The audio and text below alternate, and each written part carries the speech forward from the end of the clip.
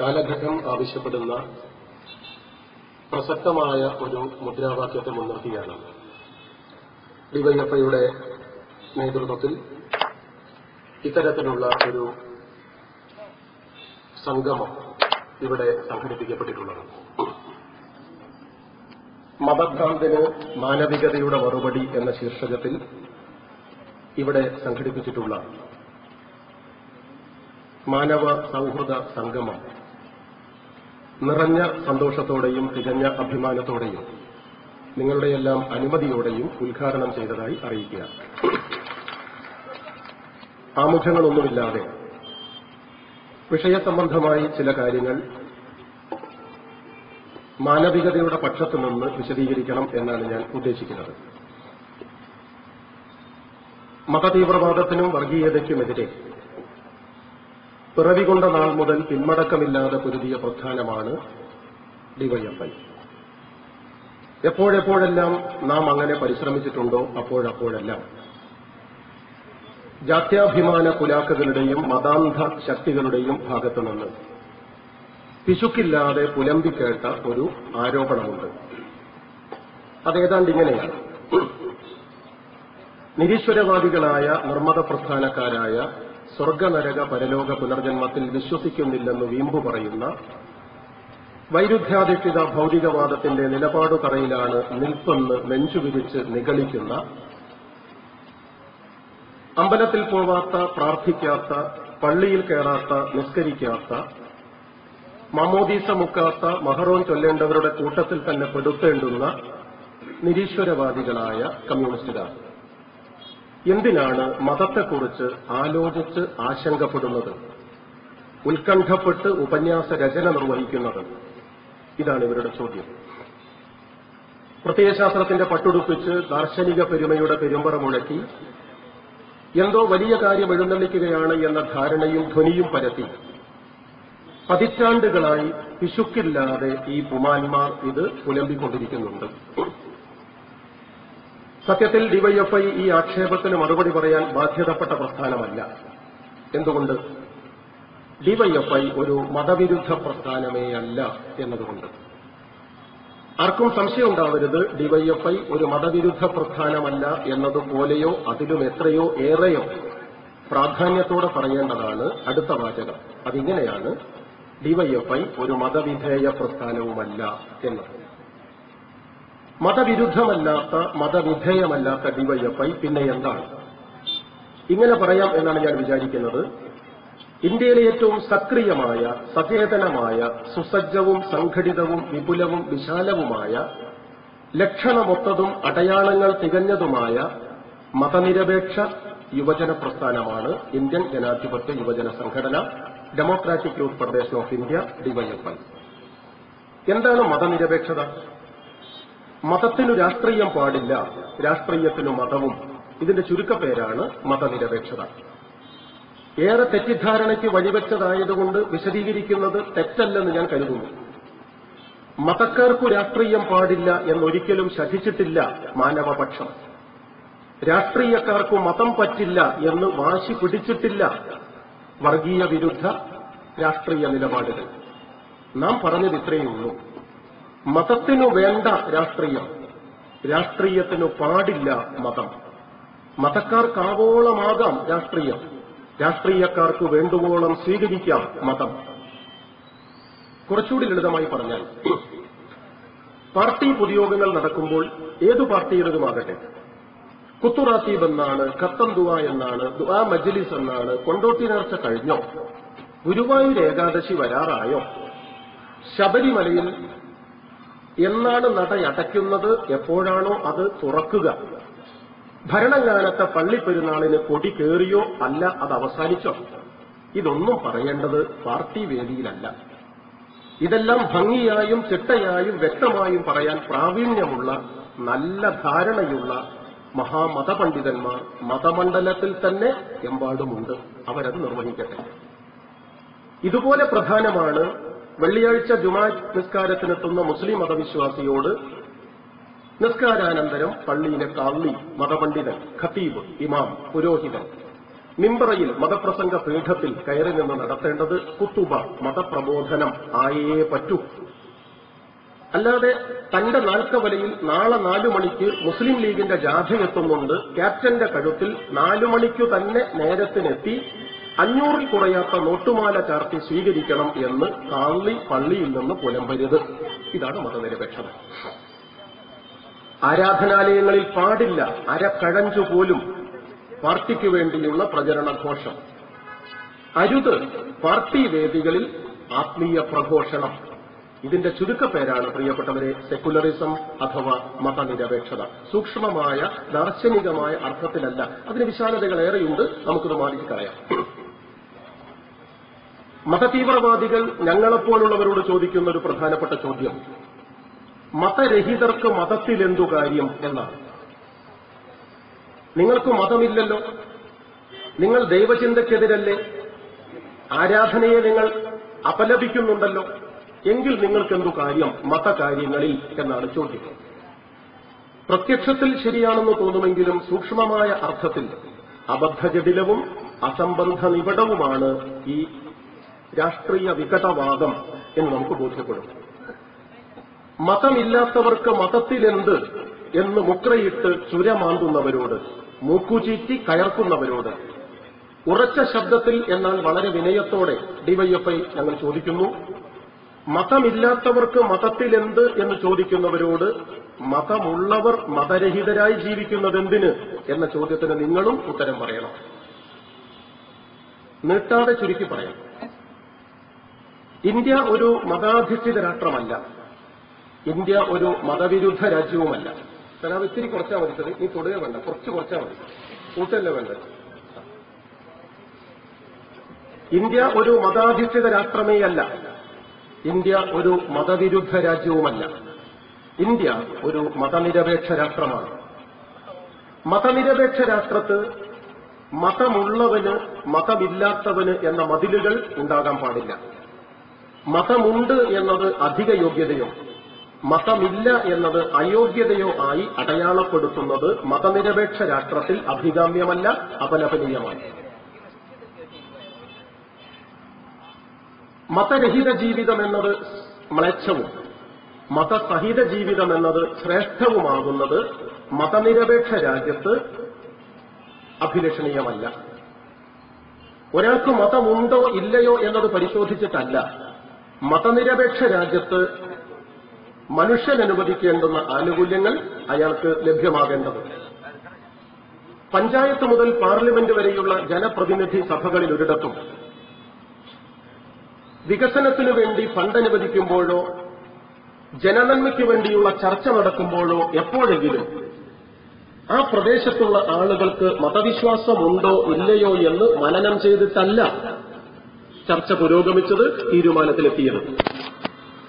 മാങ്കാവിൽ ഒരു കുടിവെള്ള പദ്ധതിക്ക് കോഴിക്കോട് കോർപ്പറേഷൻ ചർച്ച നടത്തുമ്പോൾ ഈ ഡിവിഷനിൽ എത്ര പേർ വിശ്വാസികളുണ്ട് ഇല്ലാത്തവരുണ്ട് എന്ന് പരിശോധിച്ച് വിശ്വാസികൾക്കാണെങ്കിൽ നമുക്ക് കൊടുക്കാം എന്നൊരു കൂട്ടരോ വിശ്വാസികളല്ലാത്തവർക്കാണെങ്കിൽ നമുക്ക് കൊടുക്കാമെന്ന് മറ്റൊരു കൂട്ടരോ പറഞ്ഞതായി നമുക്ക് പരിചയമില്ല. പറഞ്ഞിട്ടുണ്ടെങ്കിൽ അത് പാടേ തെറ്റുമാണ്. ഇതാണ് ഞങ്ങളുടെ നിലപാട്. പറഞ്ഞതിലേക്ക് തിരിച്ചു വരാം. മതമില്ലാത്തവർക്ക് മതത്തിലെന്ത് എന്ന് ചോദിക്കുന്നവരോട് നാം ചോദിച്ചു വിനയത്തോടെ വ്യക്തമായി മതമിൽ ഉള്ളവർക്ക് മതമില്ലായ്മയിലെന്ത്? ഞാനും നിങ്ങളും വളരെ ചെറുപ്പത്തിൽ സ്കൂളിൽ പഠിക്കുമ്പോൾ വന്ന ഒരു ചോദ്യമാണ് ഭൂമിയുടെ ആകൃതി എന്താണ് എന്ന്. ഫെർഡിനൻ മകല്ലൻ കണ്ടെത്തുകയും ശാസ്ത്രലോകം അംഗീകരിക്കുകയും ചെയ്തതനുസരിച്ച് ഭൂമി ഗോളാകൃതിയിലാണ് പന്തുപോലെയാണ് ഉരുണ്ടതാണ്. മുസ്ലിം മതവിശ്വാസിയായ ഒരു മനുഷ്യന് പരീക്ഷയ്ക്ക് അങ്ങനെ ഉത്തരവിടാൻ കഴിയോ? ഇല്ല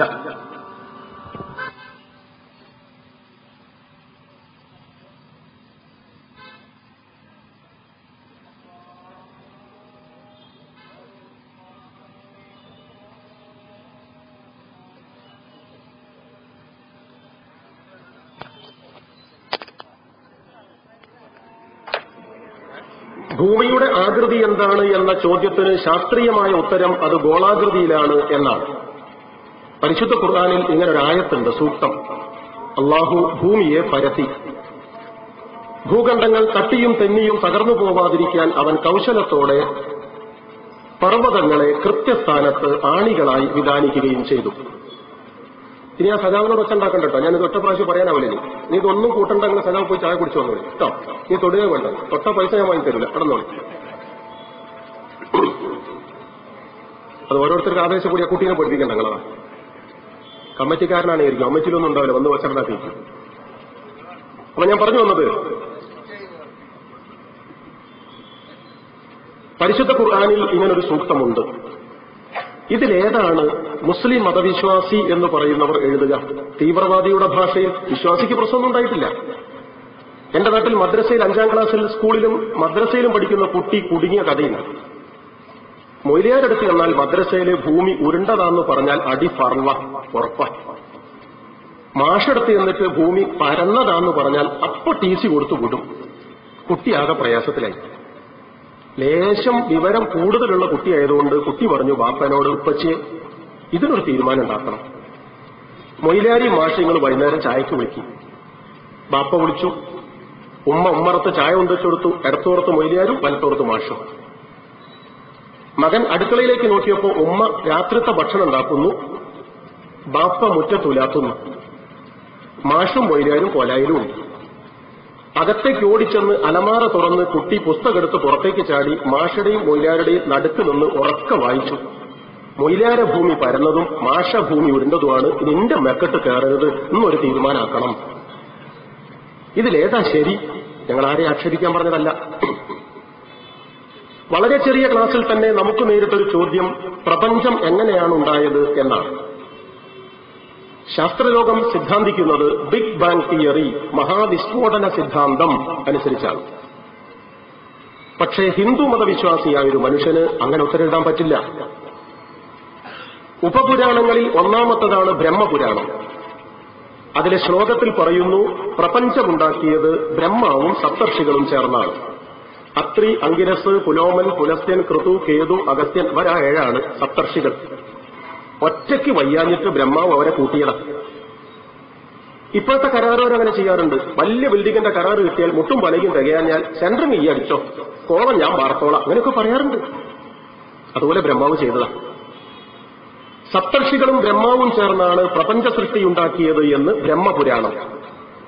ഹിന്ദു മതവിശ്വാസിയാണെങ്കിൽ തീവ്രവാദികൾ പറയുന്നത് പോലെയാണെങ്കിൽ പുസ്തകത്തിൽ നിന്ന് അര കഷ്ണം മാറാൻ പറ്റില്ലെങ്കിൽ എന്തെഴുതണം ഉത്തരം? ആലോചിച്ചാൽ മതി. മതവിശ്വാസമില്ലാത്തവർക്ക് മതത്തിലെന്ത് എന്ന് ചോദിക്കുന്നവരോട് മതസഹിതർക്ക് മതരഹിത ജീവിതം അഭികാമ്യമാണോ എന്ന ചോദ്യം സ്നേഹത്തോടെ ചോദിച്ചു എന്നുള്ളൂ നമുക്ക് ആ ഭാഗം വിടാം. മതതീവ്രവാദികളും ജാത്യാഭിമാന കുലാക്കുകളും നമ്മോട് പറയുന്ന മറ്റൊരു കാര്യം. മതത്തിന്റെ പേര് പറഞ്ഞുകൊണ്ട് തന്നെയാണ്. കമ്മ്യൂണിസ്റ്റ് പാർട്ടി പ്രവർത്തകരെയും ഡിവൈഎഫ്ഐക്കാരെയും എല്ലാം മതത്തിന് പുറത്താക്കി മാനം സംരക്ഷിക്കാൻ മതസംഘടനകളിൽ പലതും മടി കാണിക്കുന്നില്ല തിടുക്കം കൂട്ടുന്നുമുണ്ട്. ഫത്തുവ ചൊല്ലി കമ്മ്യൂണിസ്റ്റുകാരെ കാഫിറാക്കി ഇസ്ലാമിക കൊട്ടാര പണ്ഡിത സഭക്കാർ. എമ്പാടും പ്രഭാഷണങ്ങൾ വയന്ന് നടത്തുന്നുണ്ട്.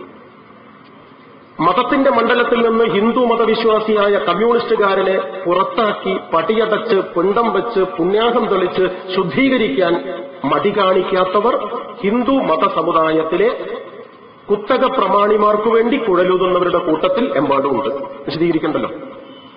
അവരോട് ഞങ്ങൾ സ്നേഹപൂർവം ചോദിക്കുന്നു. ഏതു മതത്തെയാണ് നിങ്ങൾ പിന്താങ്ങണം എന്ന് അഭ്യർത്ഥിക്കുന്നത് ആരുടെ വിശ്വാസത്തെ പിൻപറ്റണമെന്നാണ് നിങ്ങൾ ആക്രോശിക്കുന്നത്? എന്താണ് നിങ്ങളുടെ വിശ്വാസത്തിന്റെ വിചാരധാര? എന്താണ് നിങ്ങളുടെ മതവിശ്വാസത്തിന്റെ മനന മണ്ഡലം ഏതാണ് നിങ്ങളുടെ ദൈവചിന്തയുടെ അന്തർധാര? അതൊന്ന് വിശദീകരിക്കൂ. ഞങ്ങളിൽ മതവിശ്വാസികൾക്ക് മതത്തിന്റെ മണ്ഡലത്തിൽ നിൽക്കാൻ അവകാശമില്ലെന്ന് ആക്രോശിക്കുന്നവരോടാണ് ഞങ്ങളുടെ വിനയപൂർവമായ ചോദ്യം. ഇന്ത്യ രാജ്യത്തിന്റെ രാഷ്ട്രപിതാവ് ബാപ്പുജിയെ വെടിവെച്ചുകൊന്നത് ആർ എസ് എസിന്റെ കവലച്ചട്ടമ്പിയായ തെമ്മാടി നാഥൂറാം വിനായക ഗോഡ്സെയാണ്.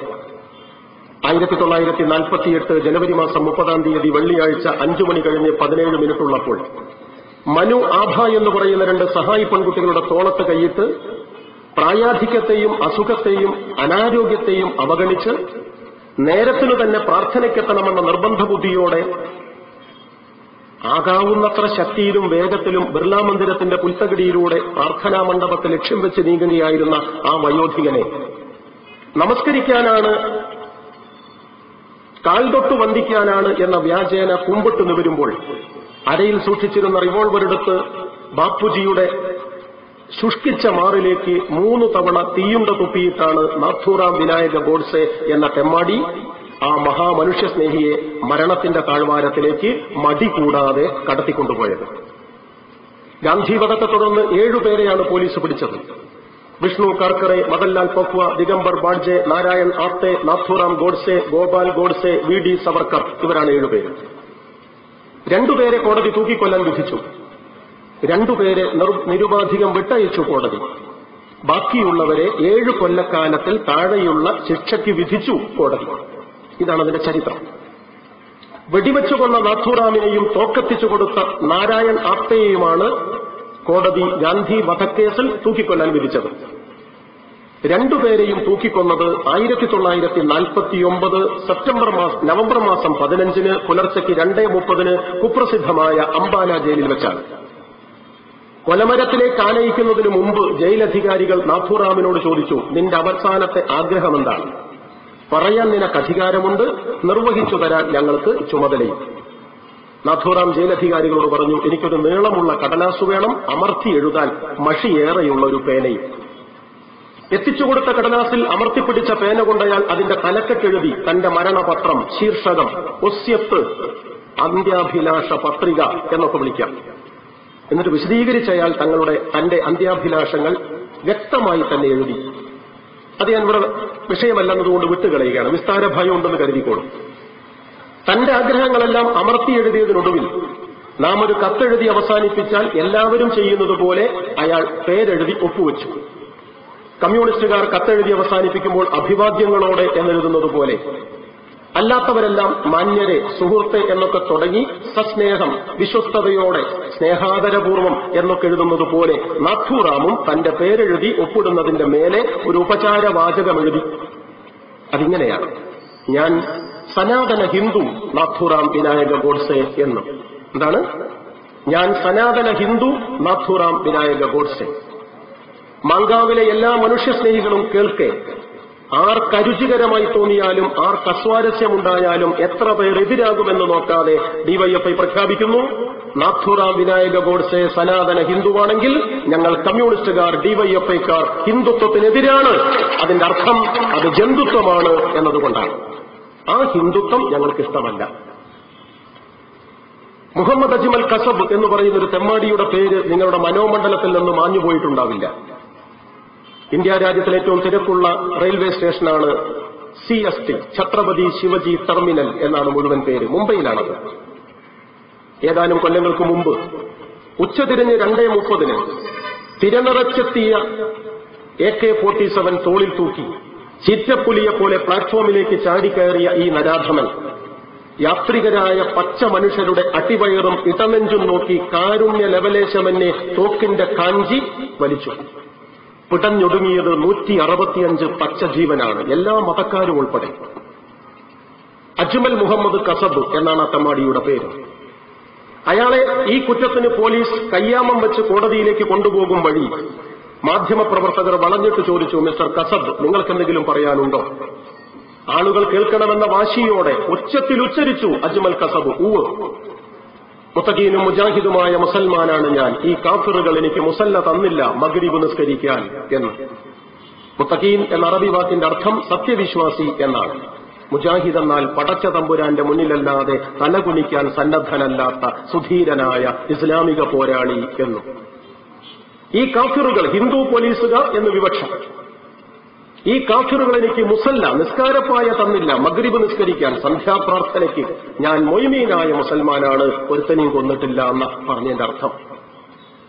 മാങ്കാവിലെ മനുഷ്യസ്നേഹികൾ കേൾക്കെ മനമുരുകി ഞങ്ങൾ ഉറക്കെ പ്രഖ്യാപിക്കുന്നു ആർക്കിഷ്ടപ്പെട്ടാലും ഇല്ലെങ്കിലും.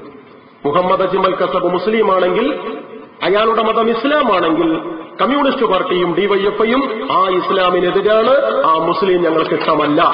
ഇതാണ് ഞങ്ങളുടെ ഇസ്ലാം. ഡേവിഡ് കോൾമാൻ ഹെഡ്ലി ഓർമ്മയുണ്ടോ നിങ്ങൾക്ക്? ഇന്ത്യ രാജ്യത്തിന്റെ പ്രധാനപ്പെട്ട നഗരവീഥികളിൽ മാരക പ്രഹരശേഷിയുള്ള ബോംബ് സ്ഫോടനമുണ്ടാക്കി മാതൃരാജ്യത്തിന്റെ ഗർഭപാത്രം കലക്കിക്കളയാൻ അമേരിക്കൻ സാമ്രാജ്യത്വം ആകാശമാർഗേണ കൂട്ടിക്കൊണ്ടുവന്ന ആഗോള ഭീകരന്റെ പേരാണ് ഡേവിഡ് കോൾമാൻ ഹെഡ്ലി. അയാളിപ്പോൾ ന്യൂയോർക്കിൽ വിചാരണ നേരിടുന്നു. ഇതുൾപ്പെടെയുള്ള നൂറ് കണക്കിന് നൃശംസതയുടെ പേരിൽ. ഏതാനും മാസങ്ങൾക്ക് മുമ്പ് ഹെഡ്ലി പറഞ്ഞു കോടതിയിൽ കൊടുത്ത സത്യവാങ്മൂലത്തിൽ അഫിഡവിറ്റിൽ. എല്ലാ ഞായറാഴ്ചയും വലിയ മതപണ്ഡിതന്മാരുടെ സാന്നിധ്യത്തിൽ നടക്കുന്ന പള്ളിക്കകത്തെ പ്രാർത്ഥനയിൽ മുട്ടിൽ നിന്ന് മുട്ടിപ്പാൽ കർത്താവിനോട് വിശ്വശാന്തിക്കും ലോകസമാധാനത്തിനും വേണ്ടി പ്രാർത്ഥിക്കുന്ന സത്യക്രിസ്ത്യാനിയാണ് ഞാൻ. ഞാനൊരു പുഴുവിനെ പോലും കഴുത്തു ഞെരിച്ചിട്ടില്ല. ഞങ്ങൾ മാങ്കാവിലെ എല്ലാ മനുഷ്യരും കേൾക്കെ മനസ്സു നിറഞ്ഞ് അഭിമാന ബോധത്താൽ ഉറക്ക പ്രഖ്യാപിക്കാൻ ആഗ്രഹിക്കുന്നു. ഡിവൈഎഫ്ഐ ഡേവിഡ് കോൾമാൻ ഹെഡ്ലി ക്രിസ്ത്യാനിയാണെങ്കിൽ ഞങ്ങൾ ക്രിസ്ത്യാനിറ്റിക്കെതിരാണ് അത് കുട്ടിലതയുടെ കൊടുമുടിയാണ് എന്നതുകൊണ്ട്. ഇതാണ് ഞങ്ങളുടെ മതബോധം. ഇത് ദൈവത്തിനെതിരാണ് മതത്തിനെതിരാണ് എങ്കിൽ അതൊരാക്ഷേപമായിട്ടല്ല സാഹ്ലാദം സദാ കഴുത്തിലണിയാൻ കഴിയുന്ന ആടയാഭരണങ്ങളിലൊന്നായി സ്വീകരിക്കാൻ ഡിവൈഎഫ്ഐയും കമ്മ്യൂണിസ്റ്റ് പാർട്ടിയും തയ്യാറാണ്. ഇതാണ് ഞങ്ങളുടെ നിലപാട്. അടുത്ത കാര്യം. മതതീവ്രവാദികൾ നമ്മോട് പറയുന്നത് നിങ്ങൾക്ക് മതമില്ലല്ലോ എന്ന് പറഞ്ഞു തുടങ്ങിയതിനു ശേഷം കമ്മ്യൂണിസ്റ്റ് പാർട്ടിക്കും ഡിവൈഎഫ്ഐക്കുമൊന്നും മതത്തെക്കുറിച്ച് പറയാൻ അധികാരമില്ല എന്ന് പറഞ്ഞു തുടങ്ങി അവസാനിപ്പിക്കുന്നത് എന്തു വന്നാലും നിങ്ങൾക്ക് മതത്തിൽ സ്ഥാനമില്ല എന്നാണ്. ഞങ്ങൾ ഇങ്ങനെ പറയാൻ ആഗ്രഹിക്കുന്നു. വളരെ സ്നേഹത്തോടെ ഉറച്ച ശബ്ദത്തിൽ. മതത്തിന്റെ പ്രാഥമികമായ പാഠം ആത്മീയതയുടെ ആണിക്കല്ല്. മതവിശ്വാസത്തിന്റെ ഏറ്റവും പ്രധാനപ്പെട്ട കാതലും കുന്തമുനയും ഈ ഒരു വാചകമാണെന്ന് ഞങ്ങൾ ധരിക്കുന്നു കരുതുന്നു. അതിങ്ങനെയാണ്. മനുഷ്യൻ നിലവിളിയും ദൈവം തലോടലുമാണ് എന്നാണ് മതത്തിന്റെ ഏറ്റവും പ്രധാനപ്പെട്ട വാക്യം. കരയുന്ന മനുഷ്യന് തലോടലാണ് ദൈവം എന്നാണ് അതിന്റെ അർത്ഥം. ഡിവൈഎഫ്ഐ അഭിമാനത്തോടെ മാത്രമല്ല അഹങ്കാരത്തിന്റെ മേമ്പൊടി ചേർത്തും പറയാൻ ആഗ്രഹിക്കുന്നു. സഖാക്കളെ മനുഷ്യൻ നിലവിളിയും ദൈവം തലോടലുമാണെങ്കിൽ. ആവർത്തിക്കട്ടെ മനുഷ്യൻ നിലവിളിയും ദൈവം തലോടലുമാണെങ്കിൽ. ലോകത്തിലെ ഏറ്റവും പ്രധാനപ്പെട്ട ദൈവം ചെങ്കൊടി പ്രസ്ഥാനമാണ് ചെങ്കൊടി പ്രസ്ഥാനമാണ് ചെങ്കൊടി പ്രസ്ഥാനമാണ്. തർക്കിക്കേണ്ട ചരിത്രം പഠിച്ചാൽ അറിയാം നമുക്ക് ആ ഭാഗം അവിടെ അവസാനിപ്പിക്കാം. മതതീവ്രവാദത്തെ കമ്മ്യൂണിസ്റ്റുകാർ ഡിവൈഎഫ്ഐക്കാർ എതിർക്കുന്നത് എന്തുകൊണ്ട്? അതാണ് അടുത്ത പരിശോധനാ ഭാഗം. മതതീവ്രവാദം മാനവികതയ്ക്കെതിരാണ് എന്നതാണ് ഒന്നാമത്തെ കാര്യം. എന്താ അങ്ങനെ പറഞ്ഞാൽ? മനുഷ്യന്റെ പ്രശ്നങ്ങളെക്കുറിച്ച് മതതീവ്രവാദികൾ ഇതുവരെ ആലോചിച്ചിട്ടില്ല ആശങ്കപ്പെട്ടിട്ടില്ല അന്വേഷിച്ചിട്ടില്ല എന്നതാണ് സത്യം. ആർ എസ് എസിന്റെ ശാഖയിൽ ആണവ കരാറിനെക്കുറിച്ച് ചർച്ചയുണ്ടാവില്ല. എസ് ഡി പി ഐയുടെ കരാട്ടെ പരിശീലന പാഠശാലകളിൽ പോപ്പുലർ ഫ്രണ്ടിന്റെ ബോംബ് നിർമ്മാണ പരിശീലന കളരിയിൽ ആസിയാൻ കരാർ ആലോചനയ്ക്കെത്തുക അസാധ്യവുമാണ്. ഇതാണ് ഞങ്ങളുടെ നിലപാട്. ആർ എസ് എസിന്റെ ശാഖയിൽ അവൻ അനുയായികളെ പഠിപ്പിക്കുന്നത് അരവിന്ദാക്ഷാമിനെ കരികിട്ടാത്തത് അബ്ദുറഹിമാൻ തിന്നാനുള്ളത് തിന്നാനുള്ളതുകൊണ്ടാണ് അവനെ കൊല്ലണം എന്നാണ്. എൻ ഡി എഫുകാരൻ അവന്റെ ശാലയിൽ മടികൂടാതെ പഠിപ്പിച്ചുകൊണ്ടിരിക്കുന്നത് മുസ്തഫ നിനക്ക് മുണ്ടു തികയാത്തത് മുകുന്ദന്മാർ മുണ്ടെടുക്കാനുള്ളത് കൊണ്ടാണ്. റഹ്മാൻ റഹീം. ഓന ചാമ്പ്യ നമുക്ക് സുഖായി. എന്നാണ് മുസ്തഫയ്ക്ക് മുണ്ടു തികയാത്തത് മുകുന്ദനുള്ളത് കൊണ്ടാണ് എന്ന് എൻ ഡി എഫ്. അരവിന്ദാക്ഷന് അരി കിട്ടാത്തത് അബ്ദുറഹിമാനുള്ളത് കൊണ്ടാണെന്ന് ആർ എസ് എസ്. പരിമിതമായ വിഭവങ്ങൾ അന്യമതക്കാർക്കു കൂടി വിഭജിച്ച് വിതരണം ചെയ്യേണ്ടതുകൊണ്ടാണ് സ്വന്തം സമുദായത്തിലെ അംഗങ്ങൾക്ക് അരി കിട്ടാത്തത് പണി കിട്ടാത്തത് തുണി തികയാത്തത് എന്ന് പഠിപ്പിക്കുന്നു. ഇസ്ലാമിക തീവ്രവാദിയും ഹിന്ദു ഫാസിസ്റ്റും. അതുകൊണ്ടാണ് ഞങ്ങൾ കമ്മ്യൂണിസ്റ്റുകാർ പറയുന്നത് മത തീവ്രവാദം മനുഷ്യനെക്കുറിച്ച് സംസാരിച്ചിട്ടില്ല. ലോകത്തിൽ ഇസ്ലാമിക തീവ്രവാദത്തിന്റെ തലതൊട്ടപ്പനാണ് താലിബാൻ. അഫ്ഗാനിസ്ഥാനിലാണ് താലിബാന്റെ ജന്മദേശം. ആയിരത്തി തൊള്ളായിരത്തി തൊണ്ണൂറ്റി രണ്ട് ഡിസംബറിൽ അമേരിക്കൻ സാമ്രാജ്യത്വം കൈകളിൽ ഏൽപ്പിച്ച ആയുധങ്ങളുമായി ആർത്തലച്ചു വന്ന താലിബാൻ തമ്മാടിക്കൂട്ടം എട്ടു കൊല്ലക്കാലം ജനാധിപത്യ പ്രസ്ഥാനത്തിന്റെ നേതാവായി ജനഹിതമനുസരിച്ച് ഭരണം നടത്തിയിരുന്ന അവിടുത്തെ പ്രസിഡന്റ്. കമ്മ്യൂണിസ്റ്റ് അനുഭാവിയും മതവിശ്വാസിയും കറകളഞ്ഞ മുസൽമാനുമായിരുന്ന ഡോക്ടർ കേണൽ സഖാവ് നജീബുള്ള എന്ന് പറയുന്ന മനുഷ്യനെ വെടിവെച്ചു കൊന്ന് കയറുകൊണ്ട് കഴുത്തിൽ കുരുക്കിട്ട് അഫ്ഗാനിസ്ഥാന്റെ നാൽക്കവലകളിൽ ഉയരമേറിയ വിളക്കുകാലിൽ പതിമൂന്ന് രാവും പതിമൂന്ന് പകലും കാക്കയും കഴുകനും കണ്ണും കരളും കൊത്തിപ്പറിച്ച് പുഴുതുരച്ച് ദുർഗന്ധം വമിക്കത്തക്ക വിധത്തിൽ കെട്ടിത്തൂക്കി കൊന്നു. അങ്ങനെയാണ് അവിടെ താലിബാൻ എന്ന് പറയുന്ന പ്രസ്ഥാനം അധികാരത്തിലെത്തുന്നത്. രണ്ടുപേരാണ് അഞ്ചര കൊല്ലക്കാലം അധികാരത്തിൽ അവരോധിക്കപ്പെട്ടത്. രണ്ടും അമ്മിമോളും പെണ്ണന്നെ. ബുർഹാനുദ്ദീൻ റബ്ബാനി ഖുൽബുദ്ദീൻ ഹക്കുമത്യാർ എന്നാണ് രണ്ടുപേരുടെ പേര്.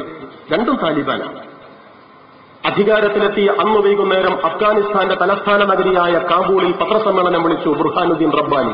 അയാൾ പറഞ്ഞു ഇസ്ലാമിന്റെ ഇസ്സത്തു അപകടപ്പെടുത്തുന്ന ചില ധാരണകൾ ചില സൂചനകൾ ചില പ്രതീകങ്ങൾ നമ്മുടെ നാട്ടിലുണ്ട്. കളയണം വേരോടെ പിഴുതെടുത്ത്. എന്നിട്ടാണ് പറഞ്ഞു ആയിരത്താണ്ടുകൾക്കപ്പുറത്ത് ഇന്ത്യയിൽ നിന്നും ബുദ്ധമതം പഠിപ്പിക്കാനെത്തിയ സന്യാസിമാർ സ്ഥാപിച്ച ബുദ്ധപ്രതിമകളുണ്ട് അഫ്ഗാനിസ്ഥാനിൽ. അത് ഇസ്ലാമിനെതിരാണ്. അധികാരം ഇസ്ലാമിന് കിട്ടിയ പശ്ചാത്തലത്തിൽ അത് അഴു ഒഴുക്കിക്കളയണം ആ അഴുക്ക്. എന്നിട്ട് ബുഹാനുദ്ദീൻ റബ്ബാനി പറഞ്ഞു മാരക പ്രഹരശേഷിയുള്ള ഡൈനാമിറ്റുകൾ ചെറുപ്പക്കാർക്ക് നൽകും സൗജന്യമായി ഗവൺമെന്റ്. അത് വെച്ച് ബുദ്ധപ്രതിമകൾ പൊട്ടിക്കുന്നവന് അവാർഡ് സമ്മാനിക്കും ഗവൺമെന്റ്. പത്രസമ്മേളനത്തിൽ പങ്കെടുത്ത പരിണിതപ്രജ്ഞനും പ്രായാധിക്യമുള്ളവനുമായ ഒരു മനുഷ്യൻ ചോദിച്ചു മിസ്റ്റർ പ്രസിഡന്റ് പ്രതിമ പൊട്ടിക്കാൻ പോകുന്ന ചെറുപ്പക്കാരൻ പൊട്ടിച്ച് പൊട്ടിത്തെറിക്കുന്നതിനിടയിൽ പൊട്ടിത്തെറിച്ചു പോയാലോ? ചത്തുപോയാലോ? അക്ഷോഭ്യനായി. ബുർഹാനുദ്ദീൻ റബ്ബാനി പറഞ്ഞ മറുപടി ഇങ്ങനെയാണ്. ഇസ്ലാമിന്റെ സ്വത്തുകാക്കാനുള്ള ജിഹാദിന്റെ രണഭൂമികളിൽ ഷഹീദാവുന്നവന്റെ രക്തത്തുള്ളികൾ തെല്ലും പാഴായി പോവുകയില്ല. മരിച്ച് മൈശ്രയിൽ ചെന്നാൽ പരലോകത്തെത്തിയാൽ അള്ളാന്റെ തൊട്ടടുത്തു സീറ്റ് ചുവന്നൊട്ടകങ്ങളെക്കാൾ വലിയ സമ്മാനം അവനെ കാത്തിരിക്കുന്നുണ്ട്. ഭയം വേണ്ട പൊട്ടിച്ചത്തോട്ടെ അള്ളാഹു സ്വീകരിക്കും എന്നാണ്. ഇഹലോക ജീവിതം ക്ഷണികമെന്നും പരലോക ജീവിതമാണ് പരമപ്രധാനമെന്നും വിശ്വസിക്കുന്ന പതിനായിരക്കണക്കിന് മുസ്ലിം ചെറുപ്പക്കാരെ വിളക്കിനടുത്തേക്ക് ഈയാമ്പാറ്റകളെ എന്നതുപോലെ അടുപ്പിച്ചു നിർത്തി ചിറകും ശിരസും കരിപ്പിച്ച് കരിക്കട്ടയാക്കി കൊന്നു തള്ളി ഇസ്ലാമിക ഭീകരവാദികൾ ബുർഹാനുദ്ദീൻ റബ്ബാനിയും ഖുൽബുദ്ദീൻ ഹക്കുമത്തിയാണ്. അഫ്ഗാനിസ്ഥാൻ പട്ടിണിയുടെ പറുദീസയാണ് ദുഃഖങ്ങളുടെ ദുരന്ത ഭൂമിയാണ് വറുതിയുടെ വറചട്ടിയും കെടുതിയുടെ കേദാരവുമാണ് അഫ്ഗാനിസ്ഥാൻ. ഐക്യരാഷ്ട്ര സംഘടന ഏതാനും വർഷങ്ങൾക്ക് മുമ്പ് പുറത്തിറക്കിയ പട്ടിണിക്കാരുടെ രാഷ്ട്ര പട്ടികയിൽ രണ്ടാമത്തെ സ്ഥാനമാണ് അഫ്ഗാനിസ്ഥാന്. ഒന്നാം സ്ഥാനം ആഫ്രിക്കൻ കരിമണ്ണ് നൈജർ എന്ന കൊച്ചു രാഷ്ട്രമാണ്. പട്ടിണിയുടെ പട്ടികയിൽ രണ്ടാം സ്ഥാനം. ഗോതമ്പ് വയലുകളിൽ പൂത്തുനിൽക്കുന്നത് കഞ്ചാവു ചെടികളാണ്. ഉരുളക്കിഴങ്ങ് പാടങ്ങളിൽ അകത്തിരിക്കുന്നത് മണ്ണിനടിയിൽ പുതഞ്ഞിരിക്കുന്നത് വലിയ ഉരുളക്കിഴങ്ങുകളല്ല. പരസ്പരം ആളെ കൊല്ലാൻ കുഴിച്ചിട്ട മൈനുകളാണ് കുഴിബോംബുകളാണ്. മറക്കണ്ട.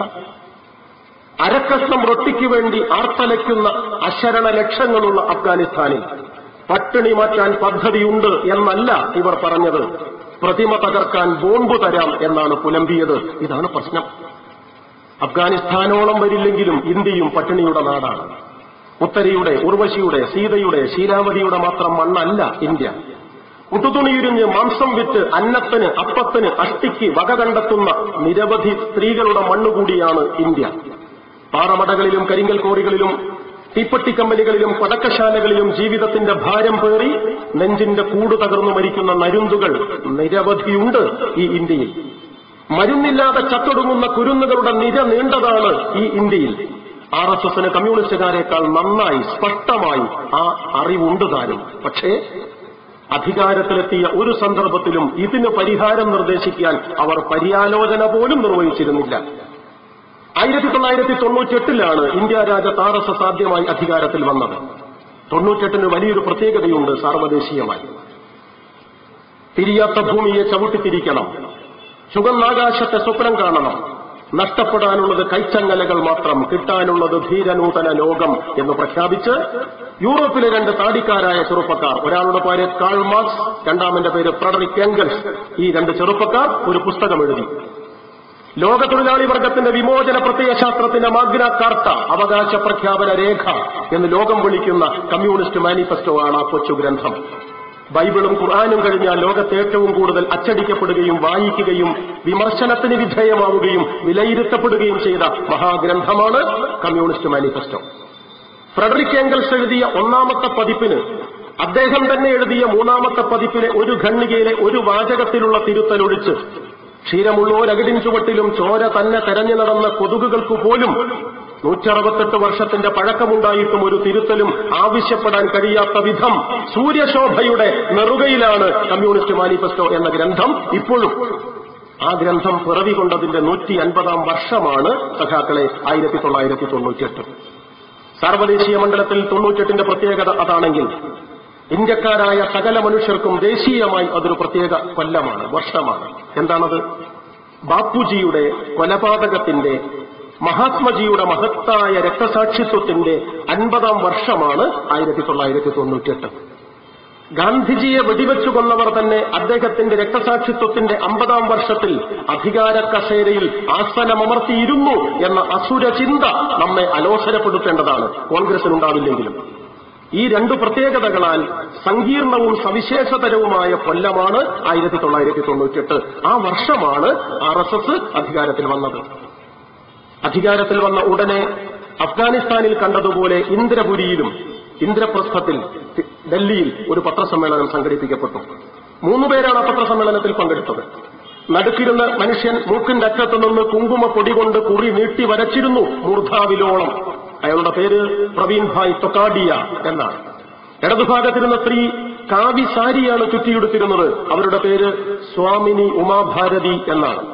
വലതുഭാഗത്തിരുന്ന സ്ത്രീ തല മൊട്ടയടിച്ചിരുന്നു. ഉടുത്തത് കാവിസാരി തന്നെ. അവരുടെ പേര് സ്വാതി ഋതാംബര എന്നാണ്. ഈ മൂന്ന് ഭ്രാന്തന്മാരും ചേർന്ന് പത്രസമ്മേളനം നടത്തി ഡൽഹിയിൽ. അവർ പറഞ്ഞു ഭാരതം സ്വതന്ത്രമായിരിക്കുന്നു. ഹിന്ദുക്കൾ അഭിമാനത്തിലാണ്. പക്ഷേ ഭാരതത്തിന്റെ മണ്ണേ സ്വതന്ത്രമായിട്ടുള്ളൂ. വിണ്ണിപ്പോഴും വിമലമല്ല. ആകാശം ശുദ്ധമല്ല എന്ന്. എന്നിട്ട് അയാൾ പറഞ്ഞു ആയിരക്കണക്കിന് പള്ളികളിൽ നിന്നും അഞ്ചു നേരം മുസ്ലിം തെമ്മാടികൾ ആവർത്തിച്ചുച്ചരിക്കുന്ന അള്ളാഹു അക്ബർ എന്ന തെമ്മാടിത്ത വചനത്താൽ ഭാരതാംബയുടെ നീലാകാശ നീലിമ നിർമ്മലത കെട്ടുപോയിരിക്കുന്നു. വിശുദ്ധി തിരിച്ചുപിടിക്കാൻ ഒരു മാർഗമേയുള്ളൂ ആയിരക്കണക്കിന് വരുന്ന മുസ്ലിം പള്ളികൾ അടിയോടെ പൊഴുതെറിയുക. അതിനാഹ്വാനം ചെയ്തു ഈ മൂന്ന് നേതാക്കന്മാർ. ആശങ്കപ്പെടുമെന്ന് ഉറപ്പുള്ളതുകൊണ്ട് അവർ അനുയായികളോട് ആക്രോശിച്ചു പറഞ്ഞു പേടിക്കണ്ട. അമാന്തമൊട്ടും വേണ്ട. ആശങ്കയൊട്ടും വേണ്ട. അടൽജിയാണ് അധികാരത്തിൽ. അഡ്വാനിയാണ് ആഭ്യന്തരമന്ത്രി. പള്ളി പൊളിച്ചതിന്റെ പേരിൽ പെറ്റി കേസ് പോലും ചാർജ് ചെയ്യില്ല. കാശി മധുര ബാക്കി ഹായ് തുടങ്ങിക്കോളൂ എന്നാണ്. പട്ടിണിയുടെ നാടായ ഇന്ത്യയിൽ അരക്കഷ്ണം അരി തരാം റൊട്ടി തരാം എന്നല്ല പ്രവീൺ ഭായ് തൊഗാഡിയ ആക്രോശിച്ചത്.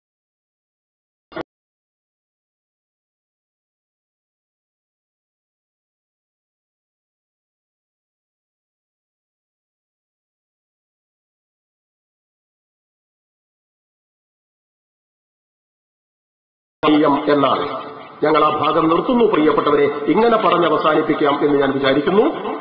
മനുഷ്യന്റെ ചോദ്യം ചെയ്യാനുള്ള ചേതനയെ ഉത്തരം തേടാനുള്ള ഉത്തരവാദിത്ത ബോധത്തെ വിവരങ്ങൾ വിവേചിച്ചറിയാനുള്ള വിശേഷണ ബുദ്ധിയെ വേരോടെ പഴുതെടുത്ത് തങ്ങൾക്കിഷ്ടമുള്ള ആകാശവിധാനങ്ങളിലേക്ക് അക്രമപ്പേക്കൂത്തിന്റെ അതിരുകളില്ലാത്ത അകമ്പടിയോടെ കൂട്ടിക്കൊണ്ടുപോയി മതബോധത്തിന്റേതാണെന്ന് പറയുന്ന കനത്ത കയറുകൊണ്ട് കഴുത്തിൽ കുരുക്കിട്ട് അമർത്തിയടിച്ച തീവ്രവാദത്തിന്റെ ഇരുമ്പുകുറ്റിമേൽ കുറുക്കി കെട്ടുകയാണ് എല്ലാ മതഭീകരവാദികളും സകല മനുഷ്യരെയും എന്ന് നാം തിരിച്ചറിയണം. അതുകൊണ്ട് മതഭീകരവാദം മാനവന്റെ പ്രശ്നത്തെക്കുറിച്ച് ആലോചിക്കുന്നില്ല. ഇതാണ് ഒന്നാമത്തെ ആക്ഷേപം. രണ്ട് മതതീവ്രവാദം മതവിരുദ്ധമാണ് എന്നാണ് മാർക്സിസ്റ്റുകാരുടെ അടുത്ത ആക്ഷേപം. എന്താ പറഞ്ഞതിനർത്ഥം? ലോകത്തിലെ എല്ലാ മതതീവ്രവാദികളും പിശുക്കില്ലാതെ പുലമ്പുന്നത് ഞങ്ങൾ മതത്തിന്റെ പേരിലാണ് പ്രവർത്തിക്കുന്നത് എന്നാണ്. പക്ഷേ മതത്തിന് ഭീകരതയില്ലെന്നും ഭീകരതയ്ക്ക് മതമില്ലെന്നും നാം തിരിച്ചറിയണം. സംശയിക്കരുത്. ലോകത്തിലെ ഒരു മതതീവ്രവാദിയും ഭീകരവാദിയല്ല. ലോകത്തിലെ ഒരു മതവിശ്വാസിക്കും മനസ്സിൽ മതതീവ്രവാദം സൂക്ഷിക്കാനുമാവില്ല. പത്തടയ്ക്ക് കത്തിവാങ്ങി കുത്തിവാങ്ങും പാകിസ്ഥാൻ. പാകിസ്ഥാൻ അല്ലെങ്കിൽ ഖബറിസ്ഥാൻ എന്ന് മുദ്രാവാക്യം വിളിച്ച് വിഭജനത്തിന്റെ നാളുകളിൽ പതിനായിരങ്ങൾക്ക് പട്ടിണിയും പട്ടട തന്നെയും സമ്മാനിച്ച് മുസൽമാന് പ്രത്യേക രാജ്യം വേണമെന്ന് പറഞ്ഞത് മുക്രയിട്ടും മൂക്കുചീറ്റിയും ചുരമാന്തിയും കയറുപൊട്ടിച്ചും കലാപമുണ്ടാക്കിയും വാങ്ങിപ്പോയ മുഹമ്മദ് അലി ജിന്ന മുസൽമാനായിരുന്നില്ല. ജന്മം കൊണ്ടതെ ഉമ്മയ്ക്കും ബാപ്പയ്ക്കും മോനുണ്ടായത്. നാമം കൊണ്ടതെ മുഹമ്മദ് അലി എന്ന ശിരുള്ള പേരാണ് അദ്ദേഹത്തിന് മാതാപിതാക്കൾ കൊടുത്തിരുന്നത്. പക്ഷെ കർമ്മം കൊണ്ട് കഴഞ്ചും സഖാക്കളെ മുഹമ്മദ് അലി ജിന്ന മുസൽമാനായിരുന്നില്ല. അഞ്ചു നേരം നിസ്കരിക്കണം മുസൽമാൻ. നാടൻ ഭാഷയിൽ നമുക്ക് പറയാം വല്യരുന്നാളും വെള്ളിയാഴ്ചയും ഒരുമിച്ച് വന്നപ്പോൾ പോലും മഹലൂക്ക് അതിന് മെൽക്കെട്ടിട്ടില്ല ഒരിക്കലും നിസ്കരിച്ചിരുന്നില്ല മുഹമ്മദ് അലി ജിന്ന. പന്നിയിറച്ചി തിന്നരുത് മുസൽമാൻ. ഷിർക്കാണ് കടുത്ത കുറ്റം എന്ന് മലയാളം. എന്താ ഷിർക്ക് എന്ന് പറഞ്ഞാൽ അറിയില്ലേ? തൗബാക്ക് പോലും തിരുത്താൻ കഴിയാത്ത കടുത്ത കുറ്റം. എന്താ തൗബ? ചെറിയ തെറ്റിന് നിഷ്കളങ്കനായ മതവിശ്വാസി പടച്ച റബ്ബിനോട് പുറത്തു തരണമേ എന്ന് നടത്തുന്ന നിഷ്കപടമായ നിരുപാധികമായ പശ്ചാത്താപ പ്രാർത്ഥനയ്ക്കാണ് ഇസ്ലാം തൗബ എന്ന് പറയുക.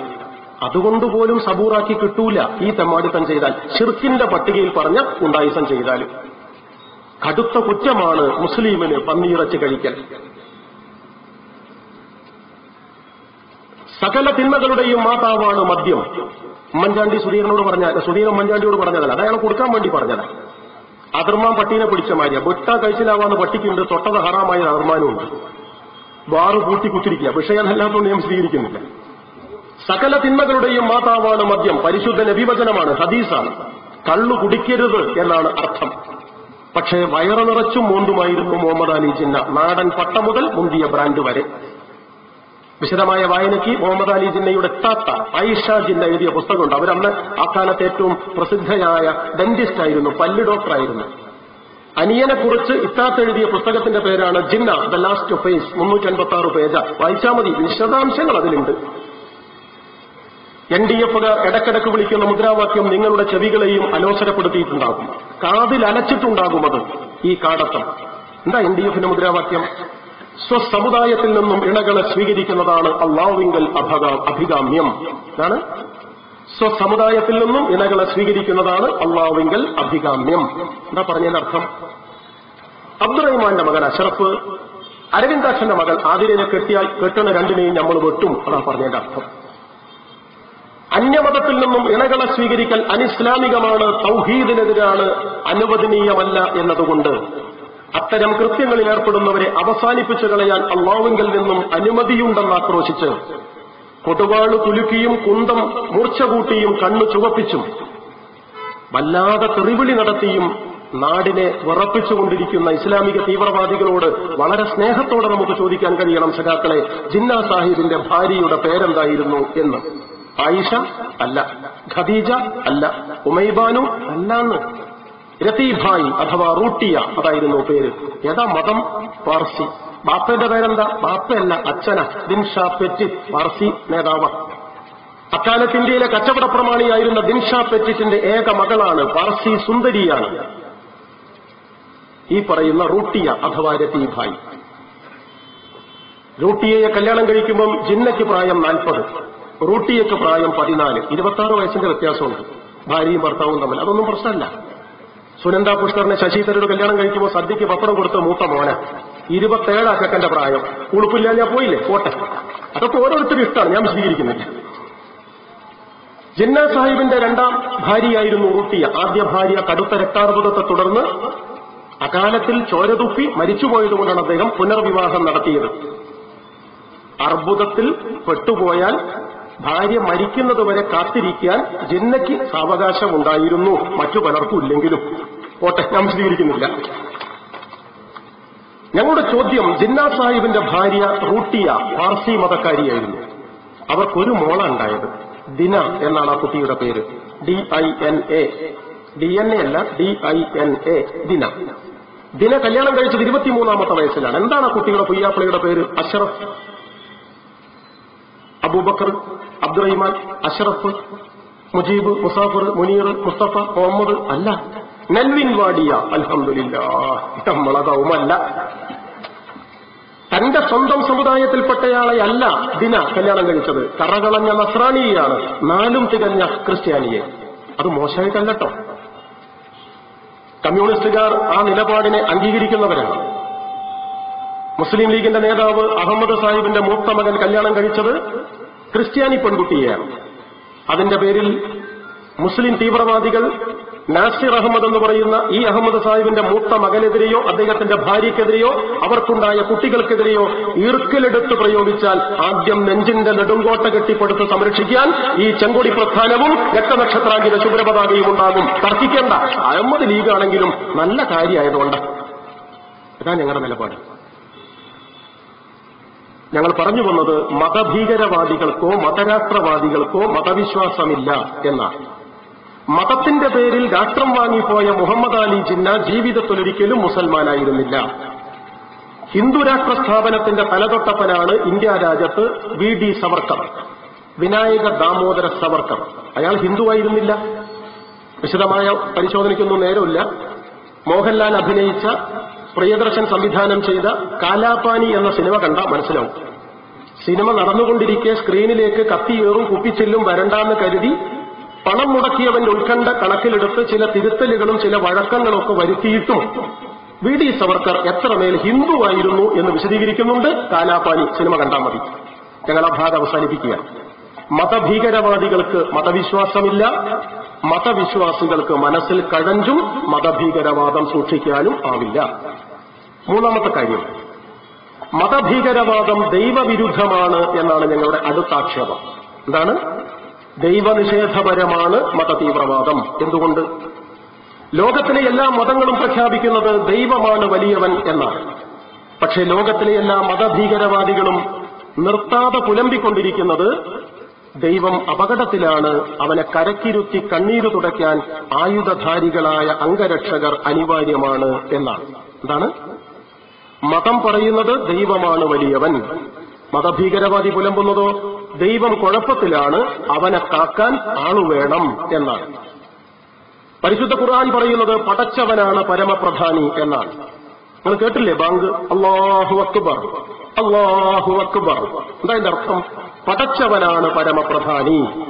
പരിശുദ്ധ ഖുർആൻ പ്രഖ്യാപിക്കുന്നു. പൂക്കളെ പുഴുവിനെ പൂമ്പാറ്റയെ പൂവാടിയെ പഞ്ചാടിക്കുരുവിനെ മൺകൂനയെ മഹാപർവതങ്ങളെ ആകാശവീതിയെ ആഴക്കടലിനെ സകലത്തിനെയും സൃഷ്ടിച്ചത് പടച്ചതമ്പുരാനാകയാൽ പ്രാർത്ഥനയെല്ലാം അള്ളാവിങ്കിലേക്ക് ഇസ്ലാം അങ്ങനെയാ പറയണത്.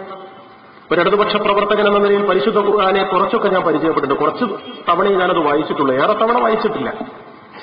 പരിചയപ്പെട്ടിടത്തോളം ഉറപ്പിച്ചു പറയാൻ കഴിയും വിശുദ്ധ ഖുർആാനിൽ പടച്ചവനെ പരിഹസിക്കുന്ന അരക്കണ്ടം ആയത്തില്ല. ഖുർആാനിലെ ഏറ്റവും ചെറിയ സൂറത്താണ് അധ്യായമാണ് അൽ കൗസർ മൂന്ന് ഹദീസ് പിന്നെ ആയത്ത്. സൂറത്തിൽ കൗസറിൽ മൂന്നാണ് ആയത്ത്.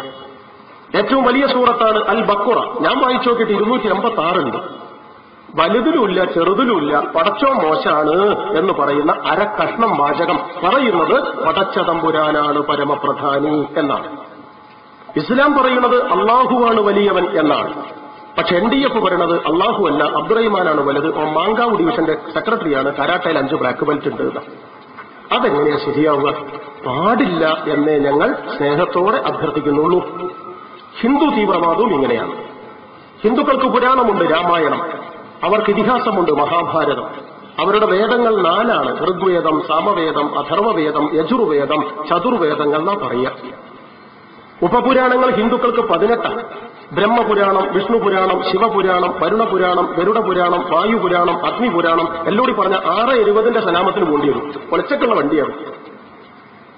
പതിനെട്ടാമത്തേത് മാർക്കണ്ഡേയ പുരാണം ഹിന്ദുക്കൾക്ക് ഉപപുരാണം പതിനെട്ടാണ്. ഉപനിഷത്തുകൾ നൂറ്റിയെട്ടാണെന്ന് ഡോക്ടർ രാധാകൃഷ്ണൻ. പത്തെണ്ണം മതി പ്രാധാന്യത്തോടെ പരിഗണിക്കാൻ എന്ന് കേരളത്തിന്റെ സാംസ്കാരിക സൂര്യശോഭ അന്തരിച്ചുപോയ ആദരണീയനായ അഴീക്കോട് മാഷ്. അഴീക്കോട് പറയുന്നത് പത്തെണ്ണം മദീന ഡോക്ടർ രാധാകൃഷ്ണൻ അഗാധ പണ്ഡിതനാണ്. ഇന്ത്യയുടെ പ്രസിഡന്റായിരുന്നു. ഇന്ത്യൻ ഫിലോസഫി എന്ന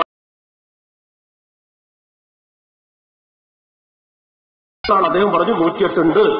അഴീക്കോട് മാഷ് പറഞ്ഞു പത്തെണ്ണം പരിഗണിച്ചാൽ മതി. തർക്കിക്കണ്ട. നാലെണ്ണം കുറഞ്ഞു മൂന്നെണ്ണം കൂടി. ഗ്യാസിന്റെ കുറ്റിയെന്നല്ലോ പൊരേ കിട്ടിയിട്ട് ഉപകാരത്തിൽപ്പെടാൻ ഇതുകൂടി വാരി വലിച്ചു കൊണ്ടുവന്നിട്ട്. ഈശോവാസം കഠം കേനം മുണ്ടകം മണ്ടൂക്യം തൈത്തരീയം ബൃഹദാരണ്യകം ഐതരേയം എനിക്ക് ഓർമ്മയുള്ളത് ഒരു പത്ത് നാൽപ്പതെണ്ണം ഉണ്ട് പറഞ്ഞാൽ നേരം കൊടുക്കും അട്ടിക്കട്ടിക്ക് വെച്ചാൽ ഹിന്ദു പുരാണങ്ങളുടെ ഉയരം ഹിമവാനെ തോൽപ്പിക്കും സഖാക്കളെ. നിരത്തിയോ പരത്തിയോ സൂക്ഷിക്കാൻ തീരുമാനിച്ചാൽ സപ്തസാഗരങ്ങൾ നാണിച്ച് തലകുനിച്ച് തോറ്റു മടങ്ങും ഈ പുസ്തകം നീട്ടിവെച്ചതിന്റെ വിശാലതയ്ക്ക് മുന്നിൽ അത്രയുണ്ട് ഹിന്ദു മതവിശ്വാസികൾക്ക് പുസ്തക പുരാണ കൂട്ടുകൾ. ഒരിടത്തും പക്ഷേ പറയുന്നില്ല സഖാക്കളെ ദൈവം മോശമാണ് എന്ന്. ആയിരം തവണ അടിവരയിട്ട് പറയുന്നുണ്ട് പ്രിയപ്പെട്ടവരെ അപൗരുഷേയൻ അപരിമേയൻ അപ്രമേയൻ അനന്തൻ സർവശക്തൻ സർവജ്ഞൻ സർവവ്യാപി എന്നൊക്കെ. പറഞ്ഞ ദൈവ വലുത് എന്ന് പുസ്തകം പറയുന്നുണ്ട്. ഉപപുരാണങ്ങളിൽ മൂന്നാമത്തതാണ് ശിവപുരാണം. ബ്രഹ്മ വിഷ്ണു കഴിഞ്ഞ പിന്നെ ശിവപുരാണം. ആയിരത്തൊരുന്നൂറ്റി ഇരുപത്തിമൂന്ന് ശ്ലോകങ്ങളുണ്ട് സംസ്കൃത രചിതമായ ശിവപുരാണത്തിന്. ആദ്യത്തെ ശ്ലോകം ശിവമിതം പരമം എന്നാണ്. അവസാനത്തെ ശ്ലോകവും ശിവം ഇതം പരമം എന്നാണ്. എന്താ അതിന്റെ അർത്ഥം? ശിവനാണ് പരമപ്രധാനി എന്നാണ്. ചുടലഭസ്മധാരിയായ ശിവൻ പുലിത്തോലു കൊണ്ട് വസ്ത്രം ധരിക്കുന്ന ശിവൻ കൊട്ടിയ വിഷം ചീറ്റുന്ന ഭീകര സർപ്പത്തെ കണ്ഠാഭരണമാക്കി മാറ്റാൻ കരുത്തു കാണിച്ച ഭഗവാൻ ശിവൻ. തീർന്നില്ല. മൂന്നാം തൃക്കണ്ണ് അരമിനിട്ട് തുറന്നാൽ അണ്ടകടാഹങ്ങളെയും ഇരേഴ് പതിനാല് ലോകങ്ങളെയും കത്തിച്ചു ചാമ്പലായി ചാരം കൈവെള്ളയിലെടുത്ത് രുദ്രതാണ്ഡവം നടത്താൻ കഴിയുന്ന കാശി വിശ്വനാഥൻ വാരാണസിയുടെ അധിപൻ മഹേശ്വരൻ മരണദേവൻ സമുജ്വലൻ സംഹാരീശ്വരൻ അങ്ങനെയൊക്കെയാണ് ഭഗവാൻ ശിവനെക്കുറിച്ച് ശിവപുരാണം പറയുന്നത്. ഞാൻ ഗുരുവായൂരപ്പൻ കോളേജിൽ പ്രീ ഡിഗ്രിക്ക് സെക്കൻഡ് ഇയറിൽ പഠിക്കുമ്പോൾ വാങ്ങിച്ചതാ ശിവപുരാണം. പതിനേഴ് വയസ്സുള്ളപ്പം എനിക്ക് നാൽപ്പത്തഞ്ച് വയസ്സായി. ഓർമ്മയിൽ നിന്ന് എടുത്തു പറഞ്ഞാൽ മൂന്ന് മണിക്കൂർ ശിവപുരാണം ചൊല്ലാൻ എനിക്ക് അറിയാം ശിവപുരാണം മാത്രം സ്പെഷ്യലൈസ് ചെയ്ത സ്വാമിമാരുണ്ട് നാട്ടിൽ കേട്ടില്ല നിങ്ങൾ പേര്? സ്വാമി ശ്വാസംപിടാനന്ദ ബലം പിടിച്ചാനന്ദ ആർത്തി മൂത്താനന്ദ എല്ലുന്ത്യാനന്ദ പല്ലുല്യാനന്ദ അങ്ങനെ പോലത്തെ ടൈപ്പ് ഡിവൈഎഫ്ഐ സ്വാമിമാരെ ആക്ഷേപിക്കുന്ന പ്രസ്ഥാനം അല്ല കേട്ടോ. കമ്മ്യൂണിസ്റ്റ് പാർട്ടി സ്വാമിമാരോട് സാദരം നിലപാടെടുക്കുന്ന പ്രസ്ഥാനമാണ് ഞങ്ങൾക്ക് സ്വാമിമാരോട് വിരോധമില്ല. സന്യാസിമാരോട് സ്നേഹവും ആദരവുമേ ഉള്ളൂ. അങ്ങേ അറ്റം. പക്ഷെ സന്യാസിയാവണം സന്യാസിയുടെ അടയാളം ലക്ഷണം പറയുന്നുണ്ട് ഉപനിഷത്ത്. കേട്ടിട്ടുണ്ടോ നിങ്ങൾ? ശിരസ്സു നിറയെ അറിവ്. മനസ്സിലായില്ലേ? മനസ്സു നിറയെ അലിവ്. നൌഷാദ് ചാടിയത് മതം നോക്കിയിട്ടാന്ന് വർത്താനം പറയരുത് മനസ്സു നിറയെ അലിവ്. കാരുണ്യം. ശിരസ്സു നിറയെ അറിവ് മനസ്സു നിറയെ അലിവ്. കിടക്കാൻ പർണശാല നടക്കാൻ കാനനപാത. ഒന്നര കോടിന്റെ കാരവനല്ല വെള്ള- വെള്ളാപ്പള്ളി പോയത്. നടക്കാൻ കാനനപാത കിടക്കാൻ പർണശാല. കുടിക്കാൻ കാനനച്ചോലയിലെ വെള്ളം കഴിക്കാൻ ഫലമൂലാദികൾ ജപിക്കാൻ ശരണമന്ത്രം സർസംഗ പരിത്യാഗി ഇത സന്യാസി. ഇതാ സന്യാസിന്റെ അടയാളം. ഇപ്പറഞ്ഞ സന്യാസിമാരെ സ്ഥിതി എന്താ നിങ്ങൾ മൊട്ടയടിച്ച തല. ചോരക്കണ്ണ് സിക്സ് പാക്ക് മസിൽ അലന്ന നോട്ടം അലമ്പ് ലുക്ക്. ഇപ്പം സന്യാസിയ? അല്ല സോന്യാസിയ. അതുകൊണ്ടാ. സന്യാസിമാരെ കമ്മ്യൂണിസ്റ്റുകാർ അങ്ങേയറ്റം ബഹുമാനിക്കുന്നു. കാരണം കമ്മ്യൂണിസ്റ്റുകാരും സന്യാസിമാരെ പോലെയാണ്. തർക്കിക്കണ്ട. ബൊളീവിയൻ കാടുകളിൽ യാങ്കി കഴുകന്റെ തീയുണ്ടയേറ്റ് നെഞ്ചിന്റെ കൂട് തകർന്ന് ചുടുചോര ചാലിട്ടൊഴുകുമ്പോഴും അമേരിക്കൻ സാമ്രാജ്യത്വത്തിന്റെ കോട്ടകൊത്തളങ്ങളെ ചുരുട്ടിയ ബുദ്ധികൾ ആകാശത്തേക്കെറിഞ്ഞ് ഇൻകുലാബിന്റെ ഇടിനാദത്താൽ വെല്ലുവിളിച്ച ലോകവിപ്ലവകാരി സഖാവ് ചെകുവേര പറഞ്ഞിട്ടുണ്ട് സന്യാസിയും കമ്മ്യൂണിസ്റ്റുകാരനും ഒരുപോലെയാണ് എന്ന്. സകലതും ത്യജിക്കാൻ കഴിയുന്നവർക്ക് സന്യാസിയാവാൻ കഴിയും. എന്തും ഒഴിവാക്കാൻ പ്രാപ്തിയുള്ളവർക്ക് കമ്മ്യൂണിസ്റ്റ് ആവാൻ കഴിയും. ആ പ്രശ്നം. അതാ ചെതുവേര പറഞ്ഞത്. ഞാനത് വിശദാംശങ്ങളിൽ പോണില്ല ആർ എസ് എസുകാർ പറയുന്നത് പക്ഷെ ഇങ്ങനെയല്ല. ഉജ്ജ്വലനാണ് ഉദ്ദീപ്തനാണ് ഉഷാറാണ് ഭഗവാൻ ശിവൻ എന്നാണ് ശിവപുരാണം പറയുന്നത്. പക്ഷെ ആർ എസ് എസ് പറയണത് ശിവൻ ആത്മയാണ് വലിവാണ് കാൽമുട്ടിന് നീരിറങ്ങിയിട്ടുണ്ട് ഊരന്റെ ഡിസ്ക് തറന്നിട്ടുണ്ട് രക്ഷ ആരമ അർദ്ധ പ്രത സംഘ സാവധാൻ എടുത്തോട് മെമ്പർഷിപ്പ് ശിവസേനയിൽ കയ്യിൽ കൂടാളെ എന്തിക്കുമെന്ന് അള്ളാനെ കാക്കാൻ അബ്ദുറഹിമാൻ. ശിവനെ കാക്കാൻ ശിവദാസൻ. ഇതുണ്ടാകരുത് എന്നാണ് ഞങ്ങൾ സവിനയം അപേക്ഷിക്കുന്നത്.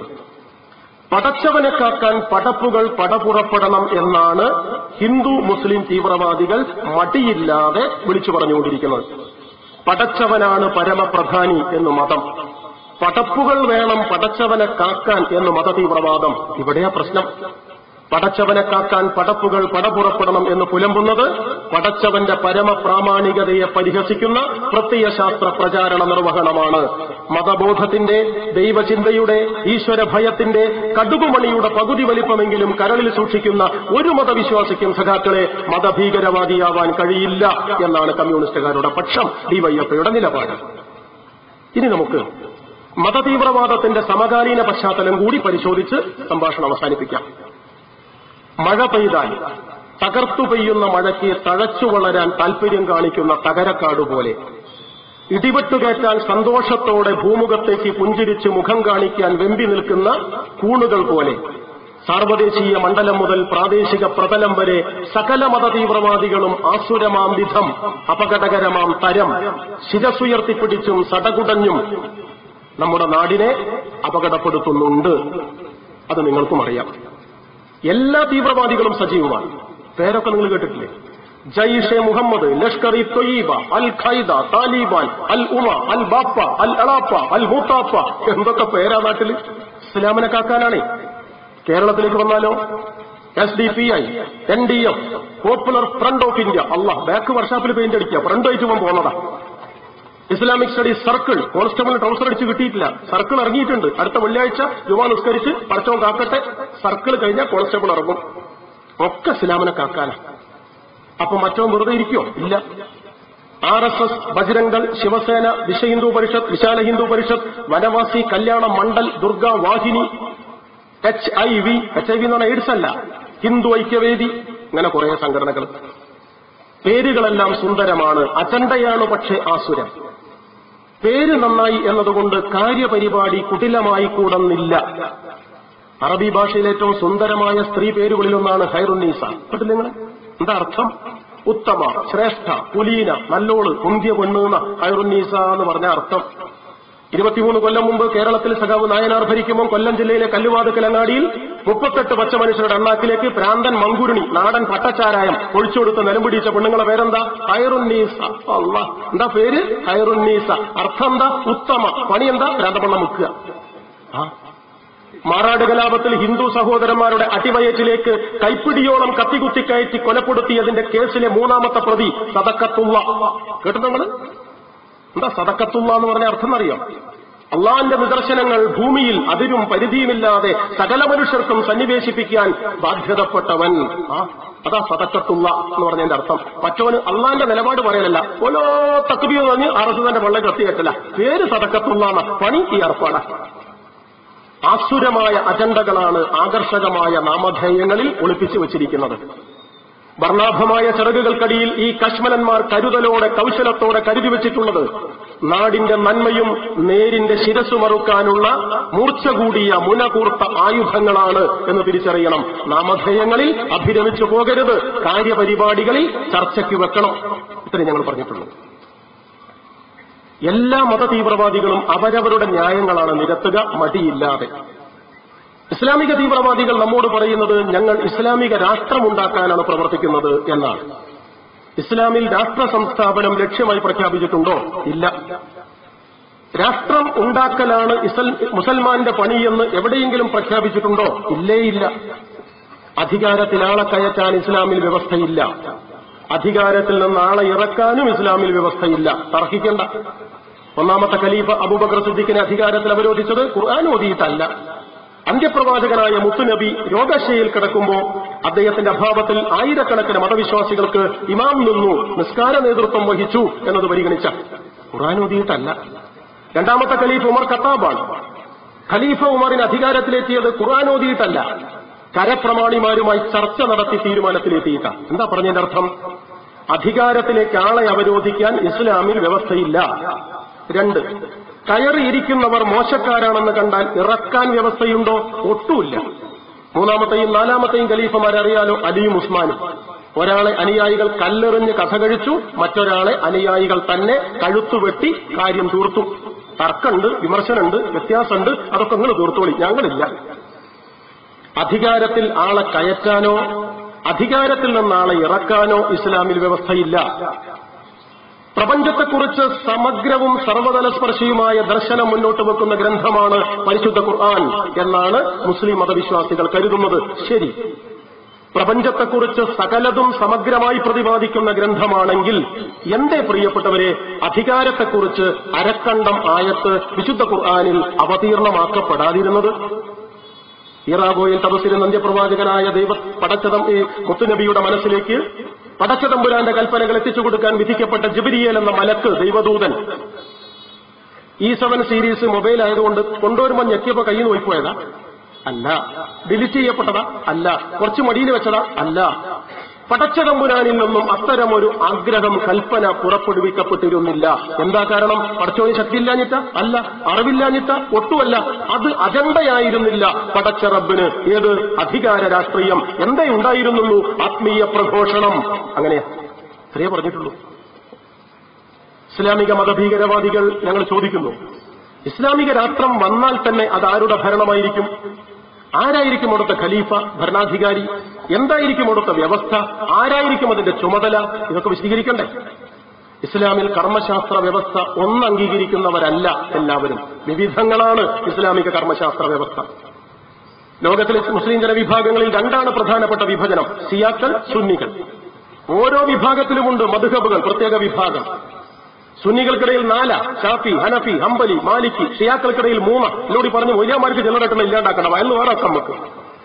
ഇസ്ലാമിക മതവിശ്വാസികൾക്കിടയിൽ അവാന്തര വിഭാഗങ്ങൾ ഏറെയുണ്ട്. കണ്ടാൽ പരസ്പരം വെല്ലുവിളിക്കുന്നു വാളെടുക്കുന്നു സലാം ചൊല്ലിയ മടക്കില്ല. മടക്കണത് കാല മറ്റവന്റെ ചെള്ളക്ക് കുത്താൻ. പുളിക്കലങ്ങാടിയിൽ എട്ടു മാസം മുമ്പ് മദ്രസയുടെ ഉദ്ഘാടനം. സുന്നി വിഭാഗങ്ങൾ തമ്മിൽ തർക്കം. E K A P. A പിക്കാരൻ പറഞ്ഞു കാസറ്റ് ഞമ്മളത് വെക്കണം. എ പി ഇ കെക്കാരൻ പറഞ്ഞു ഞമ്മളത് വെക്കുന്നത് സെറ്റാരത് തിരികണ സാധനം എന്താ പറയുക സി ഡി പ്ലെയർ ഒന്നാ കൊണ്ടുവന്നു അവന്റെ അടുത്ത് ഉള്ളൂ. എന്താക്കും പിന്നെ? അപ്പൊ പ്രായം ചെന്ന എ പി വിഭാഗത്തിൽപ്പെട്ട എഴുപത് പിന്നിട്ട് ഒരു മൗലവി വന്നിട്ട് പറഞ്ഞു മക്കളെ തർക്കിക്കണ്ട. മദ്രസിന്റെ ഉദാഹരണമല്ലേ മുസായി പോരിക്കോട്ടെ അതിൽ പിന്നെ എ പി ഇക്ക ഇല്ലല്ലോ. ഇത് കേട്ട് പ്രകോപിതനായ ഇ കെ വിഭാഗത്തിൽപ്പെട്ട ഇ കെ വിഭാഗം എന്റെ നാട്ടിലേക്ക് പറയാം താമര സുന്നീന ബി ജെ പിന്റെ മൂടാങ്ങണോ അവന്റെ പണി. ഈ താമര സുന്നിക്കാരന്റെ ചെറുപ്പക്കാരൻ മദ്രസ ഉദ്ഘാടനത്തിന് കെട്ടിയ സ്റ്റേജിന്റെ കാൽ കുഴിച്ചിടാൻ കൊണ്ടുവന്ന തട്ടപ്പാടി എടുത്തിട്ട് ഈ എഴുപത് വയസ്സുള്ള എ പി വിഭാഗം മൗലവിയുടെ മൂർധാവിനൊരു അടി. ഓരോ തക്ബീർ എന്ന് പറഞ്ഞ തല്ല്. അള്ളാഹു അക്ബർ തന്നെ മൊയിലാൻ വഫാത്തായി. മരിച്ചുപോയി. മനസ്സിലായില്ലേ? ഇതാ പ്രശ്നം. ആരെ സംരക്ഷിക്കാനാണ് നിങ്ങളുടെ നിലപാടുകൾ? ഏതാണ് നിങ്ങളുടെ നിബന്ധനകൾ? ഞാൻ അത് ആക്ഷേപിക്കാൻ പറഞ്ഞതല്ല. ഇസ്ലാമിക മതരാഷ്ട്രം എന്ന് പറയുന്നത് അബദ്ധമാണ് അസത്യമാണ് അപ്രായോഗികമാണ് എന്നേ പറഞ്ഞു വെച്ചിട്ടുള്ളൂ. വിശദീകരിച്ചാൽ നേരം പോകും. വേറെ ചിലരെ കുറിച്ചുകൂടി പറയാനുണ്ടല്ലോ. അതുകൊണ്ടാണ് മുസ്ലിം മത തീവ്രവാദികൾ നമ്മോട് പറയുന്നത് ഞങ്ങൾ സാമ്രാജ്യ വിരുദ്ധരാണ് എന്നാണ്. അല്ല എന്നതാണ് അനുഭവം അങ്ങേയറ്റം സാക്ഷ്യപ്പെടുത്തുന്നത്. ഇസ്ലാമിക ഭീകരവാദം കൊണ്ട് സാമ്രാജ്യത്വത്തെ ചെറുക്കാനാകുമോ? ഇല്ല. കഴിയുമായിരുന്നെങ്കിൽ അഫ്ഗാനിസ്ഥാനിൽ കാണണം. ടോണി ബ്ലെയറിന്റെയും ജോർജ് ബുഷിന്റെയും യുദ്ധവിമാനങ്ങൾ അമേരിക്കൻ ബ്രിട്ടൻ ബോംബർ വിമാനങ്ങൾ മാരക പ്രഹരശേഷിയുള്ള ബോംബുകൾ തീമഴ പെയ്യിക്കുന്നത് പോലെ പെരുമഴ കണക്കെ അഫ്ഗാനിസ്ഥാനിൽ വർഷിച്ച കാലമാണ് അഫ്ഗാൻ യുദ്ധകാലം. പാടത്ത് പണിയെടുക്കുന്ന ചെറുപ്പക്കാരൻ കുഴിയിലേക്ക് കാലും നീട്ടി നിൽക്കുന്ന പടുവൃദ്ധൻ ഉമ്മയുടെ മടിത്തട്ടിൽ അമ്മിഞ്ഞമത്തി കുടിക്കുന്ന കാര്യമറിയാത്ത കുരുന്നു കുഞ്ഞ് ഉൾപ്പെടെ പതിനായിരക്കണക്കിന് മാപ്പിള മക്കളാണ് അഫ്ഗാനിസ്ഥാൻ യുദ്ധത്തിൽ തല കത്തി ചതഞ്ഞ് ചാരമായി ചത്തുപോയത്. ഒസാമ ബിൻ ലാദൻ ഒരു ഓലപ്പടക്കം പൊട്ടിച്ചോ? അൽ കഴുത വലിയ പ്രസ്ഥാനം. അൽ ഖൈദ അൽ കഴുത ഒന്ന് അമറി കരഞ്ഞോ? ഇല്ല. എന്തേ ഉണ്ടായത് മുന്നൂറിൽ താഴെ അനുയായികളെ സംഘം ചേർത്ത് തിന്നാനും കുടിക്കാനുമുള്ള ഭക്ഷണ പദാർത്ഥങ്ങൾ തുകൽ സഞ്ചിയിൽ കെട്ടിയുറപ്പിച്ച് ബോംബിട്ടാൽ തകരുകയില്ലെന്നുറപ്പുള്ള കനത്ത കരിങ്കൽ ഭിത്തികളുടെ സുരക്ഷിതത്വത്തിന് കീഴിൽ നാടൻ കൊടിച്ചിപ്പെട്ടി പിൻകാലിനുള്ളിലേക്ക് വാൽ തിരികെ നിൽക്കുന്നത് പോലെ മുട്ടുകുറച്ചും മൂത്രമൊഴിച്ചും ഭീരുത്വത്തിന്റെ കൊടിയടയാളമായി ദാസ്യ മനോഭാവത്തിന്റെ പ്രതിഫലനമായി ഉറങ്ങുകയായിരുന്നു. ഉളുപ്പില്ലാതെ ഒസാമാമ്പില്ലാതെ ഒരു ചുക്കും ചെയ്തിട്ടില്ല. ഇസ്ലാം സാമ്രാജ്യത്വത്തിനെതിരെ പൊരുതിയ മതബോധമാണ് ചിന്താധാരയാണ് ജീവിത ധർമ്മമാണ് എന്ന് കമ്മ്യൂണിസ്റ്റുകാർക്കറിയാം. ഏരിയൽ ഷാരോണിന്റെയും ഷിമോൺ പരസിന്റെയും യഹൂദ് അൽമത്തിന്റെയും ഇപ്പോഴത്തെ ഇസ്രായേൽ പ്രധാനമന്ത്രി ബെഞ്ചമിൻ നത്തന്നാഹുവിന്റെയും ഇരുമ്പു കവചിത പാറ്റൻ ടാങ്കുകൾ സയനിസ്റ്റ് ഭീകരതയുടെ ബോംബർ വിമാനങ്ങൾ ഇരമ്പി ഇരമ്പിയെത്തുമ്പോൾ കയ്യിൽ കിട്ടിയ കല്ലുകൾ കവളയിൽ കൊരുത്ത് ബോലോ തക്ബീർ അള്ളാഹു അക്ബർ എന്ന് ഉച്ചത്തിൽ ഉച്ചരിച്ച് പൊരുതിച്ചത്താലും തോറ്റുമടങ്ങില്ല മാതൃ പിതൃഭൂമിയുടെ പോരാട്ടത്തിന്റെ പടഭൂമിയിൽ നിന്ന് ഉറക്കെ പ്രഖ്യാപിച്ച്. പൊരുതി മരിക്കുന്ന മുസ്ലിം പെൺകുട്ടികളുണ്ട്. ചത്തുതീരുന്ന മുസ്ലിം ചെറുപ്പക്കാരുണ്ട്. ഗാസ മുനമ്പിൽ രമള്ളയുടെ ഇടവഴികളിൽ പലസ്തീന്റെ പടഭൂമികളിൽ.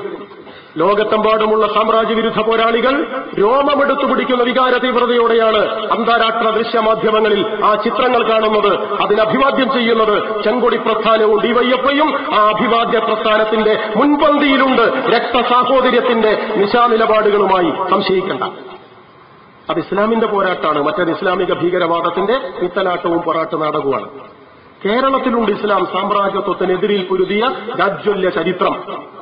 ആയിരത്തി നാനൂറ്റി തൊണ്ണൂറ്റിയെട്ട് മെയ് മാസം ഇരുപതിന് നല്ല മണ്ണും നല്ല പെണ്ണും നല്ല പൊന്നും എനിക്ക് വേണമെന്ന് കണ്ണുരുട്ടി കൽപ്പിച്ച് കോഴിക്കോട്ടെ കൊയിലാണ്ടിക്കടുത്തുള്ള കാപ്പാട്ട പടിഞ്ഞാറെ ചൊരിമണലിൽ കാലുകുത്തിയ വാസ്കോഡാഗാമ എന്ന പറങ്കിപ്പടയാളിക്കെതിരിൽ നാടിന്റെ നെഞ്ചുകാക്കാൻ നായർ പ്രമാണിമാരായ പടയാളികളെ പറഞ്ഞയച്ചു നാടിന്റെ രാജാവ് സാമൂതിരി. ആ നായർ പടയാളികൾക്ക് നേതൃത്വം നൽകാൻ അഭിമാനികളായ നാല് മാപ്പിള മക്കളുണ്ടായിരുന്നു മലയാളത്തിന്. കുഞ്ഞാലി മരക്കാർ ഒന്ന് രണ്ട് മൂന്ന് നാല്. കുഞ്ഞാലി മരക്കാർ മുസ്ലിമാണ്. കുഞ്ഞാലിക്കുട്ടി മുസ്ലിം ലീഗാണ്. അള്ളാ രണ്ടും വ്യത്യാസം കിട്ടാം.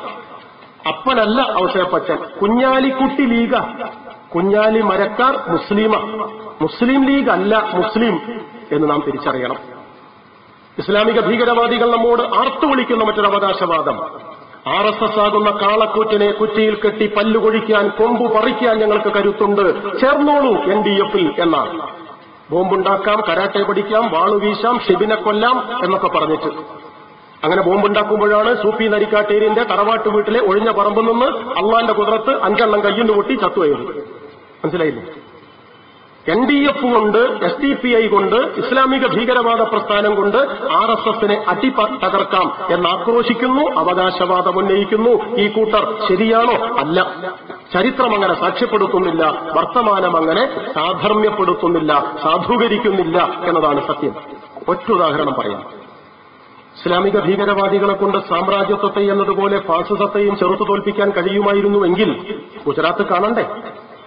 ഇന്നത്തെ ഇന്ത്യൻ പ്രധാനമന്ത്രി അന്നത്തെ മുഖ്യമന്ത്രിയായപ്പോഴാണ് ഗുജറാത്തിൽ കലാപം അരങ്ങേറിയത് ഗവൺമെന്റ് സ്പോൺസേഡ് കലാപം. സർക്കാർ പ്രായോജനം ചെയ്ത നരാധമത്വം അവിടെ മരിച്ചു വീണ മുസ്ലിങ്ങളെ സംരക്ഷിക്കാൻ എൻ ഡി എഫ് ഉണ്ടായിരുന്നു. മാനഭംഗപ്പെടുത്തപ്പെട്ട പാവം മുസ്ലിം പെൺകുട്ടികളോട് ശരി ഞങ്ങളുണ്ടെന്ന് പറയാൻ അവരെ കണ്ടിരുന്നോ? കോടിക്കണക്കിന് രൂപയുടെ സ്വത്തുവകകൾ സമ്പാദ്യം ആർ എസ് എസുകാർ അഗ്നിക്കിരയായി പുകച്ചുരുകളായി ആകാശത്തേക്ക് വിലയം പ്രാപിച്ചപ്പോ ആശ്വസിപ്പിക്കാൻ എൻ ഡി എഫ് ഉണ്ടായിരുന്നോ? ഗുജറാത്തിന്റെ മണ്ണിൽ ഇല്ല. കരിമ്പും തെല്ലും അതാണ് ചരിത്രം.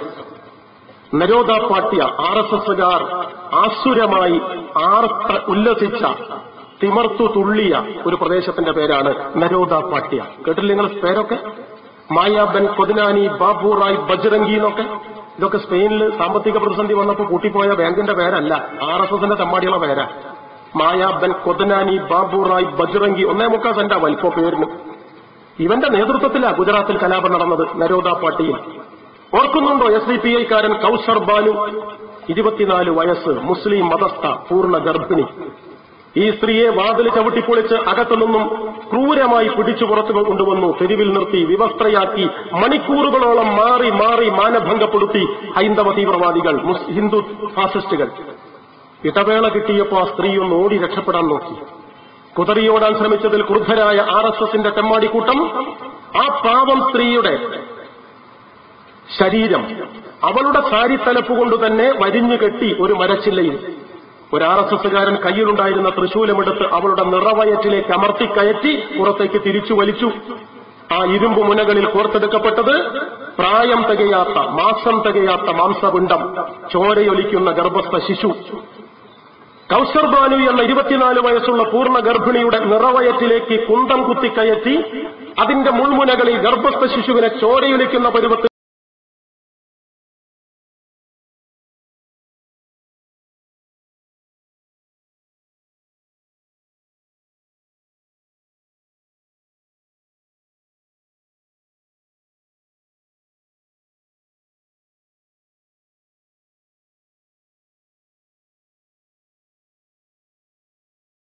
തൃശൂലത്തിൽ കൊരുത്ത് ആകാശത്തെ കൊടുത്തുയർത്തിയ ആർ എസ് എസിന്റെ തെമ്മാടികളോട് നിർത്തട എന്ന് പറയാൻ വാപ്പക്ക് ജനിച്ച പത്തൻ ഡി എഫുകാരെ ഇന്ത്യൻ രാഷ്ട്രീയം മഷിയിട്ട് നോക്കിയിട്ട് കണ്ടോ ഗുജറാത്തിന്റെ മണ്ണിൽ?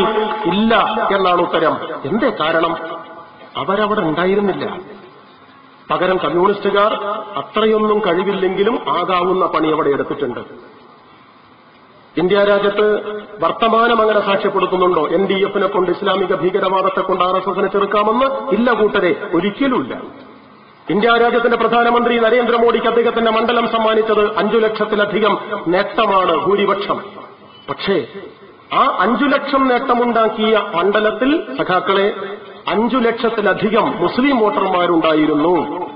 ആ വോട്ടർമാർ താമരയ്ക്കെതിരിൽ അമർത്തി കുത്തിയിരുന്നു വോട്ടെങ്കിൽ മോഡി ജയിക്കുമായിരുന്നെങ്കിലും ജയത്തിന്റെ മോഡിയെങ്കിലും കുറയുമായിരുന്നില്ലേ? ഉണ്ടായിട്ടില്ല. ഇന്ത്യ രാജ്യത്തിന് ഇപ്പോഴത്തെ ആഭ്യന്തരമന്ത്രിയും മുൻ ബി ജെ പി അഖിലേന്ത്യാ അധ്യക്ഷനുമായ രാജ്നാഥ് സിംഗിന് അദ്ദേഹത്തിന്റെ മണ്ഡലം സമ്മാനിച്ചത് ഏതാണ്ട് നാല് ലക്ഷത്തിലധികം തിളക്കമാർന്ന വിജയമാണ്. അവിടെ ആറു ലക്ഷമാണ് പ്രിയപ്പെട്ടവരെ മുസ്ലിം വോട്ടർമാരുടെ എണ്ണം. എന്തെങ്കിലും നടന്നോ? ഉത്തർപ്രദേശിൽ സഹാരൻപൂർ എന്ന് പറയുന്ന ഒരു മണ്ഡലമുണ്ട്. അവിടുത്തെ പ്രത്യേകത ആകെ വോട്ടർമാരിൽ അറുപത്തെട്ട് ശതമാനവും മുസ്ലിങ്ങളാണ്. ആകെ ജനങ്ങളിലല്ല കേട്ടോ. ആകെ വോട്ടർമാരിൽ അറുപത്തെട്ട് ശതമാനം മുസ്ലിങ്ങളുള്ള സഹാരൻപൂരിൽ ജയിച്ചത് കോൺഗ്രസ് അല്ല സി പി എം താരതമ്യേന ദുർബലമാണ് അവിടെ പക്ഷേ രണ്ടേകാൽ ലക്ഷത്തിന് ജയിച്ചത് ആർ എസ് എസിന്റെ അസുരസന്തതിയായ നേതാവാണ് മറക്കണ്ട. മുസ്ലിങ്ങളെല്ലാം യോജിച്ചു നിന്നാൽ ഇതങ്ങ് ഉഷാറാകുമായിരുന്നെങ്കിൽ സഹാരൻപൂരും രാജ്നാഥ് സിംഗിന്റെ വിജയവും മോദിയുടെ തിളക്കമാർന്ന വിജയവും നമ്മോട് ഇങ്ങനെ പറയുമായിരുന്നോ? ഇല്ല. ഇതാ ഞങ്ങൾ പറഞ്ഞത്. മുഹമ്മദ് അക്ലക്ക് എന്ന് പറയുന്ന ഒരു മനുഷ്യനെ ഫ്രിഡ്ജിൽ സൂക്ഷിച്ചത് ആട്ടിറച്ചിയാണെന്ന് ബോധ്യപ്പെട്ടിട്ടും പശുവിറച്ചിയാണെന്ന് ആക്ഷേപിച്ച് വീട്ടിനകത്തു നിന്ന് പിടിച്ചു പുറത്തേക്കിട്ട് നടുമുറ്റത്ത് ചവിട്ടി മർദ്ദിച്ച് അവശനാക്കി വീടുപണി കെട്ടിയിട്ടിരുന്ന ഇഷ്ടിക കൊണ്ട് ആ പാവത്തിന്റെ തല അടിച്ചു പൊളിച്ചു കൊന്നു. ഡാനിഷ് എന്ന് പറയുന്ന ചെറുപ്പക്കാരനായ മകൻ മരണത്തിന്റെ മണ്ഡലത്തിൽ നിന്ന് മടങ്ങി വന്നിട്ടില്ല ഇപ്പോഴും. മുഹമ്മദ് അഖ്ലാഖിനെ ദാദ്രിയിൽ കൊലപ്പെടുത്തിയപ്പോൾ എന്തുണ്ടായിരുന്നു ഇസ്ലാമിക ഭീകരവാദികളുടെ പ്രതികരണം? പക്ഷെ ഞങ്ങളൊന്ന് പറയട്ടെ? മുഹമ്മദ് അഖലാഖിന്റെ മരണത്തെ തുടർന്ന് വിധവയായ ഭാര്യയെ ബാപ്പ നഷ്ടപ്പെട്ട അനാഥയായ കൊച്ചു പെൺകുട്ടിയെ രണ്ടുമാരോടും ചേർത്തുപിടിച്ച് ഞങ്ങളുണ്ട് നിങ്ങളുടെ കൂടെ എന്ന് പ്രഖ്യാപിക്കുന്ന വെളുത്തു മെലിഞ്ഞ നീളം കൂടിയ ഒരു സ്ത്രീയുടെ ഫോട്ടോ ടൈംസ് ഓഫ് ഇന്ത്യ പ്രസിദ്ധീകരിച്ചിരുന്നു. അതിന്റെ അടിക്കുറിപ്പ് ഇത് വൃന്ദ സി പി ഐ എമ്മിന്റെ പൊളിറ്റ് ബ്യൂറോ അംഗം എന്നായിരുന്നു പ്രിയപ്പെട്ടവരെ മറക്കണ്ട. മഹിളാ ചന്ദ്രികയിൽ ഖമറുന്നീസ അൻവർ ആ കാലത്ത് എഴുതിയ ലേഖനം ആക്രമിക്കപ്പെടുന്ന മുസ്ലിം സ്ത്രീകൾ എന്നല്ല. കള്ളു തൊടിക്കാതെ പാലപ്പം എങ്ങനെ കൊലത്താം എന്നാണ്. ഓന്റെ മക്കളെ കള്ളു കൂട്ടാതെ കള്ള് ഹറാമാണ്. മുസ്ലിം സ്ത്രീകൾക്ക് പാലപ്പം കള്ളു കൂട്ടാതെ എങ്ങനെ ഉണ്ടാക്കാന്ന. ഖമറുന്നീസ അൻവർ പരിശുദ്ധ ഖുർആൻ വചനങ്ങളെക്കാൾ ഞങ്ങൾ പവിത്രതയും പ്രാധാന്യവും കൽപ്പിക്കുന്നത് അധികാരത്തിന്റെ ഇരുണ്ട ഇടവഴികളിൽ നടക്കുന്ന അരമനകളിലെ അടക്കിപ്പിടിച്ച സംസാര ശകലങ്ങൾക്കാണെന്ന് പതിറ്റാണ്ടുകളായി തെളിയിച്ച പാർട്ടിയാണ് മുസ്ലിം ലീഗ്. അതുകൊണ്ടാണ് ഈ പ്രശ്നം. ഞാൻ വിശദീകരിക്കുന്നില്ല. എവിടെ എവിടെയൊക്കെ ഇന്ത്യൻ മുസൽമാൻ പ്രതിസന്ധികളെയും പ്രയാസങ്ങളെയും അഭിമുഖീകരിച്ചിട്ടുണ്ടോ? അവിടവിടങ്ങളിലെല്ലാം ആശ്വാസത്തിന്റെ അത്താണിയായി പ്രതിരോധത്തിന്റെ പടച്ചട്ടയായി കരുത്തു കാണിക്കാൻ കരുത്തുള്ളിടത്ത് കഴുത്തുപോയാലും ഉറച്ചു നിന്നത് ഈ ചെങ്കൊടി പ്രസ്ഥാനവും ഇടതുപക്ഷ പ്രസ്ഥാനവുമാണെന്ന് മറക്കരുത്. ധർമ്മം തരണ്ട. പക്ഷെ പട്ടിയെ വിട്ട് കളിപ്പിക്കരുത് ഇത്രയും ഞങ്ങൾ പറയുന്നത് നമുക്ക് ആ ഭാഗം അവസാനിപ്പിക്കാം. ഹിന്ദു തീവ്രവാദവും വളരെ സജീവമാണ്. ഇന്ത്യയുടെയും കേരളത്തിന്റെയും രാഷ്ട്രീയ സാമൂഹിക സാംസ്കാരിക മണ്ഡലങ്ങളിൽ.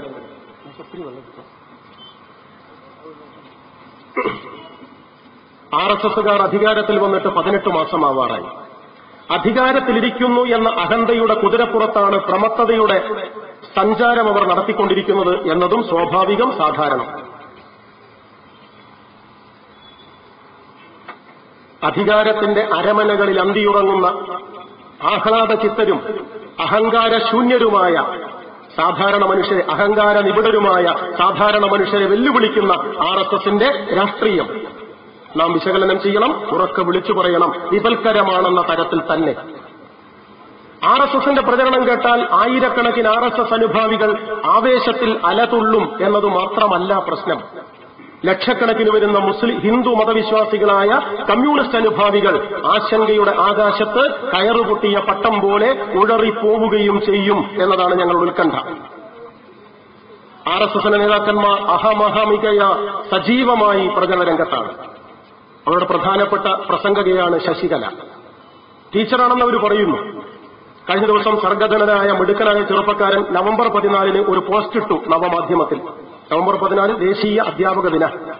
ശശികലയൊഴിച്ച് ബാക്കി എല്ലാ ടീച്ചർമാർക്കും അഭിവാദ്യങ്ങൾ. കാരണം കുട്ടിക്ക് യഥാർത്ഥപ്പെട്ടതല്ല എന്ന് മനസ്സിലായില്ലേ? ശശികലയൊഴിച്ച് എല്ലാവർക്കും ആശംസകൾ. അധ്യാപക ദിനാശംസകൾ.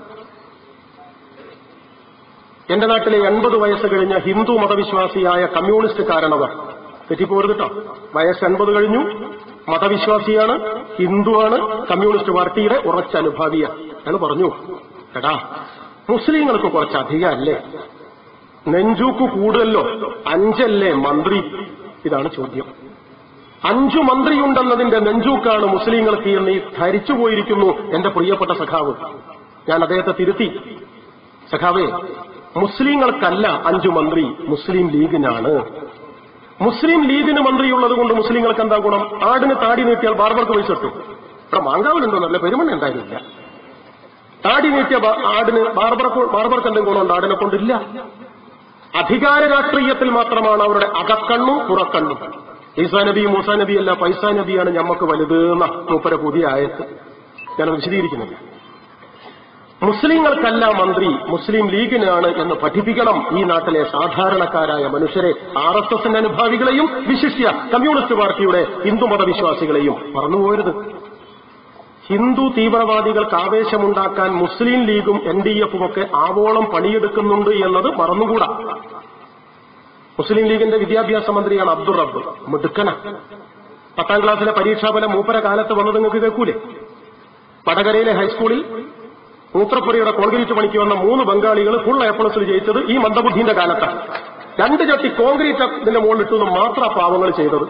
പക്ഷെ സർട്ടിഫിക്കറ്റ് കിട്ടിയത് ഒരു full A plus S L സിക്ക് ബംഗാളികൾക്ക്. അത്ര മിടുക്കനായാണ്. അബ്ദുറബിൻ ഇന്ത്യ കേരളത്തിലെ ഗവൺമെന്റ് ഒരു ഔദ്യോഗിക വസതി അനുവദി- അനുവദിച്ചു. എല്ലാ മന്ത്രിമാർക്കും കൊടുക്കും. തിരുവനന്തപുരത്ത് അദ്ദേഹത്തിന്റെ ഔദ്യോഗിക വസതിയുടെ പേര് ഗംഗ എന്നായിരുന്നു. ഗംഗ ഗോദാവരി നിള പമ്പ അങ്ങനെയൊക്കെയാണ് അവിടുത്തെ എം എൽ എ ഹോസ്റ്റലിന്റെയും ഉദ്യോഗസ്ഥന്മാരുടെ ഈ മന്ത്രിമാരുടെ ബോർഡിന്റെയും ഒക്കെ പേര്. പോയവർക്കറിയാം. റബ്ബ് പക്ഷേ ബേജാറായി. കേറിക്കൂടാൻ പോക്കുമ്പോൾ ചുമരന്റെ മേലെ ഗംഗ കണ്ടപ്പോൾ കുന്തിരിക്കം കണ്ട ചേർത്താനെ പോലെ ബേജാറായി. നമ്മളതല്ല അത് മാറ്റണം ഹിന്ദുവിന്റെ മാറ്റി ഗ്രേസായി.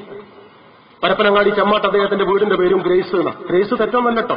ചാരുത സൗകുമാര്യം സൗന്ദര്യം ദൈവകൃപ ഈശ്വരാധീനം അങ്ങനെയൊക്കെ അതിന്റെ അർത്ഥം. അതിനെന്താ തെറ്റ്?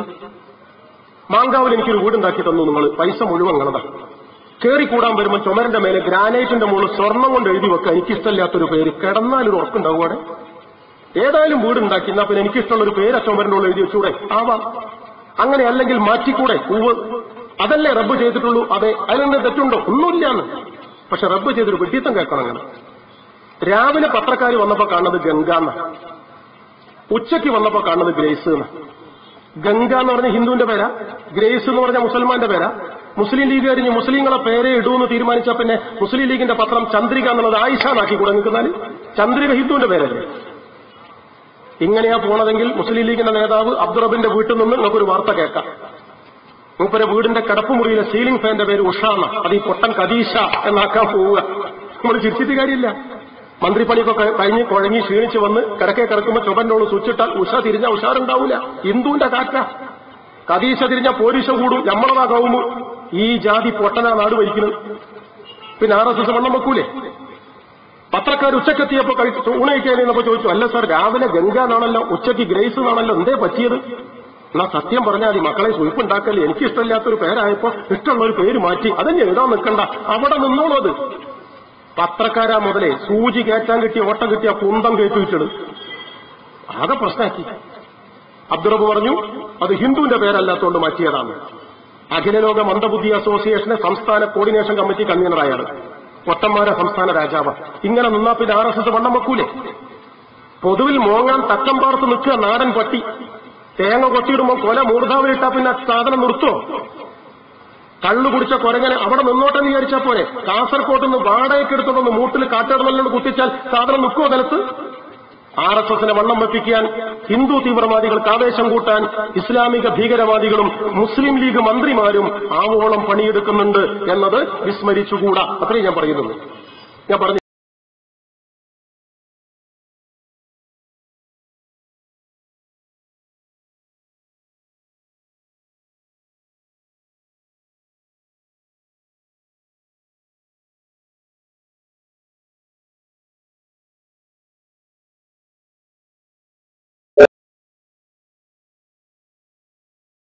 ഈ മാങ്കാവ് മൈതാനിയിൽ തന്നെ ശശികല വന്ന് പ്രസംഗിച്ചതിന്റെ വർത്തമാനം കേട്ടാൽ എത്രമേൽ വിവരദോഷിയാണ് ഈ പാവം അധ്യാപിക എന്ന് നാം ധരിച്ചു പോകും. സർക്കാർ ഖജനാവിലേക്ക് ദേവസ്വത്തിന്റെ അമ്പലങ്ങളുടെ പണം കൊണ്ടുപോകുന്നുണ്ട് എന്ന ആക്ഷേപം വല്ലാത്ത ആവേശത്തോടെ ഉന്നയിച്ചാലാണ് ശശികല. ഞങ്ങൾ ഡിവൈഎഫ്ഐക്കാരും കമ്മ്യൂണിസ്റ്റുകാരും ഒരു രണ്ട് രണ്ടര മൂന്ന് വർഷമായി അങ്ങനെയല്ല എന്ന് പ്രസംഗിച്ചുകൊണ്ടിരിക്കുന്നു.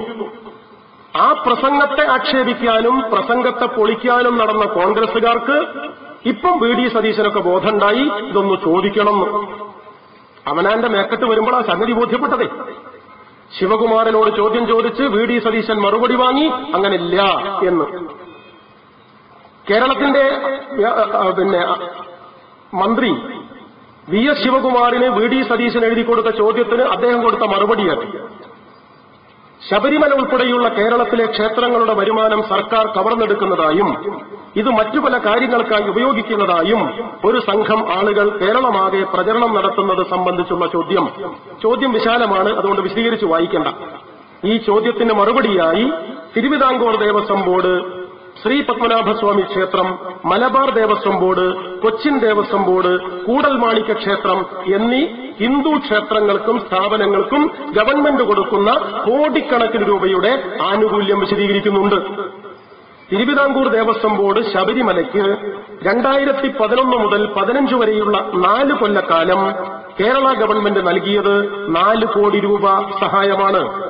കാവുകൾ കുളങ്ങൾ എന്നിവയ്ക്ക് നാല് കോടി രൂപ നൽകി. ശബരിമലയിലെ മാസ്റ്റർ പ്ലാനിന് അറുപത്തഞ്ച് കോടി രൂപ നൽകി. വൈക്കം കലാപീഠത്തിന് അഞ്ചു ലക്ഷം രൂപ നൽകി. വർക്കല ജനാർദ്ദനസ്വാമി ക്ഷേത്രക്കുളം നന്നാക്കാൻ എൺപത് ലക്ഷം രൂപ നൽകി. ശബരിമല പോലീസിന് മെസ് സംവിധാനിക്കാൻ ആറ് കോടി അൻപത്തഞ്ച് ലക്ഷം രൂപ നൽകി. ഡോക്ടർമാർക്ക് ശബരിമലയിലെത്തുന്ന നമ്മുടെ സഹോദരന്മാരായ ഭക്തന്മാർക്ക് അസുഖം വന്നാൽ ആലോചിക്കാനും പരിചരിക്കാനുമുള്ള ഡോക്ടർമാർക്ക് പ്രത്യേക അലവൻസ് കൊടുത്തത് മൂന്ന് കോടി എൺപത്തഞ്ച് ലക്ഷം. ശ്രീ പത്മനാഭസ്വാമി ക്ഷേത്രത്തിന്റെ ഗ്രാന്റ് ഒരു കോടി രൂപ സുരക്ഷാ സംവിധാനവുമായി ബന്ധപ്പെട്ട്. കാരണം ഗണപതി ഹോമം പുഷ്പാഞ്ജലിയൊക്കെ കഴിക്കുമ്പോൾ കിണ്ടിയിലും കോളാമ്പിയിലാക്കി നമ്പൂരിയൊരു കടത്തുകയാണ് സ്വർണേ. അതായത് സുരക്ഷാ സംവിധാനം. ആ സുരക്ഷാ സംവിധാനവുമായി ബന്ധപ്പെട്ട് ഗവൺമെന്റ് നൽകിയത് അറുപത് കോടി പതിനെട്ട് ലക്ഷം രൂപ. പത്മതീർത്ഥക്കുളം ശുദ്ധീകരിക്കാൻ ഒരു കോടി രൂപ. ആകെ അറുപത്തിരണ്ട് കോടി പതിനെട്ട് ലക്ഷം രൂപ. മലബാർ ദേവസ്വം ബോർഡിന് ഗ്രാന്റ് നൽകിയത് അൻപത്തിരണ്ട് കോടി എൺപത്തി ആറ് ലക്ഷം ആചാര്യസ്ഥാനീയർക്ക് പെൻഷൻ എന്ന് പറഞ്ഞ മഹാരഥന്മാരായ മഹാപണ്ഡിതന്മാർക്ക് ക്ഷേത്രമൂരായ്മക്കാർക്ക് നൽകിയത് നാല് കോടി രൂപ. കാവുകൾ കുളങ്ങൾ ശുദ്ധീകരിക്കാൻ മൂന്ന് പോയിന്റ് അഞ്ച് കോടി രൂപ. ആകെ അറുപത് കോടി മുപ്പത്തൊന്ന് ലക്ഷം രൂപ. കൊച്ചിൻ ദേവസ്വം ബോർഡ് കാവുകൾ കുളങ്ങൾ ശുദ്ധീകരിക്കാൻ രണ്ട് കോടി രൂപ. കൂടൽ മാണിക്യ ക്ഷേത്രം കാവുകൾ കുളങ്ങൾ സംരക്ഷിക്കാൻ അൻപത് ലക്ഷം രൂപ. ഈ കണക്ക് നീളാണ് വിസ്താര ഭയത്താൽ ഞാൻ നീട്ടി പറയുന്നില്ല. ഇതാണ് സത്യം. എന്താണ് ആർ എസ് എസിനെ പറ്റി പറയാനുള്ളത്? കഴിഞ്ഞ ദിവസം ശശികല ഇവിടുന്ന് പ്രസംഗിച്ചപ്പോൾ ഇതേ മൈതാനത്ത് നിന്ന് പ്രസംഗിച്ചോ ആ പാവം സ്ത്രീ പറയുക മതനിരപേക്ഷ രാജ്യമല്ലേ ഇന്ത്യ? അതെ. അതിലെ സംസ്ഥാനമല്ലേ കേരളം? ഉവ് മതനിരപേക്ഷ രാജ്യത്ത് പ്രത്യേക മതക്കാർക്ക് ആനുകൂല്യം കൊടുക്കാൻ പാടുണ്ടോ? ഇല്ല. എങ്കിൽ കമ്മ്യൂണിസ്റ്റുകാർ ഉയർത്തിപ്പിടിക്കുന്ന സതീശൻ പുലമ്പുന്ന ഈ വാദം തെറ്റല്ലേ? എന്റെ പെണ്ണുങ്ങളെ അതുകൊണ്ട് നല്ല നേരവും സമയവുമുള്ള താല്പര്യമുള്ള ആരെങ്കിലും കേസ് കൊടുത്താൽ ഗവൺമെന്റ് വെട്ടിലാകുന്നു. ഈ സ്ത്രീനെ കൊണ്ട് ഉപകാരം എന്തായെന്നറിയപ്പോ സാശ്രയ സംഘക്കാർ കൊണ്ടുവന്നിട്ട് എന്തെങ്കിലും ചില്ലാനും നാട്ടിലെ സാധാരണ ഹിന്ദു ക്ഷേത്രങ്ങൾക്ക് ഗവൺമെന്റ് കൊടുക്കുന്നുണ്ടെങ്കിൽ അത് കൊടുക്കരുത് എന്ന് ഒരുത്തനെ കൊണ്ട് കേസ് കൊടുപ്പിക്കാനുള്ള പരിപാടി ആ തള്ളേണ്ടത് എന്താ നിങ്ങൾ ആലോചിച്ചു നോക്കി? മരിച്ചാലും ഒഴിവാക്കൂല പണ്ട് എന്റെ നാട്ടിലൊരു കാരണവരുണ്ടായിരുന്നു നാല് മക്കളാ. മുടിഞ്ഞ ദുഷ്ടനായ ആൾ ഉപ്പ് അറ്റ കൈക്ക് ഉപ്പ് തേക്കൂല തന്ത. മക്കളെ പരമാവധി ദ്രോഹിച്ചു. പഠിക്കാൻ പൈസ കൊടുക്കൂല തിന്നാൻ കൊടുക്കൂല. അങ്ങനെ മക്കൾ എങ്ങനെയൊക്കെയോ കല്ല് കടത്തിയിട്ടും പിന്നെ ഇഷ്ടിക കടത്തിയിട്ടൊക്കെ പഠിച്ചു അത്യാവശ്യം നിലയിലെത്തി. ഈ തന്ത ചാവാനായി. രോഗശൈലിയിൽ വിറച്ച് വിറച്ച് കിടക്കുമ്പോൾ നാല് മക്കളെയും വിളിച്ചെടുത്തി പറഞ്ഞു ജീവിക്കുമ്പോൾ നിങ്ങൾക്ക് ഒരു ഉപകാരം ഞാൻ ചെയ്തിട്ടില്ല. ഞാൻ ഒന്നോ രണ്ടോ ദിവസം കൊണ്ട് പണി തീരും. മരിച്ചാൽ എനിക്ക് സ്വർഗത്ത് പോകണമെന്നുണ്ട് ചെയ്തു കൂട്ടിയോളം നോക്കിയാൽ സ്വർഗത്ത് പോവില്ല. അതുകൊണ്ട് സ്വർഗത്ത് പോവാൻ ഒറ്റ മാർഗേ ഞാൻ ഒരു വിവരമുള്ളവരോട് ചോദിച്ചപ്പോൾ കാണുന്നുള്ളൂ. എന്താ? ഞാൻ മരിച്ചു കഴിഞ്ഞാൽ ചെയ്ത പാപത്തിനൊക്കെ പ്രതിഫലം ഇവിടുന്ന് തന്നെ കിട്ടണം എന്നാ സ്വർഗത്തിലേക്ക് പോയിക്കോളും. ഞാൻ മരിച്ചു കഴിഞ്ഞാൽ നിങ്ങൾ ആരെ അറിയിക്കാതെ ഒരു നല്ല കഴുന്നിന്റെ നാട്ടെടുത്തിട്ട് ചെത്തിക്കൂർപ്പിച്ച് എന്റെ മൂർധാവ് കൂടെ അടിച്ചു കയറ്റണം. എന്നാൽ ആ പാപം അങ്ങോട്ട് തീർന്നോളും. മക്കൾക്ക് വലിയ പ്രയാസമായി. ദുഷ്ടനാണെങ്കിൽ അച്ഛനല്ലേ? മൂന്നാമത്തെ ദിവസം തന്ത ചത്തു. മക്കൾ നാലാളോട് കൂടി അല്ല താര കേട്ടണോ മൂർധാവ് കൂടെ? അച്ഛനല്ലേ? അല്ല കേട്ടണമെന്ന് പറഞ്ഞിട്ടുണ്ട്. അച്ഛന് വേണ്ടിയിട്ടാണല്ലോ. മണിക്കൂറുകൾ നീണ്ട ചർച്ചക്കൊടുവിൽ മനസ്സില്ലാ മനസ്സോടെ നാല് മക്കളും കൂടി ഒരു കഴുന്നിന്റെ നാട്ടുണ്ടാക്കി ചെത്തിക്കുറിപ്പിച്ച് തന്തേന്റെ മൂർധാവ് കൂടെ അടിച്ചു. ഇതടിച്ച് കയറ്റി കഴിഞ്ഞിട്ട് നാട്ടുകാരെ വിളിച്ചു. നാട്ടുകാർ പോലീസിൽ അറിയിച്ചു. പോലീസ് വന്ന് നാലാളെയും ജയിലിലാക്കി. തന്തേന്റെ ഒരു മെച്ചേ. ചത്താലും കുരുപ്പ് വിടുന്നില്ല കുട്ടികളെ. അതുപോലെയാ ശശികല. പരമാവധി ദ്രോഹം പെണ്ണുങ്ങളെ കൊണ്ട് ഉണ്ടാവുന്നുണ്ട് നാട്ടിൽ എന്നാ ഗവൺമെന്റ് കൊടുക്കുന്നൊരു ചില്ലറ കാശ് പാവം ക്ഷേത്രങ്ങൾക്ക് കിട്ടിക്കോട്ടേറ്റ പെണ്ണുങ്ങൾ സമ്മതിക്കില്ല കൊടുക്കി കേസ് കൊടുക്കി കേസ് എന്നാ. എന്റെ പെണ്ണുങ്ങളെ. ഹിന്ദുക്കൾക്ക് സംസാരിക്കാൻ കൊണ്ടോന്നതായി സ്ത്രീനെ. ശാസ്ത്രീയ സംഘക്കാർ കുടുങ്ങി പരമു നായരോട് പരാതി പറഞ്ഞ് പരമസങ്കടം പരിഹാരായി മൈക്കിന്റെ പൈസ പോയി. ഞാൻ വിശദീകരിക്കുന്നില്ല. അതിന്റെ വസ്തുത നാം മറക്കരുത് പ്രിയപ്പെട്ടവരെ. കേരളത്തിലെ ഒരു ഹിന്ദു ക്ഷേത്രത്തിൽ നിന്നും ഒരു നയാ പൈസ കേരളത്തിലെ സർക്കാർ ഖജനാവിലേക്ക് മുതൽ കൂട്ടുന്നില്ല. ഞങ്ങൾ ശശികലയോടും ശശികലയെ കൊണ്ടുവന്നവരോടും അവരുടെ പ്രസ്ഥാനത്തോടും വളരെ വേദ ആദരവോടെ വിനയത്തോടെ ഒരു വെല്ലുവിളി മുന്നോട്ട് വെക്കുകയാണ്. കേരളത്തിലെ ഹിന്ദു ക്ഷേത്രങ്ങളുടെ വരുമാനം ഒരു നയാ പൈസയെങ്കിലും കേരള സർക്കാർ ഇടതു ഭരിച്ചപ്പോഴോ വലതു ഭരിച്ചപ്പോഴോ ഖജനാവിലേക്ക് രേഖകളുടെ വെളിച്ചത്തിൽ തെളിയിച്ചാൽ C P I M DYFI R S എസിന്റെ അടുക്കള പണി ചെയ്യാം. ഒരു സംശയവും വേണ്ട. ഉത്തരവാദിത്വത്തോടെ ഞങ്ങൾ ഈ വാദം ഉന്നയിക്കുകയാണ്. ഈ നിലപാട് നാം തിരുത്തണം. കളവ് കല്ലുവെച്ച നുണയായി പ്രചരിപ്പിക്കുന്നു. പെരും നുണ പെരുമഴ കണക്കെ പെയ്യിക്കുകയാണ് ശശികല. ഹിന്ദു തീവ്രവാദിയായ ശശികലയുടെ പ്രസംഗം ചിലര് വിചാരിക്കുന്നത് ഹിന്ദുത്വത്തിനു വേണ്ടിയുള്ള പ്രസംഗം എന്റെ നാട്ടിലെ ഡിവൈഎഫ്ഐയുടെ ചെറുപ്പക്കാരൻ പറഞ്ഞു തങ്കപ്പെട്ട സ്ത്രീയാട്ടോ രാഷ്ട്രീയമൊന്നും പറയണില്ല. ആരെയും അട്ടിമറിക്കാനല്ല അധികാരത്തിൽ കയറാനല്ല പാർലമെന്റ് പിടിക്കാനല്ല പഞ്ചായത്ത് ഭരിക്കാനല്ല ഹിന്ദു ഒന്നാവാൻ നന്നാവാൻ പ്രസംഗം ഇതിലെവിടെയാ ബി ജെ പി ഉള്ളത് ഇതിലെവിടെയാ സി പി എം ഉള്ളത് ഹിന്ദു ഒന്നാവണമെന്നേ പറഞ്ഞിട്ടുള്ളൂ. അതിനിപ്പോ എന്താ തെറ്റ്? ഞങ്ങളും അതിനെതിരല്ല. പക്ഷെ ശശികല അതല്ല. ശശികല ആർ എസ് എസ് ആണ്. ബി ജെ പി ആണ്. പത്തു കൊല്ലം മുമ്പ് പാലക്കാട് ജില്ലയിലെ പട്ടാമ്പി താലൂക്കിലെ ഓങ്ങല്ലൂർ ബ്ലോക്ക് പഞ്ചായത്തിൽ ആർ എസ് എസിന്റെ ബി ജെ പിയുടെ താമര ചിഹ്നത്തിൽ മത്സരിച്ചു ഈ ശശികല. ദൈവം സഹായിച്ചിട്ട് അഞ്ഞൂറ്റി പത്തൊമ്പത് വോട്ടിന് നമ്മൾ ഏരിയ കമ്മിറ്റി അംഗം പത്തിന് ടീച്ചറോട് തോറ്റുപോയി.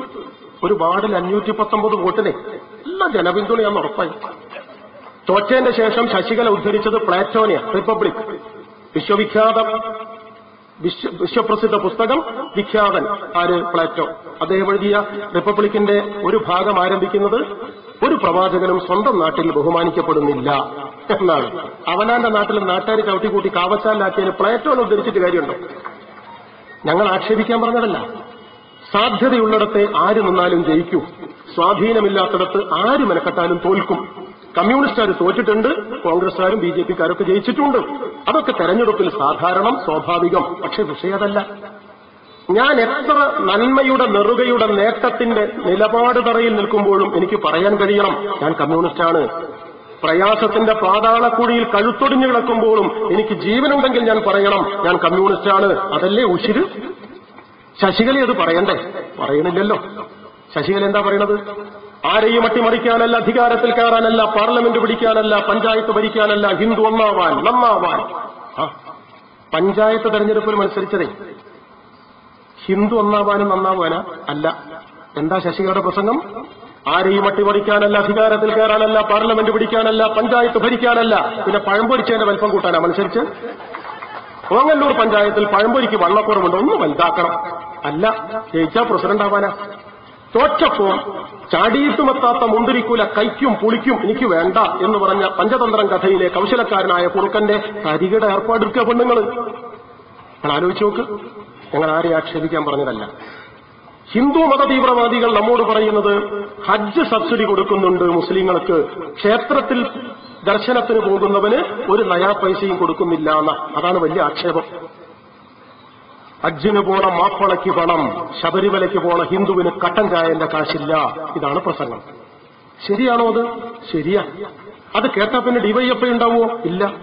ഡിവൈഎഫ്ഐയുടെ യൂണിറ്റ് സെക്രട്ടറിയുടെ പേര് അരവിന്ദാക്ഷൻ പ്രസിഡന്റിന്റെ പേര് അബ്ദുറഹിമാൻ. അബ്ദുറഹിമാന്റെ വാപ്പക്ക് പൈസ ഉണ്ട് ഹജ്ജിന് പോയാൽ. അരവിന്ദാക്ഷന്റെ അച്ഛൻ പതിനെട്ട് കൊല്ലായി ശബരിമലയ്ക്ക് പോകുന്നത് ഒരു കട്ടൻ പൈസ നായനാരും കൊടുത്തിട്ടില്ല ഉമ്മൻചാണ്ടി കൊടുത്തിട്ടില്ല വി എസും കൊടുത്തിട്ടില്ല കരുണാകരനും കൊടുത്തിട്ടില്ല. ഇത് കേട്ടാ പിന്നെ പ്രകാശ് കാരാട്ടോ സീതാറാം യെച്ചൂരിയോ പങ്കെടുക്കാന്ന് പറഞ്ഞാലും യൂണിറ്റ് കമ്മിറ്റി വിളിക്കോ പിന്നെ? വിളിക്കൂല എന്ന് ഉറപ്പാ. കാരണം ഹിന്ദു മുസ്ലിമായിട്ട് വേർതിരിക്കപ്പെടുകയാണേ. എന്താ സത്യം? ആ പറഞ്ഞത് ശരിയാണ് സഖാക്കളെ. ഹിന്ദുവിന് ശബരിമലയ്ക്ക് പോയാൽ പൈസ ഇല്ല.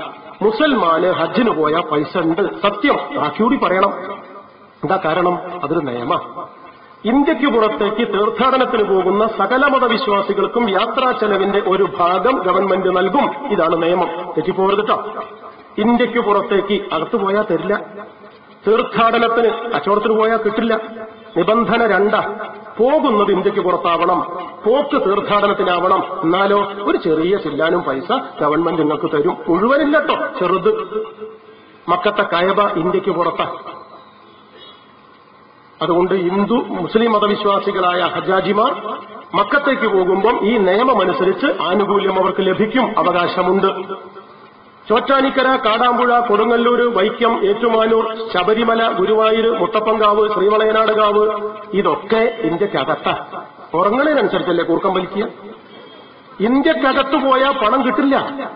ഇന്ത്യയ്ക്ക് പുറത്തു പോയാൽ പണം കിട്ടും. ഹജ്ജിന് പോകണത് ഇന്ത്യയ്ക്ക് പുറത്താണ് ശബരിമലയ്ക്ക് ഇന്ത്യയ്ക്ക് അകത്താണ്. അതുകൊണ്ട് വ്യത്യാസമുണ്ട്. അപ്പൊ ഒരു സംശയം. ഇന്ത്യയ്ക്ക് പുറത്തേക്ക് ഹിന്ദു മതവിശ്വാസികൾ തീർത്ഥാടനത്തിന് പോയാൽ പൈസ കിട്ടുമോ ഉവ് അങ്ങനെ കിട്ടുന്നുണ്ടോ? ഉണ്ട്. ഒരു ഉദാഹരണം പറയാം. ഇന്ത്യയ്ക്ക് പുറത്തുള്ള വിശ്വപ്രസിദ്ധമായ ഹിന്ദു തീർത്ഥാടന കേന്ദ്രമാണ് സഖാക്കളെ മാനസ സരോവരം. അത് ടിബറ്റില. ബി ജെ പിക്കാരൻ ഞെട്ടണ്ടോ കമ്മ്യൂണിസ്റ്റ് പാർട്ടി ഭരിക്കുന്ന ചൈനയുടെ കീഴിലുള്ള ടിബറ്റിൽ. മറക്കണ്ട. ആ ടിബറ്റിലാണ് മാനസ സരോവരം. മാനസ സരോവരം എന്ന് പറഞ്ഞാൽ എന്താണെന്നറിയില്ലേ? ശിവൻ ഒരു യുദ്ധത്തിന് പോയി. വല്ലാണ്ട് കുരുത്തക്കെട് കളിച്ച ഒരു അസുരം മുന്നിന്ന് മൂപ്പർക്ക് ദേഷ്യം പിടിച്ച് കഴുത്ത് പിടിച്ചാൽ ഞെക്കിയിട്ടു. ശിവൻ ഒരു അസുരനെ പിടിച്ച് ഞെക്കിയാ പിന്നെ പുലിക്ക് സർവത്താ വരിക പുറത്തേക്ക്? അല്ല ചോരയ. ചോരയൊക്കെ മേലായി. യുദ്ധം കഴിഞ്ഞപ്പോഴേക്ക് വല്ലാണ്ട് ക്ഷീണിച്ചു ഭഗവാൻ ശിവൻ. ഓടിച്ചെന്ന് പാർവതിയോട് പറഞ്ഞു എടി മട്ടൻ ചാപ്സും പുട്ടും വളമ്പുന്നു ബി ജെ പിക്കാരൻ നേരുണ്ടെങ്കിൽ ആ ശ്ലോകം ചൊല്ലിത്തരാം. ശിവ മട്ടൻ ചാപ്സ് കഴിച്ച ശ്ലോകം ഉണ്ട് പുരാണത്തിൽ ഭാര്യയ്ക്ക് നട്ടപ്പുരാൻ തുടച്ചു അന്നേരം തുടച്ചിട്ടുള്ളൂ ടൈൽസ് ഇട്ട നില അത്. ഭർത്താവെന്ന് പറഞ്ഞിട്ടല്ലോ ചളിയായിട്ട് ചവിട്ടിയാൽ ഏത് പെണ്ണുങ്ങൾക്കും ദേഷ്യം പിടിക്കും. പെണ്ണുങ്ങൾ പറഞ്ഞു നിങ്ങളെന്ത് പ്രാന്താണ് കളിക്കുന്നത് പോയി കുളിച്ച് വലിച്ച് ഓരയും ചളിയായിട്ട് അങ്ങോട്ട് വരുന്നു? ശിവൻ വിശപ്പിന്റെ കൊണ്ട് ഓടി. അന്ന് കുളിമുറിയില്ല വാഷ് ബേസ് ഇല്ല വാട്ടർ ടാങ്ക് ഇല്ല വാട്ടർ ടാപ്പും ഇല്ല. മുറ്റത്ത് ഒരു കുളമുണ്ട്. ലേക്ക് തടാകം സരസ്. അവിടെ ഇറങ്ങി കുളിച്ചു. ശിവന്റെ ജീവാംശം ശരീരഭാഗത്തിന്റെ അംശം അതിൽ സാത്മീകരിക്കപ്പെട്ടു അബ്സോർവ് ചെയ്യപ്പെട്ടു. അതിലേക്ക് കുറച്ചിറങ്ങി ശിവൻ കുളിച്ച കുളമായതുകൊണ്ട് അതിലൊരു തുള്ളി വെള്ളം പള്ളയിലെത്തിയാൽ ഏഴ് ജന്മത്തിലെ പാപം പോവും. അതിനാണ് നമ്മുടെ പ്രിയപ്പെട്ട ഹിന്ദു ഭക്തന്മാർ അവിടേക്ക് മെനക്കെട്ട് ബുദ്ധിമുട്ടി പോണത്. അത്ര പുണ്യ തീർത്ഥമാണത് മാനസ സരോവരം. സഖാക്കളെ നാം ഉറപ്പിച്ചു പറയണം. ഹജ്ജിന് പോകുന്ന മുസ്ലിങ്ങൾക്ക് കിട്ടുന്നതുപോലെ മാനസ സരോവരത്തിലേക്ക് പോകുന്ന ഹിന്ദു തീർത്ഥാടകർക്കും രണ്ടും ഇന്ത്യയ്ക്ക് പുറത്താണെന്നതുകൊണ്ട് ആനുകൂല്യം കിട്ടുന്നുണ്ട്. ശശികല കൊന്നാൻ സംഭവിക്കൂല പറഞ്ഞാൽ കച്ചവടം കൂട്ടി ഇതാണ് പ്രശ്നം. ആർ എസ് എസുകാരോട് നമുക്കൊരു കാര്യം കൂടി ചോദിക്കാം. ആറു കൊല്ലമായി ഇന്ത്യ രാജ്യം ഭരിച്ചത് ആർ എസ് എസ് ആണ് തൊണ്ണൂറ്റെട്ട് മുതൽ രണ്ടായിരത്തി നാല് മെയ് മാസം പതിനേഴ് വരെ. അടൽജി അഡ്വാൻജി രാജഗോപാൽജി ഒക്കെയായിരുന്നു നേതാക്കന്മാർ മന്ത്രിമാർ. ആർ എസ് എസിന്റെ ആറു കൊല്ലക്കാലത്തെ ഭരണത്തിൽ മാപ്പളയ്ക്ക് കൊടുക്കുന്ന തെമ്മാടിത്തം എന്തേ നിങ്ങൾ അമ്പത് കാശ് കുറച്ചില്ല? ആ ഉത്തരം പറയണ്ടേ? സാധാരണ നമ്മൾ നാടൻ ഭാഷയെ പറയില്ലേ കൈകൊണ്ട് ഉത്തരം തോട്ടിട്ട് തോണ്ടി കളിക്കേണ്ടതില്ല മുരുണ്ടി ഇങ്ങോട്ട് ഇറങ്ങിയാ പോരെ? അവനാനെ കൈകൊണ്ട് എത്തുന്നതല്ലേ പിന്നെന്തിനാ തോറ്റെത്തി എത്തില്ല എന്ന് പറയുന്നത്? ആർ എസ് എസ് ഉണ്ടായിരുന്നു ആറു കൊല്ലക്കാലം ഭരണത്തിൽ. അരപ്പണം കുറച്ചില്ല ഹജ്ജ് സബ്സിഡി. ഇപ്പം പതിനാറ് മാസക്കാലമായി പതിനേഴ് മാസക്കാലമായി ബി ജെ പിയുടെ നേതാവ് അമ്പത്താറ് ഇഞ്ച് വീതിയുള്ള നെഞ്ചിന്റെ ഉടമ സ്വയം സേവകൻ ആണ് നരേന്ദ്രമോദി. അദ്ദേഹം ഭരിക്കുന്നു. എന്താ കുറയ്ക്കാത്തത്? രണ്ട് കാരണമാണ് ഒന്ന് ഭരണപരമായ സാങ്കേതികത്വം. രണ്ട് രാഷ്ട്രീയ ദാസ്യം എന്താ സാങ്കേതികത? പ്രതിപക്ഷത്തിരിക്കുമ്പോൾ പറയും പോലെയല്ലല്ലോ ഭരണത്തിൽ കയറിയാൽ ബുദ്ധിമുട്ടുണ്ടാവും. പറയണമൊക്കെ നടപ്പാക്കാൻ കഴിയും? ഐസ് കട്ടയ്ക്ക് പെയിന്റടിക്കും അറബിക്കടലിൽ പാലം കെട്ടും ആകാശത്തിന് പന്തലിടും മൂക്കിന്റെ ഓട്ടം മൂന്നാക്കുന്നൊക്കെ വടായി ആർക്കും പുറത്തുനിന്ന് പറയാം. കയറി നോക്കിയാലാ ബുദ്ധിമുട്ടാവുക. കാരംസ് കളിക്കുമ്പോൾ ഡയലോഗ് അടിക്കുന്ന ആളെ കണ്ടില്ല നിങ്ങൾ റെഡ് ഇട് ബോൾ ഓവർ ഇട്. ഏ എങ്ങനെ? ആദ്യത്തെ സ്ട്രൈക്കറിനെ വലിയ പട. കുത്തിരിക്കണോ പണി അറിയുള്ളൂ മറ്റോ നിന്ന് മനസ്സിലാൽ മതി. ഇനി സഹി കെട്ട് നമ്മളങ്ങോട്ട് നീ തിരുക്കുണ്ടനെ ഒന്ന് കുത്തിരിപ്പിച്ചാലോ? ദൈവം സഹായിച്ചിട്ട് ബോർഡ് ചെരിച്ചു പിടിച്ചാൽ പോലും കുരുപ്പ് ഒരൊറ്റ കോയിൻസ് പോക്കറ്റിലാക്കൂല. എന്നിട്ട് തോറ്റിളിഞ്ഞ് കയ്യിന്റെ ഉള്ള പൊടിയും തുടച്ചിട്ട് ഓന്റെ ഒരു വർത്താനുണ്ട് തോറ്റേന്റെ മുകളിൽ. ചമ്മൽ അഡ്ജസ്റ്റ് ചെയ്യാൻ. ബോർഡ് ചൂടായിട്ടില്ല. നൂറ്റി ഇരുപതിന്റെ ബൾബാ താത്തിട്ടത് ക്ലബ്ബുകാര് മൈദപ്പൊടിയുള്ള ബോറിക്കിന്റെ ബോർഡറാ. പായാണ് സ്ട്രൈക്കർ ആനക്കൊമ്പിന്റെ എങ്ങനെ വേണമെങ്കിൽ കളിക്കുക. ഞങ്ങളൊക്കെ ചെറുപ്പത്തിൽ കാരം ബോർഡ് കളിക്കുമ്പോൾ തക്കാളിപ്പെട്ടിട്ടാ കളിക്കുക. തക്കാളിപ്പെട്ടി ഒരു അഡ്ജസ്റ്റ് ആവില്ല പക്ഷെ കളിക്കാൻ അറിയുന്നത് തക്കാളിപ്പെട്ടി മതി. പിന്നെ നാളെ കേൾക്കുട്ടിയോടും പറയാറുണ്ട് കൈത്തഴക്കുള്ളവന് കൈക്കോട്ട് കൊണ്ടും താടി പഠിക്കുക ഗില്ലറ്റിന്റെ ബ്ലേഡ് തന്നെ വേണമെന്നില്ല. കളി അറിയണം. അതാ പ്രശ്നം. മനസ്സിലായില്ലേ? ഞാൻ വിശദീകരിക്കുന്നില്ല. ആർ എസ് എസ് ആറു കൊല്ലക്കാലം ഇന്ത്യ രാജ്യം ഭരിച്ചിട്ടും അമ്പത് കാശ് കുറച്ചില്ല സഖാക്കളെ. സാങ്കേതികത്വമാവാം. ഭരണത്തിന്റെ ദാസ്യ മനോഭാവമുണ്ട് എന്താ അത്? അറിഞ്ഞോളൂ. ഇന്ത്യ രാജ്യത്തിലെ ബി ജെ പിയുടെ സർക്കാരിൽ മൂന്ന് കേന്ദ്രമന്ത്രിമാർ മുസ്ലിങ്ങളായിരുന്നു. മുഷ്താഖ് അബ്ബാസ് അലി നഖ്വി മുഹമ്മദ് സിക്കന്ദർ ഭക്ത് സയ്യിദ് ഷാനവാസ് ഹുസൈൻ. മൂന്ന് മുസ്ലിമാണ് അവന്റെ കൂടി വോട്ടുണ്ടെങ്കിലേ വാജ്പേയിക്ക് തട്ടും മുട്ടുമില്ലാതെ ഭരണം മുന്നോട്ട് കൊണ്ടുപോകാൻ കഴിയൂ. അത് പേടിച്ച് മുണ്ടിയില്ല. ഇപ്പോഴത്തെ പതിനേഴ് പതിനെട്ട് മാസം തികഞ്ഞ ബി ജെ പിയുടെ മന്ത്രിസഭയിലുണ്ട് രണ്ട് മുസ്ലിം മന്ത്രിമാർ. നജ്മ ഹെത്തുള്ള മുഷ്താഖ് അബ്ബാസ് അലി നഖ്വി. ഹെത്തുള്ള എന്ന് പറഞ്ഞാൽ നജ്മ. കോൺഗ്രസ് നിന്ന് തട്ടിട്ട് പുറത്താക്കിയതാണ് അതിന് ചില്ലറ പണിയാ. കോൺഗ്രസ് കട്ടിട്ട് ഒരാളെ പുറത്താക്കണി ഈ പണിയത്രണ്ട് കട്ട എ സി സിയിൽ എടുക്കുക സാധാരണ പാർട്ടി. അപ്പൊ മുതലേതാ ആ കട്ടിട്ട് കോൺഗ്രസ് പുറത്താക്കിയതാ നജിമാഹത്തുള്ള ഓരെ പിടിച്ചു. പക്കോട്ടിയ കലം കണപോയ കയ്യിൽ ഫിലമെന്റ് പോയ ബൾബ് പിടുത്തം പൊട്ട ചീഞ്ചട്ടി കുറ്റി കഴിഞ്ഞ കെട്ടി കെട്ട കഴിഞ്ഞ കുട്ടിച്ചൂലൊക്കെ ബി ജെ പിയിൽ എടുക്കുക അപ്പൊ. തങ്ങന്മാര് വന്ന് പ്രസംഗിച്ചില്ല ബി ജെ പിക്ക് വേണ്ടി? അല്ല ഞെളിയമ്പറമ്പിന്റെ മുന്നിൽ ചന്ദനത്തിരി കത്തിച്ച നാറ്റം പൂവടും ഫഹദ് തങ്ങൾ ബി ജെ പിന്റെ പൊതുയോഗത്തിൽ ഞാൻ ആക്ഷേപിക്കുന്നില്ല ഞാൻ വിശദീകരിക്കുന്നില്ല. വിട്ടുകളയാണ്. നമുക്ക് പറഞ്ഞതിലേക്ക് തിരിച്ചു വരാം. ആർ എസ് എസിന്റെ ഇപ്പോഴത്തെ മന്ത്രിസഭയിൽ രണ്ട് മുസ്ലിം മന്ത്രിമാരുണ്ട്. അവരുടെ വോട്ട് കൂടി വേണം. അതുകൊണ്ട് ഇതുവരെ ഹജ്ജ് സബ്സിഡി കുറച്ചിട്ടില്ല. എന്തേ ചെയ്യാഞ്ഞത്? എന്നിട്ട് നാട്ടുകാരെ പറ്റിക്കുക. വളരെ അപകടകരമാണ് എന്ന് നാം തിരിച്ചറിയണം. ആർ എസ് എസിന്റെ നേതാക്കന്മാർ നടത്തുന്ന മറ്റൊരു പ്രചരണം ഹിന്ദു ജനസംഖ്യ കുറയുന്നു എന്നാണ്. ആർ എസ് എസിന്റെ നേതാവ് പ്രസംഗിക്കുന്നു. കല്യാണി രണ്ടേ കാല പ്രസവിക്കുക. പത്തുമ്മ പത്ത. ഞാൻ ചോദിച്ചു കാലിന്റെ കണക്കെന്താ? ഒന്നിലത് കുറച്ച് രണ്ടിലേക്ക് ആക്കുക അല്ലെങ്കിൽ ഒരു മുക്കാൽ കൂട്ടി മൂന്നിൽ ഉറപ്പിക്കുക. ആവേശത്ത് പറഞ്ഞു വേണ്ട. ഒരുത്തം കോഴിക്കോട്ട് നിന്ന് പ്രസംഗിക്കുക. ആ പിന്നെ സെൻട്രൽ ലൈബ്രറി അവിടെ ആ ഇങ്ങനെ പോയാൽ മുസ്ലിങ്ങളിൽ നിന്ന് മൂത്രമൊഴിച്ചാൽ ഹിന്ദുക്കൾ ഒലിച്ചു പോകും. ഞാൻ ചോദിച്ചത് എന്താ? ജപ്പാൻ കുടിവെള്ള പൈപ്പോ. ഈ ഒഴിക്കാനുള്ളത് അങ്ങ് അടിച്ചു വീശാണ് തലച്ചോറല്ല തലയോട്ടിയാണ് ഹിന്ദു തീവ്രവാദികൾക്ക് മുസ്ലിം തീവ്രവാദികൾക്കും അതെ ആവശ്യം. സത്യമല്ല പ്രിയപ്പെട്ടവരെ ഈ അബദ്ധവാചകം അസംബന്ധ നാടകം നാം തിരിച്ചറിയണം. ഇന്ത്യ രാജ്യം എഴുന്നൂറ് കൊല്ലം ഭരിച്ചത് ഹിന്ദുക്കളല്ല ഇന്ത്യക്കാരുമല്ല. അഞ്ഞൂറ് കൊല്ലം ഭരിച്ചത് ഹിന്ദുക്കളല്ല മുസ്ലിങ്ങളാണ്. മുഗളവംശം അടിമവംശം കിൽജി വംശം ലോധി വംശം തുക്ലക് വംശം അഞ്ചു കൊല്ലം അഞ്ഞൂറ് കൊല്ലം മുസ്ലിങ്ങളാണ് ഭരിച്ചത്. പിന്നെ ഇരുന്നൂറ് കൊല്ലം ഇന്ത്യയുടെ ഭരണാധികാരികൾ ബ്രിട്ടീഷുകാരായിരുന്നു. മതം പറഞ്ഞാൽ ക്രിസ്ത്യാനിയ. ഇരുന്നൂറ് കൊല്ലം ക്രിസ്ത്യാനികളും അഞ്ഞൂറ് വർഷം മുസ്ലിങ്ങളും ഈ രാജ്യം ഭരിച്ചു. അവർ ഭരിക്കുമ്പം അവർക്ക് മതക്കാർക്ക് കുറച്ച് ആനുകൂല്യമൊക്കെ കൊടുക്കാൻ തോന്നിയിട്ടുണ്ടാവില്ലേ? മറ്റവരെ അടിച്ചമർത്തിയിട്ടൊന്നല്ല സ്വാഭാവികമായി. സ്നേഹത്തിൽ. ഇപ്പൊ ഞാനൊരു കല്യാണ വീട്ടിൽ വന്നു. നിങ്ങൾ പറഞ്ഞു ഇറച്ചിക്കറി നിങ്ങൾ വിളമ്പിക്കോളി. ഒരു ബക്കറ്റും തന്നു ഒരു കയ്യിലും തന്നു. ഞാനിങ്ങനെ പന്തിയിലിരുന്ന് ആക്ക് വിളമ്പിക്കൊണ്ടിരിക്കുമ്പോൾ ഇരിക്കുന്ന മേശപ്പുറത്തെത്തുമ്പോ ഒന്ന് അമർത്തി പോരൂല ഞാൻ. കൊണ്ടൊരു കഷ്ടം കിട്ടിക്കോട്ടെ വെച്ചിട്ടല്ലേ? അതിപ്പോ കല്യാണം മുടക്കാനല്ല അതൊക്കെ ആരും അതൊന്നും ആര് ചെയ്താലും തെറ്റല്ല കേട്ടോ ഞാൻ പറഞ്ഞില്ലേ? അതൊക്കെ സാധാരണ ചെയ്യുന്നതാണ്. അവനവന്റെ മതക്കാർക്ക് ഭരിക്കുന്നവർ ആനുകൂല്യം അല്പം അധികം കൊടുത്തെങ്കിൽ അതൊരു മോശത്തരമൊന്നല്ല മറ്റവരടിച്ചമർത്തിയാലേ മോശമുള്ളൂ. നമ്മുടെ പോയിന്റും അതാണ്. അധികാരികളിൽ നിന്നും ആവോളം ലാളനയും സ്നേഹവും തലോടലും താങ്ങലും ഒക്കെ കിട്ടിയിട്ടും സഖാക്കളെ എഴുന്നൂറ് കൊല്ലക്കാലം ഇന്ത്യ രാജ്യം അന്യമതക്കാർ ഏകഛത്രാധിപതികളെപ്പോലെ കല്ലുപുളർക്കുന്ന കൽപ്പനയാൽ കണ്ണുരുട്ടി കുതിരപ്പുറത്ത് കയറി നിന്ന് സർവൈശ്വര്യ പ്രതാപത്തോടെ ഭരിച്ചപ്പോഴും ഇന്ത്യ രാജ്യത്ത് ഹിന്ദുവിനേക്കാൾ ഒരു മുസൽമാൻ അധികം ജനിച്ചിട്ടില്ല. ഒരു ക്രിസ്ത്യാനി അധികം പറഞ്ഞിട്ടില്ല എന്താ കാരണം? അത് നടക്കില്ല. എന്താ? മഹാഭൂരിപക്ഷമാണ് ഹിന്ദുക്കൾ. മറ്റവരോ മൈക്രോസ്കോപ്പിക് മൈനോറിറ്റി അതിസൂക്ഷ്മ ചെറു ന്യൂനപക്ഷം അതുകൊണ്ടാ. ഞാൻ കണക്കിന് പുറകിലായതുകൊണ്ട് കണക്കറിയുന്ന മാഷോട് ചോദിച്ചു മാഷെ കല്യാണി രണ്ടും പത്തുമ്മ പത്തും പ്രസവിച്ച അടങ്ങാറാവോ മാഷിനോട് പറഞ്ഞു ബേജാറാവണ്ട. ആർ എസ് എസ് പറയുന്ന കണക്കു തന്നെ സ്വീകരിച്ചാൽ കല്യാണി രണ്ട് പത്തുമ്മ പത്ത് എന്ന കണക്കിൽ തന്നെ നാട്ടിൽ പ്രസവം നടന്നാൽ ഹിന്ദുവിനേക്കാൾ ഒരു മുസൽമാൻ അധികം ജനിക്കണമെങ്കിൽ അറുന്നൂറ്റി അൻപത്തിമൂന്ന് കൊല്ലം കഴിയും. എത്ര? അറുന്നൂറ്റി അൻപത്തിമൂന്ന് പുതപ്പ് പൊള്ളാച്ചിയില ബമ്പിടുന്ന് കാലിട്ട് കീറുക. കൊണ്ടുവന്നിട്ട് പോരെ തലാളിന്റെ കവറാണോ? അല്ല ചവിട്ടി വിരിക്കാൻ പറ്റിയ മുറിയാണോ നോക്ക് നോക്ക് അത്ര അബദ്ധ. ആർ എസ് എസുകാർ നമ്മുടെ നാട്ടിൽ പറയുന്നത് ഹിന്ദുക്കൾ കൂടുതലുണ്ടാവാൻ ഹിന്ദു കുട്ടികൾ കൂടുതലുണ്ടാവട്ടെ എന്നാണ്. അങ്ങനെയുള്ള രാജ്കുമാറിനെങ്കിൽ ചോർണമല്ലോ മാപ്പിളാരെ കവച്ചു വെക്കാൻ അതാ ആർ എസ് എസിന്റെ ഭാഷ ഹിന്ദുക്കൾ കൂടുതൽ ഉണ്ടാവണം. ഹിന്ദു ചെറുപ്പക്കാർ കൂടുതൽ സന്താനോൽപാദനം നടത്തണം. ഹിന്ദു അമ്മമാർ കൂടുതൽ പ്രസവിക്കണം. സ്വാതി ഋതാംബരി സ്വാതി പ്രാച്ചി സ്വാമിനി ഉമാഭാരതി സുഷമ സ്വരാജ് സ്മൃതി ഇറാനി കെ സുരേന്ദ്രൻ ശോഭാ സുരേന്ദ്രൻ ശശികല ടീച്ചർ ഇങ്ങനെ കണ്ട ആർ എസ് എസിന്റെ മഹാരഥന്മാർ നാട് മുഴുവൻ നാക്കലച്ച് പ്രസംഗിക്കുന്നു. ഹിന്ദുക്കൾ കൂടുതൽ സന്താനോൽപാദനം നടത്തണം. ഹിന്ദു ചെറുപ്പക്കാർ കൂടുതൽ കുട്ടികൾ ഉണ്ടാക്കണം എന്നാ പറഞ്ഞതിന്റെ അർത്ഥം.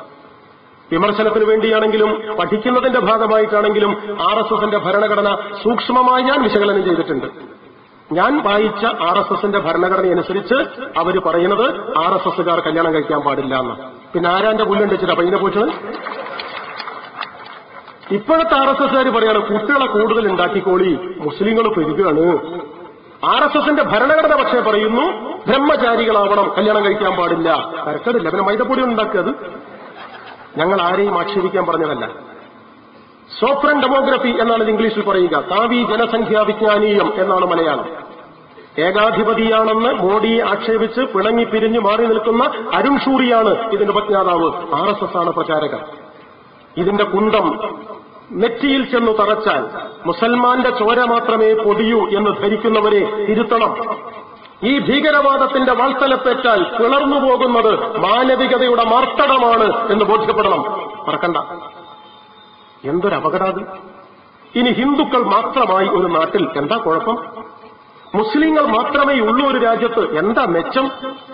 ഒരു മതക്കാർ മാത്രമുണ്ടായി എന്നതുകൊണ്ടോ ഇല്ലാതായി പോയി എന്നതുകൊണ്ടോ ലാഭമോ ഛേദമോ മനുഷ്യകുലത്തിനില്ല. ലോകത്തിലെ ഏക ഹിന്ദുരാഷ്ട്രമെന്ന് ആർ എസ് എസുകാർ അഭിമാനത്തോടെ അടയാളപ്പെടുത്തിയ രാജ്യമാണ് നേപ്പാൾ. മൂന്ന് മാസമായിട്ട് അല്ലട്ടോ ജനാധിപത്യ മത നിരപേക്ഷ രാഷ്ട്രം എന്നവിടുത്തെ ഗവൺമെന്റ് പ്രഖ്യാപിച്ചിട്ടുണ്ട്. അതുവരെ ഹിന്ദുരാഷ്ട്രമായിരുന്നു ലോകത്തിലെ ഹിന്ദുരാഷ്ട്രമായ നേപ്പാളിലാണ് പ്രിയപ്പെട്ടവരെ ലോകത്തേറ്റവും കൂടുതൽ വേശ്യാതെരുവുകൾ ഉള്ളത് എന്ന് കണക്ക് പറയുന്നു. ഹിന്ദുക്കൾ മാത്രമുള്ള സ്ഥലത്ത് കുഴപ്പമൊന്നും ഉണ്ടാവില്ലെങ്കിൽ അവിടെ വേശ്യകൾ ഉണ്ടാവാൻ പാടുണ്ടോ? ലോകത്ത് എത്രയോ മുസ്ലിം രാഷ്ട്രങ്ങളുണ്ട്. അവിടെയൊക്കെ ഒരു കുഴപ്പമുണ്ടാവരുത് മുസ്ലിങ്ങൾ മാത്രമേ ഉള്ളൂ. എന്നാ പിന്നെ ഒരു കുഴപ്പമുണ്ടാവില്ല എന്നാണ് വാദമെങ്കിൽ അവിടെ മുടിഞ്ഞതിന്റെ മുസീബത്താണ്. മനസ്സിലാക്കണം. ഞാൻ വിശദീകരിക്കുന്നില്ല. മതം പരിഗണിച്ചല്ല ജാതി പരിഗണിച്ചല്ല ഒരു രാജ്യത്ത് മെച്ചമോ നേട്ടമോ ഉണ്ടാകുന്നത്. സമുദായം നോക്കിയുമല്ല. സുൽത്താൻ ബത്തേരിയിൽ ഒരു പൊതുയോഗത്തിന് പോയപ്പം ആർ എസ് എസിന്റെ ബോർഡ് സുൽത്താൻ ബത്തേരി മുസ്ലിം പേരാണ് ശരിക്കുള്ള പേര് ഗണപതി പട്ടണം എന്നാണ്. ഒരാകെ കണ്ട പ്രശ്നപ്പെടാൻ ഞാൻ പറഞ്ഞു സുൽത്താൻ ബത്തേരിന്റെ പേര് മാറ്റി ഗണപതി പട്ടണാക്കിയാൽ മുപ്പത്തി ആറ് റുപ്യക്ക് കിട്ടുന്ന ഒരു കിലോ അരി ആർ എസ് എസ്സുകാരനെങ്കിലും മുപ്പത്തഞ്ചിന് കിട്ടുമോ ഗണപതി പട്ടണാക്കിക്കോളി. അരിയും ചില്ലാനൊക്കെ ഒരു ഉറുപ്പ്യ കുറഞ്ഞു കിട്ടുവെച്ചാൽ എന്തിനാ ഗണപതിയാക്കണ ഗഗണപതി പട്ടണാക്കിക്കൂടെ? കോഴിക്ക് നെല്ലും വിത്ത് നോക്കണം വെള്ളം അറിഞ്ഞാ പോരാ. ഹിന്ദുവും മുസൽമാനും നോക്കിയിട്ടല്ല അരിക്ക് വില കൂടുന്നത് തുണിക്ക് വില കുറയാത്തത് വളത്തിന് വില കൂടുന്നത് നാളികേരത്തിന് വില കുറയുന്നത്. ഈ സത്യം നാം മനസ്സിലാക്കണ്ടേ? മാങ്കാവങ്ങാടിക്കടുത്തൊരു കട്ട കമ്പനിയുണ്ട് പത്ത് തൊഴിലാളികൾ ഹിന്ദുവാണ് മുതലാളി. അഞ്ച് ഹിന്ദു അഞ്ച് മുസൽമാൻ. തെറ്റിപ്പോരുത് ഹിന്ദു മുതലാളി ഒരു കട്ട കമ്പനി ആകെ പത്ത് തൊഴിലാളി അഞ്ച് ഹിന്ദു അഞ്ച് മുസൽമാൻ. ഒരു ദിവസം ഹിന്ദുവായ മുതലാളി ഹിന്ദുക്കളായ അഞ്ച് തൊഴിലാളികളെ മാത്രം തന്റെ റൂമിലേക്ക് വിളിച്ചിട്ട് പറയാ നിങ്ങൾ ഹിന്ദുക്കളായതുകൊണ്ട് പറയാ മറ്റൊരു കേൾക്കണ്ട എട്ട് മണിക്ക് വന്ന് അഞ്ചു മണി വരെയാ പണി പക്ഷെ നിങ്ങൾ ഹിന്ദുക്കളായതുകൊണ്ട് പത്ത് മണിക്ക് വന്ന് മൂന്ന് മണിക്ക് പോയിക്കോളി. നമ്മൾ സ്വന്തം മതക്കാരായതുകൊണ്ടാട്ടോ മുസ്ലിങ്ങൾക്ക് കൊടുക്കണ്ട. എന്ന് പറയുന്നുണ്ടോ? ഉണ്ടെങ്കിൽ ഞങ്ങൾ ഈ രക്തനക്ഷത്രാങ്കിത ശുഭ്രപതാക താഴ്ത്തിക്കെട്ടാം. ഇല്ലാത്തതുകൊണ്ട് ഈ നക്ഷത്രം ഉയർന്നു തന്നെ നിൽക്കും. ഇതാണ് സത്യം. ഞാൻ ബസ് കയറി പെരുമണ്ണയ്ക്ക്. കണ്ടക്ടർ എടുത്ത് നമ്മൾ പത്ത് ഉറുപ്പ് എടുത്തിട്ട് ഒരു കണ്ടക്ടർ ഒരു പെരുമണ്ണ പുത്തൂർ മഠം എന്ന് പറഞ്ഞപ്പോ കണ്ടക്ടറിനോട് എന്താ പേര്? പ്രേമനാഥ്. ഹിന്ദു അല്ലേ? ഇത് ദാമോദരൻ നായരുടെ ബസ്സ ഹിന്ദുക്കൾ കയറിയ പൈസ ആകണ്ട എന്ന് പറഞ്ഞിട്ടുണ്ട്. മാപ്പിളാര് കയറി അമ്പത് വാങ്ങി ഡീസൽ അടിച്ചോളാൻ പറഞ്ഞിട്ടുണ്ട്. പറയുന്നുണ്ടോ ഏതെങ്കിലും കണ്ടക്ടർ? ഉണ്ടെങ്കിൽ ജാതി രാഷ്ട്രീയം ശരി. ഇല്ലല്ലോ. അതുകൊണ്ട് ഇടതുപക്ഷമാണ് ശരി. അതാണ് ഞങ്ങളുടെ നിലപാട്. എന്താ അതിനപ്പുറം പറയേണ്ടത്? ഫക്രുദ്ദീൻ അലി സക്കീർ ഹുസൈൻ രണ്ടു മുസ്ലിങ്ങളാ. ഇന്ത്യ രാജ്യത്തിന്റെ പ്രസിഡന്റുമാരായിരുന്നു. അവർ രാജ്യം ഭരിച്ചപ്പോൾ മുസ്ലിങ്ങൾക്ക് എന്തെങ്കിലും ആനുകൂല്യം കിട്ടിയോ? ഇല്ല.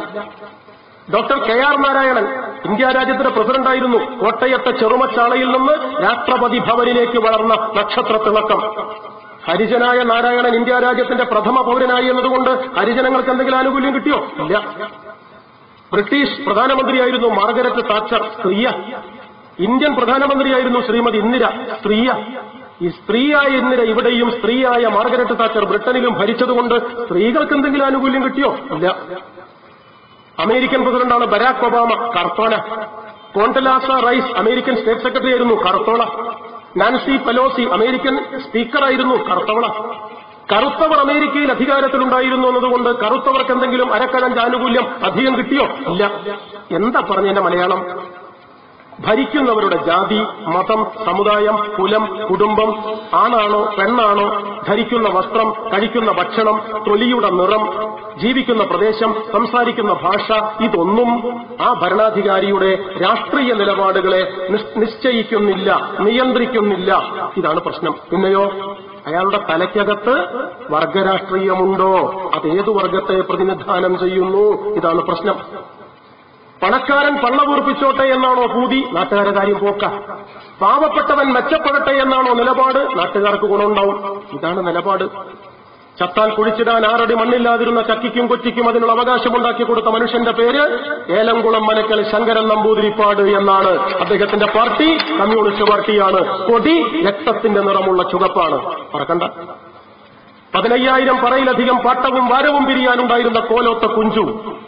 കുട്ടുമ മുറിച്ച് പൂണൂൽ പൊട്ടിച്ച് കത്തിച്ച് ചെറുമുക്ക് വൈദികൻ അയച്ചുകൊടുത്ത് ബ്രാഹ്മണാധിപത്യത്തിന്റെ മുഖത്ത് ആകാവുന്ന ശക്തിയിൽ ആഞ്ഞടിച്ച് ഇല്ലം വിട്ട് ഇന്ത്യൻ തൊഴിലാളി വർഗത്തിന്റെ സമരപഥങ്ങളിൽ കാലുകൊള്ളുമെന്നറിഞ്ഞ് അമർത്തിച്ചവിട്ടി ശരിയുടെ ശിരസിൽ വർത്തമാനം പറഞ്ഞപ്പോഴാണ് കമ്മ്യൂണിസ്റ്റ് ലോകം ബഹുമാനിക്കുന്ന ഇ എം എസ് ഉണ്ടായത്. നമ്പൂരിത്തം കൊണ്ടല്ല. കമ്മ്യൂണിസ്റ്റ് ബോധ്യം കൊണ്ടാണ്. കുട്ടിയാലെ കുടിയൊഴിപ്പിക്കാൻ പാടില്ല എന്ന് തൊള്ളായിരത്തി അൻപത്തേഴ് ഏപ്രിൽ മാസം ഒന്നാം തീയതിയുള്ള കൽപ്പനയ്ക്കു കീഴിൽ കൈവിറയ്ക്കാതെ കരുതലോടെ ബോധ്യത്തോടെ ഒപ്പുചേർക്കുമ്പോൾ സഖാവ് ഇ എം എസിന്റെ തലയിൽ കത്തിനിന്നത് ബ്രാഹ്മണാധിപത്യത്തിന്റെ കെട്ട ചിന്തയല്ല മാർസിസത്തിന്റെ മനുഷ്യത്വത്തിന്റെ മഹാശോഭയാണ്. മറക്കണ്ട. ഇതാണ് പ്രശ്നം. അതുകൊണ്ട് ജാതിയും മതവും സമുദായവും കുലവും കുടുംബവും നിറവും ലിംഗവും ഒന്നും ഒരു മനുഷ്യനെ ഒരു പ്രത്യേകതയിൽ അടയാളപ്പെടുത്തുന്നില്ല. തളച്ചിടപ്പെടരുത് എന്നാണ് ഞങ്ങളുടെ നിലപാട്. ഹിന്ദു തീവ്രവാദികൾ നമ്മോട് പറയുന്ന മറ്റൊരു ന്യായം ഘർ വാപ്പസിയാണ് മതം മാറ്റം. എന്റെ വീടിന്റെ തൊട്ടടുത്തുള്ള ഒരു കുട്ടി എന്റെ വീട്ടിൽ ഒന്ന് ചോദിച്ചു തർക്കമുണ്ടായപ്പോ വിവാദം ഉണ്ടായപ്പോ എന്താണ് ഈ ഘർ വാപ്പസി എന്ന് പറഞ്ഞാൽ? ഞാൻ പറഞ്ഞു ഹിന്ദി എനിക്ക് അത്ര പൊടിയില്ല. പോയവരൊക്കെ വീട്ടിലേക്ക് എന്നെ കൂട്ടിക്കൊണ്ടുവരിക എന്നാണ്. ഇറങ്ങിപ്പോയവരെ വീട്ടിലേക്ക് തിരിച്ചെടുക്കുക എന്നാണ് അതിന്റെ മലയാളം എന്നാ തോന്നുന്നത്. അപ്പൊ ആ കുട്ടി അഞ്ചാം ക്ലാസ് പഠിക്കുക എട്ടോ ഒമ്പതോ വയസ്സായിട്ടേ ഉള്ളൂ. ആ കുട്ടി എന്നോട് ചോദിച്ചാൽ അല്ലേ പ്രധാനമന്ത്രി നരേന്ദ്രമോദിന്റെ ഭാര്യ യശോദാബൻ കല്യാണം കഴിച്ചതിന്റെ മൂന്നാമത്തെ ദിവസം ചിലക്കാണ്ട പോടാന്ന് ഇറങ്ങി പോയതല്ലേ ആ പെണ്ണുങ്ങളെ കൈ പിടിച്ച് കൂട്ടിക്കൊണ്ടുവന്നിട്ട് പോരെ? നാട്ടുകാരടുത്ത് വേലയാക്കാൻ വരാൻ ഞാൻ ആരെയും ആക്ഷേപിച്ചതല്ല. മൂപ്പര പെണ്ണുങ്ങൾ പോരയിലില്ല മൊയിലാരി പറഞ്ഞായിരിക്കാം മദ്രസിൽ ഞാൻ മുന്തിയോനാ പെണ്ണുങ്ങളെടുത്ത് ഞാൻ അരപ്പന. അങ്ങനെയാ. കുട്ടികളെ പഠിപ്പിക്കാനേ ആയ അതീശം ചൊല്ലുക വടിയെടുക്കുക വീശ ജഗമുണ്ടാക്കുക സാറാ. പക്ഷെ പെണ്ണുങ്ങളെടുത്ത് ചെന്നാലോ? ഉം, ഉണ്ടാൻ കഴിയില്ല അവനാന്റെ പൊരയിലെ കാര്യതാ നരേന്ദ്രമോദി പോട്ടെ. പളവണ്ണയിലെ മാമ്പുഴക്കാട്ട് മേക്കൽ കോളനിയിൽ അഞ്ച് കന്യാസ്ത്രീകൾ വന്ന് അഞ്ച് ഹിന്ദുക്കളെ മുസ്ലിം ക്രിസ്ത്യൻ മതത്തിലേക്ക് മാറ്റി അഞ്ച് കിലോ അരി കൊടുത്തു. സിസ്റ്റർ കുസുമം ഡ്രൈവർ ബർണാഡ് ഇവരൊക്കെ വന്നിട്ട്. കുമ്മനം രാജശേഖരൻ പറഞ്ഞു അഞ്ച് കിലോ അരി. അഞ്ച് ക്രിസ്ത്യാനികളെ സൃഷ്ടിച്ചു ഹിന്ദു മതത്തിൽ നിന്ന് അഞ്ചു പേരെ മാറ്റി. എന്റെ നാട്ടിൽ കുട്ടൂലിയെടുത്തിണ്ടായി മരിച്ചു. മാർക്സിസം പഠിച്ചിട്ടില്ല മാനിഫെസ്റ്റോ കണ്ടിട്ടില്ല മൂലധനം കൈകൊണ്ടിട്ടിട്ടില്ല പക്ഷേ അരിക്ക് വില കൂടിയാൽ ഇൻകുലാബ് സിന്ദാബാദ് വിളിക്കുന്ന കമ്മ്യൂണിസ്റ്റ് കുട്ടികളാണെന്നുള്ളതുകൊണ്ട് മുപ്പത്തേർക്ക് വിവരമുണ്ട്. നല്ലോന്റെ പാർട്ടി കമ്മ്യൂണിസ്റ്റ് പാർട്ടിയാണ്. അരിവാൾ ചുറ്റിയേക്ക് വോട്ട് ചെയ്യുന്നതിന്റെ പതിവുകൊണ്ട് കുറച്ച് ധാരണയുണ്ട്. അരിവാൾ ചുറ്റിയേക്ക് സ്ഥിരമായി വോട്ട് ചെയ്താൽ തന്നെ വിവരം ഉണ്ടാവും അതാ ഞാൻ പറയുന്നത്. ഞാൻ പറഞ്ഞു വന്നത് കുട്ടൂലി എടുത്ത് ടി വിയിൽ ചിത്രം കാണുക വാർത്ത കേൾക്കുക. അരിയും പയറും പഞ്ചസാരയും പുതപ്പും പ്രലോഭനവും പാൽപ്പൊടിയും കൊടുത്ത് ഹിന്ദുക്കളെ മാറ്റുന്നു നസ്രാണികൾ. മാമ്പുഴക്കാട്ട് മേത്തൽ കോളനിയിൽ ഉളവണ്ണയിൽ അഞ്ച് കിലോ അരി കൊടുത്ത് അഞ്ച് ഹിന്ദുക്കളെ മാറ്റി നസ്രാണികൾ. സമ്മതിക്കില്ല ഹിന്ദുത്വം. കുമ്മനം രാജശേഖരൻ. കുട്ടൂലിയെടുത്തി കൂട്ടാലേക്ക് മുറിക്കുന്ന വെണ്ടയ്ക്കും കത്തിയാടം നിലത്തിട്ട് ചോദിച്ചു ഇവൻ എന്താ പറയുന്നത്? അഞ്ച് കിലോ അരി കൊടുത്ത് അഞ്ച് ഹിന്ദുക്കളെ ക്രിസ്ത്യാനിയാക്കി മാറ്റിയെങ്കിൽ ഇവനൊരു പതിനഞ്ച് കിലോ അരി കൊടുത്ത് ഇരുപത്തഞ്ചെണ്ണത്തിന് ഇങ്ങോട്ട് മാറ്റിക്കൂടെ? ഇവിടെ അങ്ങനെ ചിലച്ച് നടക്കണം എന്തിനാണ്? മനസ്സിലായില്ലേ? പി ബിയിൽ എടുക്കേണ്ടതാ കുട്ടൂലിയെടുത്തിനെ പാർട്ടിന്റെ. ആദ്യാതി വരാ ഇതാ സത്യം. ഞാൻ വിശദീകരിക്കുന്നില്ല. ഇഷ്ടമുള്ളവൻ ഇഷ്ടമുള്ള മതത്തിൽ നിൽക്കാനും ഒരു മതവും ഇഷ്ടമില്ലാത്തവന് മതരാഹിത്യത്തിന്റെ മണ്ഡലത്തിൽ മനസ്സുകൊടുത്തു പെരുമാറാനും ഇന്ത്യ രാജ്യത്തിന്റെ ഭരണഘടന അനുവദിക്കുന്നുണ്ട്. അതാണ് ഞങ്ങളുടെ നിലപാട്. വിശദീകരിക്കാൻ നേരമില്ല. ആർ എസ് എസുകാർ നമ്മുടെ നാട്ടിൽ നടത്തുന്ന മറ്റൊരു പ്രചരണം ഗോവധം പാടില്ല എന്നാണ്. ഗോക്കളെ കൊല്ലരുത് എന്നാണ്. ഗോവധ നിരോധനത്തിന്റെ മുദ്രാവാക്യം ആർ എസ് എസ് അതിരുകളില്ലാതെ ആസുരമായി ഉയർത്തുന്നു. ഞാൻ എന്റെ നാട്ടിലെ ബി ജെ പിക്കാരൻ ചെറുപ്പക്കാരോട് ചോദിച്ചു എന്താ ഇപ്പൊ അങ്ങനെ ഈ ബഹളം ഉണ്ടാക്കാൻ കാരണം? പശുവിനെ കൊല്ലുന്നതിന് ഇപ്പൊ എന്താ കുഴപ്പം? അദ്ദേഹം സംസ്കൃതം പറഞ്ഞു. ആർ എസ് എസ് അനങ്ങിയ സംസ്കൃതം. അങ്ങനെയാ ഇംഗ്ലീഷ് പാടില്ല എന്ന് ആർ എസ് എസിന്റെ അഭിപ്രായം. ദേവഭാഷ മാതൃഭാഷ അല്ലെങ്കിൽ രാഷ്ട്രഭാഷ. സംസ്കൃതം ഹിന്ദി മലയാളം. അതാ പറഞ്ഞതിന്റെ അർത്ഥം. നമുക്ക് സംസ്കൃതത്തോട് വിരോധമില്ല. ഹിന്ദിയോട് ഒട്ടും വിരോധമില്ല. മലയാളത്തോട് നല്ല മനസ്സടുപ്പമാണ്. പക്ഷെ ഇംഗ്ലീഷ് പാടില്ല എന്ന് പറഞ്ഞാൽ എങ്ങനെ ഉണ്ടാവും? ആർ എസ് എസിന്റെ നേതാവ് ഗുരുജി ഗോൾവാൾക്കർ എഴുതി അവരുടെ അടിസ്ഥാന ഗ്രന്ഥം വിചാരധാരയിൽ പറയുന്നു. ആംഗലേയാധിപത്യത്തോടൊപ്പം കൃത്രിമമായി അടിച്ചേൽപ്പിക്കപ്പെട്ടതാണ് ഈ ഭാഷ എന്നതുകൊണ്ട് അവരെ നാം കുടഞ്ഞെറിഞ്ഞിരിക്കെ കൊണ്ട് ഈ വൃത്തികേടിനെയും നാം കുടഞ്ഞെറിയണം. ബ്രിട്ടീഷുകാർ പോയപ്പോൾ ഇംഗ്ലീഷ് ഒഴിവാക്കണം. ആർ എസ് ആർ ഈ ഭാഷ അനുസരിച്ചാണ് ഇംഗ്ലീഷ് പറയാൻ പാടില്ല. എനിക്കിപ്പോ ഇംഗ്ലീഷ് ഒന്നും അറിയില്ല. കഷ്ടിച്ച് ഇങ്ങനെ സ്കൂളിലും കോളേജിലൊക്കെ പോയപ്പോൾ കേട്ട് പഠിച്ച ഇംഗ്ലീഷ് അല്ലാതെ ഇംഗ്ലീഷിൽ ഒരു വിവരം എനിക്കില്ല. പക്ഷെ നമ്മൾ പറഞ്ഞു ഇംഗ്ലീഷ് അറിയാതെ എൺപത്തേഴ് വയസ്സുള്ള കല്യാണിയെടുത്തി മോന്റെ മോന്റെ പണി എന്താണെന്ന് വെച്ചാൽ പറഞ്ഞത് ബാസ്ക്കറ്റിന് മൂട്ട് ഹെഡ് വെച്ചത് ഫൗണ്ടേഷൻ ബില്ലപ്പ് ചെയ്യാണ്. കൊട്ടയിൽ മണ്ണുണ്ട് പുരത്തറ നടക്കിയാണ് തീർത്തി പറഞ്ഞതിന്റെ മലയാളം. എൺപത്തേഴാ പെണ്ണുങ്ങൾക്ക് പ്രായം. കല്യാണിയെടുത്ത് ഇംഗ്ലീഷ് പറയും മുമ്പ് ഇങ്ങനെ അന്തം വിട്ടുന്ന കാര്യമുണ്ടോ ആർ എസ് എസ്സുകാർ പറയാം ദേവഭാഷ അല്ലെങ്കിൽ മലയാളം ഇതേ പറയുള്ളൂ. എനിക്കിപ്പോ മലയാളം മാത്രം പറയാൻ പോയിട്ടുണ്ട് പക്ഷെ നിവൃത്തിയില്ല. ഞാൻ മാങ്കാവിലെ ബി ജെ പിക്കാരോട് ചോദിക്കുന്നു രാവിലെ എണീറ്റിട്ട് പല്ല് തേക്കുന്ന ബ്രഷനൊന്ന് മലയാളം പറഞ്ഞു നോക്കി ഒന്നര ദിവസത്തെ പണി ലീവാവും. അതിന്റെ മുകളിൽ പറ്റണ പേസ്റ്റിനൊന്ന് മലയാളം പറഞ്ഞു നോക്കി മൂന്ന് ദിവസം പഠിക്കുവാൻ കഴിയില്ല. പേസ്റ്റിനും ബ്രഷിനൊക്കെ മലയാളം ഉണ്ട്. പറഞ്ഞാ കൂട്ടിയാ കൂടൂല. എല്ലാത്തിനും മലയാളം സംസ്കൃതം ഉണ്ടേ. ഞാൻ ഗുരുവായൂരപ്പൻ കോളേജ് പഠിക്കുമ്പോൾ എന്റെ പ്രഗത്ഭനായ മലയാള അധ്യാപകൻ എനിക്ക് എല്ലാത്തിന്റെയും മലയാളവും സംസ്കൃതവും ഒക്കെ പറഞ്ഞു തന്നു കൂട്ടത്ത് പറഞ്ഞു തന്നു പ്ലാറ്റ്ഫോം ടിക്കറ്റിന്റെ മലയാളം. എന്താണെന്നറിയത് അഗ്നിശകട വിരാമസ്ഥാന പ്രവേശക പത്രിക. ഓ, ചോനെ എന്താ അഗ്നിശകടം എന്ന് പറഞ്ഞാൽ തീവണ്ടി? ഇപ്പോഴാണല്ലോ ഈ ഇലക്ട്രോണിക്കും കരണ്ടും ഡീസലും ഒക്കെ ആയത്. പണ്ട് കൂകൂ കൂകൂ തീവണ്ടി. കൽക്കരി തിന്നും തീവണ്ടി കേട്ടില്ലേ? തീയോണ്ട് ഓടുന്നത്. അതാ തീവണ്ടി അഗ്നിശകടം. വിരാമസ്ഥാനം വന്നു നിൽക്കുന്ന സ്ഥലം. അതാ പ്ലാറ്റ്ഫോം പ്രവേശക പത്രിക അങ്ങോട്ട് കടക്കാനുള്ള കടലാസിന്റെ കണ്ടം. അഞ്ചു റുപ്യ ആകെ വില. മാങ്കാവിന് ശശികലനെ കൊണ്ടുവന്ന പൊട്ടം പോയിട്ട് ഇവിടുത്തെ റെയിൽവേ സ്റ്റേഷനിൽ പോയിട്ട് ഞാൻ ബി ജെ പി ആണ് ആർ എസ് എസ് ആണ് ഹിന്ദു ആണ്. മലയാളമേ പറയൂ. ഇംഗ്ലീഷ് പറയില്ല. എന്താ വേണ്ടത്? അപ്പൊ അവിടുന്ന് ആൾ ടിക്കറ്റ് വിൽക്കണേ ഒരു അഗ്നിശകട വിരാമസ്ഥാനം. സ്ഥാനം അവിടുന്ന് പറഞ്ഞ ആട്ടൂലേ? അഞ്ചു റുപ്യന്റെ സാധനത്തിന് മുപ്പത്തഞ്ച് മിനിറ്റ് ചലിയോ കാപ്പളത്തിന്റെ പൂച്ച മുക്കാപ്പളത്തിന്റെ പാലാ കുടിക്കുന്നു വണ്ടി എലത്തൂരെത്തിപ്പോലൂടെ പഴകി എന്താ നിങ്ങളെ വർത്താനം? മനുഷ്യന് മനസ്സിലാവാത്ത ഭാഷയിൽ സംസാരിക്കുക മനുഷ്യന് ഗുണപരമല്ലാത്ത രീതിയിൽ മാത്രം പ്രവർത്തിക്കുക എന്നത് ലോകത്തെമ്പാടുമുള്ള ഫാസിസ്റ്റുകളുടെ നിലപാടും സമീപനവുമാണ്. അത് ആർ എസ് എസ് പിന്തുടരുന്നു. അത്രയുള്ളൂ ഞാൻ വിശദീകരിക്കുന്നില്ല. ഞാൻ ആർ എസ് എസിനോട് ചോദിച്ചു എന്താ ഇപ്പൊ പശുവിനെ കൊന്നാൽ? അദ്ദേഹം പറഞ്ഞു സർവദേവമയി ഗോ മാത. ഞാൻ ചോദിച്ചു എന്താ കുഞ്ഞുമണിന്റെ മലയാളം? സർവദേവന്മാരെക്കാളും മഹത്തരമാണ് ഞങ്ങൾക്ക് പശുക്കൾ. പശു ഞങ്ങൾക്ക് അമ്മയ്ക്ക് തുല്യമാണ്. ഗോ മാത. അതാണ് ബി ജെ പിക്കാരന്റെ സൂയിപ്പ് പശുവിനെ കണ്ടാൽ അമ്മയെ ഓർമ്മ വരും. പശുവിനെ കണ്ടാൽ അമ്മയെ ഓർമ്മ വരുന്നവർക്ക് മൂരിയെ കണ്ടാൽ അച്ഛനെയും ഓർമ്മ വരാൻ സാധ്യതയുണ്ട്. അതൊരു മാനസിക രോഗമാണ്. കേരളത്തിന്റെ പ്രിയപ്പെട്ട പ്രതിപക്ഷ നേതാവ് സഖാവ് വി എസ് ഒരു മാസം മുമ്പ് പറഞ്ഞിട്ടുണ്ട്. വി എസും ഞങ്ങളൊന്നും പറഞ്ഞതല്ല അത്. വിവേകാനന്ദ പറഞ്ഞതാ. ചിക്കാഗോയിലെ മതമഹാസമ്മേളനത്തിൽ പങ്കെടുത്ത് വിശ്രമിക്കുന്നു കൽക്കത്തയിലെ വേലൂർ മഠത്തിൽ സ്വാമി വിവേകാനന്ദൻ. അദ്ദേഹത്തെ കാണാൻ ഗോരക്ഷാ പ്രചാരക സമിതിയുടെ അഞ്ച് പ്രവർത്തകർ വന്നു. മഹാരാഷ്ട്ര സംസ്ഥാന ഘടകത്തിന്റെ അധ്യക്ഷൻ ഉപാധ്യക്ഷൻ കാര്യദർശി സഹകാര്യദർശി. Secretary vice president joint secretary എന്നൊക്കെ പറഞ്ഞ്? ഡിവൈഎഫ്ഐക്ക് അങ്ങനെ secretary joint secretary vice president treasurer അങ്ങനെയൊക്കെയാണ് ആർ എസ് എസിന് മുഖ്യ ശിക്ഷക് മുക്കാത്ത ശിക്ഷക് പ്രാന്ത കാര്യവാഹ് പ്രാന്തില്ലാത്ത കാര്യവാഹ് വടിവാൾജി കൊടുവാൾജി കുന്തവാഹുജി മനുഷ്യന് തിരിയിലേക്കുള്ള വർത്താനം. അഞ്ച് പ്രവർത്തകർ വിവേകാനന്ദന്റെ അടുത്തിരുന്നു ഇത് പറഞ്ഞു സർവമതക്കാരും സന്നിഹിതരായിരുന്ന സർവമത മഹാസമ്മേളനത്തിന്റെ സദസ് അങ്ങയുടെ സംസാരം ഹർഷാരവങ്ങളോടെ സ്വീകരിച്ചു എന്ന് പത്രത്തിലൂടെ അറിഞ്ഞു സ്വാമിജി. സംയോജിച്ചു ഓ എല്ലാ മതക്കാരുണ്ടായിരുന്ന ആ വേദി സദസ്സിൽ സ്വാമിജിയുടെ പ്രസംഗം നല്ലോണം ഇഷ്ടപ്പെട്ടു എന്ന വാർത്തയെ പറഞ്ഞത് എന്ന ഇവർ പറഞ്ഞത്. സ്വാമിജി പറഞ്ഞു അതെയോ സന്തോഷായി. ആ സദസ്യരിൽ മുസ്ലിങ്ങളും ഉണ്ടായിരുന്നു അല്ലേ സ്വാമിജി? അതെ അവരും കൈയടിച്ചു എന്നാ കേട്ടത് അങ്ങയുടെ പ്രസംഗം കേട്ടപ്പോൾ ഉവ് അതിനർത്ഥം അങ്ങ് പറഞ്ഞാൽ മുസ്ലിങ്ങളും അംഗീകരിക്കുമെന്നല്ലേ? ആയിരിക്കാം. എങ്കിൽ ഇന്ത്യയിലെ മുസൽമാന്മാരോടായി താങ്കളിൽ നിന്നും ഒരു പ്രസ്താവന വേണം. എന്താ വേണ്ടത്? നാളെ മുതൽ മുസ്ലിങ്ങൾ പശുവിനെ കൊല്ലരുത്. നിങ്ങൾ പറഞ്ഞാൽ അവർ കേൾക്കും. അതിന്റെ സൂചനയാണ് ചിക്കാഗോയിൽ കണ്ടത്. സ്വാമിജി പറഞ്ഞു കാക്കയ്ക്കും കാലിക്കും വേണ്ടി കുന്നുകുന്നായി ഭക്ഷണ പദാർത്ഥങ്ങൾ കൂട്ടിയിടുന്ന കണ്ണു തുറക്കില്ലെന്ന് എനിക്കു മാത്രമല്ല സാക്ഷാൽ ദൈവത്തിനു പോലും നല്ല ബോധ്യമുള്ള കരിങ്കൽ പ്രതിമകൾക്ക് മുകളിലൂടെ നിർത്താതെ പാലൊഴിച്ചു കൊടുത്തുകൊണ്ടിരിക്കുന്ന നിങ്ങളെപ്പോലുള്ള പ്രസ്ഥാനങ്ങളിൽ എനിക്ക് അശേഷം അനുകമ്പയില്ല രോഗശോക പീഡകൾ കൊണ്ട് ഭാരതം ചത്തുപോയിരിക്കുന്നു. നിങ്ങൾ എന്തു ചെയ്യാൻ പോകുന്നു? എടോ കൂർമാവതാരമാണ് പ്രധാനം. കൂർമ്മമെന്നാൽ ആമ. ആമയെ കമിത്തിട്ട പോലെയുള്ള വയറിന്റെ ആകൃതി. അതുകൊണ്ടാണ് സ്വാമിജി ഇതിനെ ഉദാഹരിച്ചത്. കൂർമാവതാരമാണ് പ്രധാനം. കൂർമ്മത്തിന് പൂജ ചെയ്യൂ. വിശക്കുന്നവൻ അപ്പം കൊടുക്കൂ. വിധവയുടെ കണ്ണീരൊപ്പാൻ കഴിയാത്ത അഗതിയുടമായി കപ്പക്കഷം കൊടുക്കാൻ കഴിയാത്ത കരയുന്ന കുഞ്ഞിന്റെ കത്തലടക്കാനും കണ്ണീര് തുടയ്ക്കാനും കഴിയാത്ത ഒരു പ്രത്യയശാസ്ത്രത്തിലും ഞാൻ വിശ്വസിക്കുന്നില്ല. അതിന്റെ പേര് വേദാന്തമോ മറ്റെന്തു കുന്തമോ ആകട്ടെ. ഏകാന്ന് പറഞ്ഞു നിർത്തി. അപ്പൊ ഇവന് ദേഷ്യം പിടിച്ചു. ബി ജെ പിന്റെ പ്രപിതാമഹന്മാർ ആർ എസ് എസിന്റെ മൂത്താപ്പമാര് ഒരുത്തം പറഞ്ഞു വേദേതിഹാസങ്ങളും പുരാണങ്ങളും ഉപനിഷത്തുകളും ഒന്നും വായിച്ചിട്ടില്ല അല്ലേ സ്വാമിജി അങ്ങ്? ആര് വിവേകാനന്ദനോട് വനെ മൊയ്തീൻ പള്ളി റോഡിൽ നിന്ന് ഞായറാഴ്ച വാങ്ങണം. രണ്ടേ പോയിന്റ് അഞ്ച് വോൾട്ടൻ വോൾട്ടിന്റെ L E D Chinese L E D. സൂര്യനോട് വെളിച്ചം കമ്മിയാണില്ലേ അപ്പൊ ചെയ്യ? വിവേകാനന്ദം പറഞ്ഞു ഞാനിതൊക്കെ പരിചയപ്പെട്ടു വരുന്നേ ഉള്ളൂ. അപ്പൊ മറ്റോ ടോപ്പ് കയറി പോയി. കയറി. മനസ്സിലായി. അങ്ങക്ക് അറിവ് കുറവാണെന്ന് വിവേകാനന്ദനോടെ.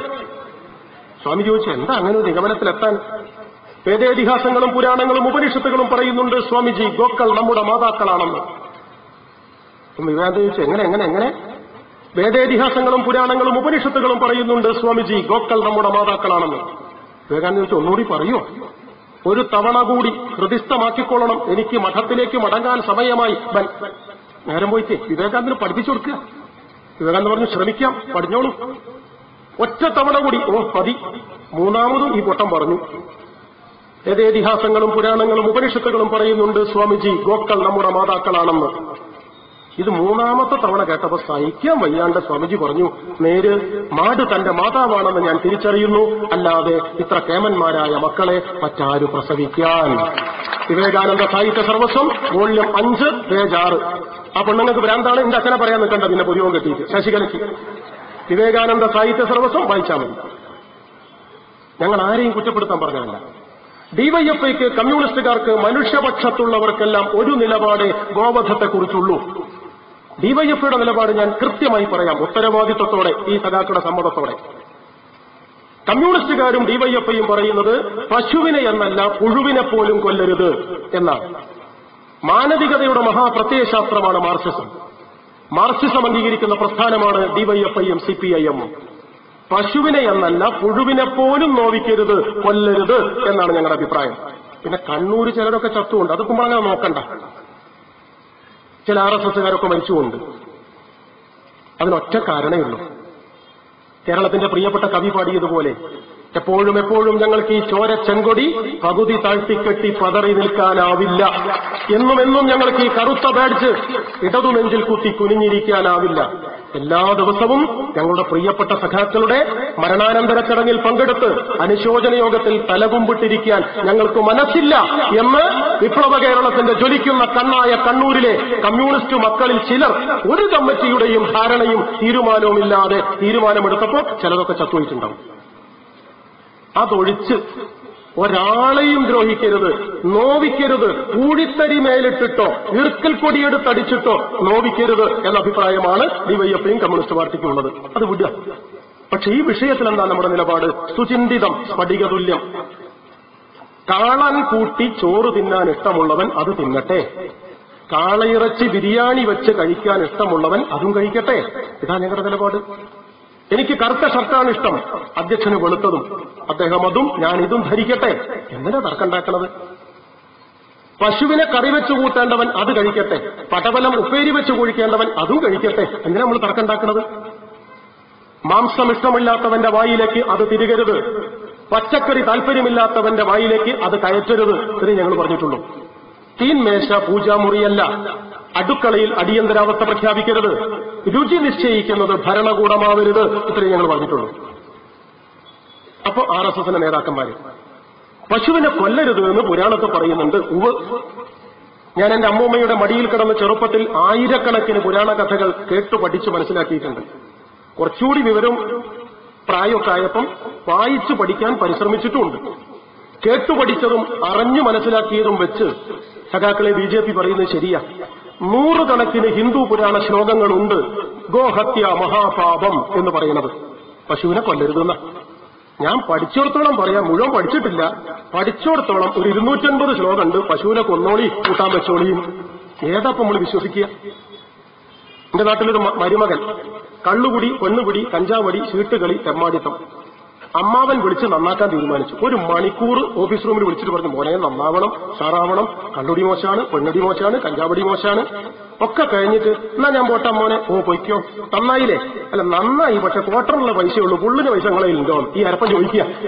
ഒരു നിലയ്ക്കും നന്നാവണില്ല തെക്കൻ അവസാനം അമ്മാവൻ പറഞ്ഞു മോനെ ഇത് കുരുത്തം കിട്ടുകയുള്ളൂ കേട്ടോ കല്യാണം കഴിക്കാൻ പറയാ ഒരു കുട്ടി കണ്ടറിഞ്ഞ എന്റെ അടുത്തേക്ക് വരൂല. ഫേസ്ബുക്ക് കുടുങ്ങിയ അബദ്ധം പറ്റിയെങ്കിലേ ഉള്ളൂ. നേരാ മണ്ണാച്ചാ കയറൂല അപ്പം മരുവൻ മരുവൻ പറഞ്ഞു എന്താപ്പൊ ചെയ്യ?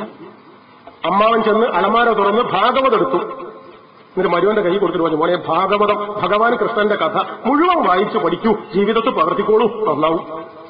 മരുമകൻ മൂന്ന് ദിവസം വീട്ടിലേക്ക് വന്നില്ല. അമ്മാവിന്റെ വീട്ടിലേക്ക്. നാലാമത്തെ ദിവസം അമ്മായി കൂട്ടാനിലെ കരക്കിന് അമ്മയും കൃത്തേക്ക് വന്നു. അമ്മാമ്മ പറഞ്ഞോ ഓ തെങ്ങിനെ നനച്ച് തടങ്ക് വീട്ടിൽ വിശ്രമിക്കുന്നത് കൊലായിലുണ്ട്. അപ്പൊ മരുവൻ എന്നാ വിളിക്ക് നായിന്റെ മോനെ കഴുത്ത് വെട്ടട്ടെ അമ്മായി ചോദിച്ചു അല്ല കുഞ്ഞുമോനെ ഇനി മൂന്ന് ദിവസം മുമ്പ് ഭാഗവതം കൊണ്ടുപോയി വായിച്ച് തിക്കുവലത്തിലായോ ആകെ താഴോട്ട് താഴോട്ടാ പോക്ക്. അപ്പൊ അമ്മായിനോട് മരുമകൻ അമ്മായി ഞങ്ങൾ ഭാഗവതം മുഴുവൻ വായിച്ചിട്ടില്ലല്ലോ? ഞാൻ മുഴുവൻ വായിച്ചിട്ടുണ്ട്. ഭാഗവതം പ്രാവർത്തികാക്കാൻ വന്നത് അമ്മായിയെ ഞാൻ. അതിനു ഭാഗവതത്തിന്റെ ഒടുക്ക അമ്മായിയെ കംസനെ കൃഷ്ണൻ കൊല്ലണതാണ് കംസൻ അമ്മാവനും കൃഷ്ണൻ മരുവനാണ്. ഇറക്ക് ഹംസിനെ പുറത്തേക്ക്. കഴുത്ത് അമ്മ എന്ന ഇങ്ങനെ ഉണ്ടോ ഭാഗവതം വായിച്ചാൽ എങ്ങനെ ഉണ്ടാവും പുരാണത്തിൽ പശുവിനെ കൊല്ലരുത് എന്ന് പറയുന്നുണ്ട് കൊന്നോളൂ എന്നും പറയുന്നുണ്ട്. ഞങ്ങളുടെ പ്രശ്നം അതല്ല. ഡിവൈഎഫ്ഐ പറയുന്നു കൃത്യതയോടെ. പുരാണത്തിൽ പറയുന്നുണ്ടോ എന്നല്ല. ആധുനിക സമൂഹത്തിന് ആവശ്യമാണോ എന്ന് നോക്കിയിട്ടാണ് ഇന്നത്തെ കാര്യങ്ങൾ തീരുമാനിക്കേണ്ടത്. അത്രേ ഞങ്ങൾ പറഞ്ഞിട്ടുള്ളൂ. അതിൽ നമ്മൾ സമ്മതിക്കണം. പശുവിനെ പൂജിക്കണം എന്ന അഭിപ്രായമുള്ളവർക്ക് അതിനുള്ള അവസരം കൊടുക്കണം. പശുവിനെ കൊന്നു തിന്നണം എന്ന താല്പര്യമുള്ളവർക്ക് അതിന് അവസരം കൊടുക്കണം. മുസ്ലിങ്ങളെ സംബന്ധിച്ചിടത്തോളം പന്നിയിറച്ചി കഴിക്കാൻ പാടില്ല. ഒരു മതവിശ്വാസിയായ മുസൽമാന്റെ വായിലേക്ക് പന്നിയിറച്ചി തിരികരുത്. അല്ലാത്തവനാണെന്ന് അയാൾക്ക് ബോധ്യമുണ്ടെങ്കിൽ അയാൾ പന്നിയിറച്ചി തിന്നോട്ടെ. അവന്റെ വായിലേക്ക് കത്തിയും കയറ്റരുത്. ഇതാണ് ഞങ്ങളുടെ നിലപാട്. അപ്പൊ ശശികളുടെ ചോദ്യം.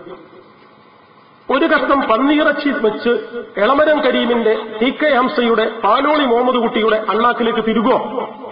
ബീഫ് ഫെസ്റ്റ് നടത്തിയ കമ്മ്യൂണിസ്റ്റ് കുട്ടികൾക്ക് ഡിഫിക്കാർക്ക് ഇതിന് ധൈര്യമുണ്ടോ? ഇല്ല ഒട്ടുമറയ്ക്കും എന്നാണ് ന്യായം. ഒരു സംശയവും വേണ്ട.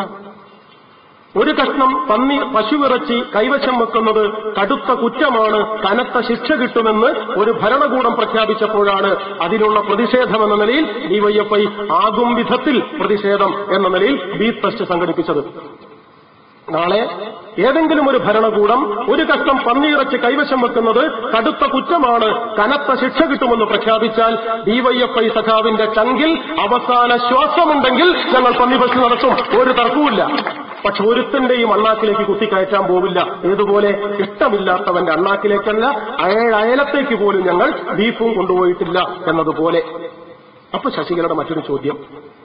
മഹാരാഷ്ട്രയിലല്ലേ പോത്തിറച്ചി നിരോധിച്ചത്? അതെ. കേരളത്തിലല്ലേ ബീഫ് ഫെസ്റ്റ് ആണ്? മഹാരാഷ്ട്രയിലല്ലേ ചുവന്ന തെരുവ്? അതെ. കേരളത്തിൽ അവിടെ ചുവന്ന തെരുവ് നിരോധിച്ചാൽ മഹിളാ അസോസിയേഷൻ കേരളത്തിൽ ചുവന്ന തെരുവ് തുറക്കുക അങ്ങനെ വിവരാട്ടോ പെണ്ണുങ്ങൾക്ക്. ഉണക്കലുമുള്ള ചുട്ടമാര്യ മുള്ള ഒഴിവാക്കണ്ട. വിവരക്കേടിന്റെ കേന്ദ്ര കമ്മിറ്റിയാണ് എന്തൊരു പൊട്ടത്തരാ ചോദിക്കുന്നത് കുതർക്കം കുയുക്തി എന്നൊക്കെയാണ് ഇതിന് പറയുക. വൃത്തക്കള്ളിയിൽ ചതുരക്കട്ടാന്നാ പറയുക. പട്ടത്തുള്ള ഓട്ടയിൽ കൂടെ ചതുരത്തുള്ള കുന്തം കയറുകയെന്നാ മലയാളം. അരി എത്രയെന്ന് ചോദിച്ചാൽ പയർ അഞ്ച് നാഴി എന്നാ പറയാ.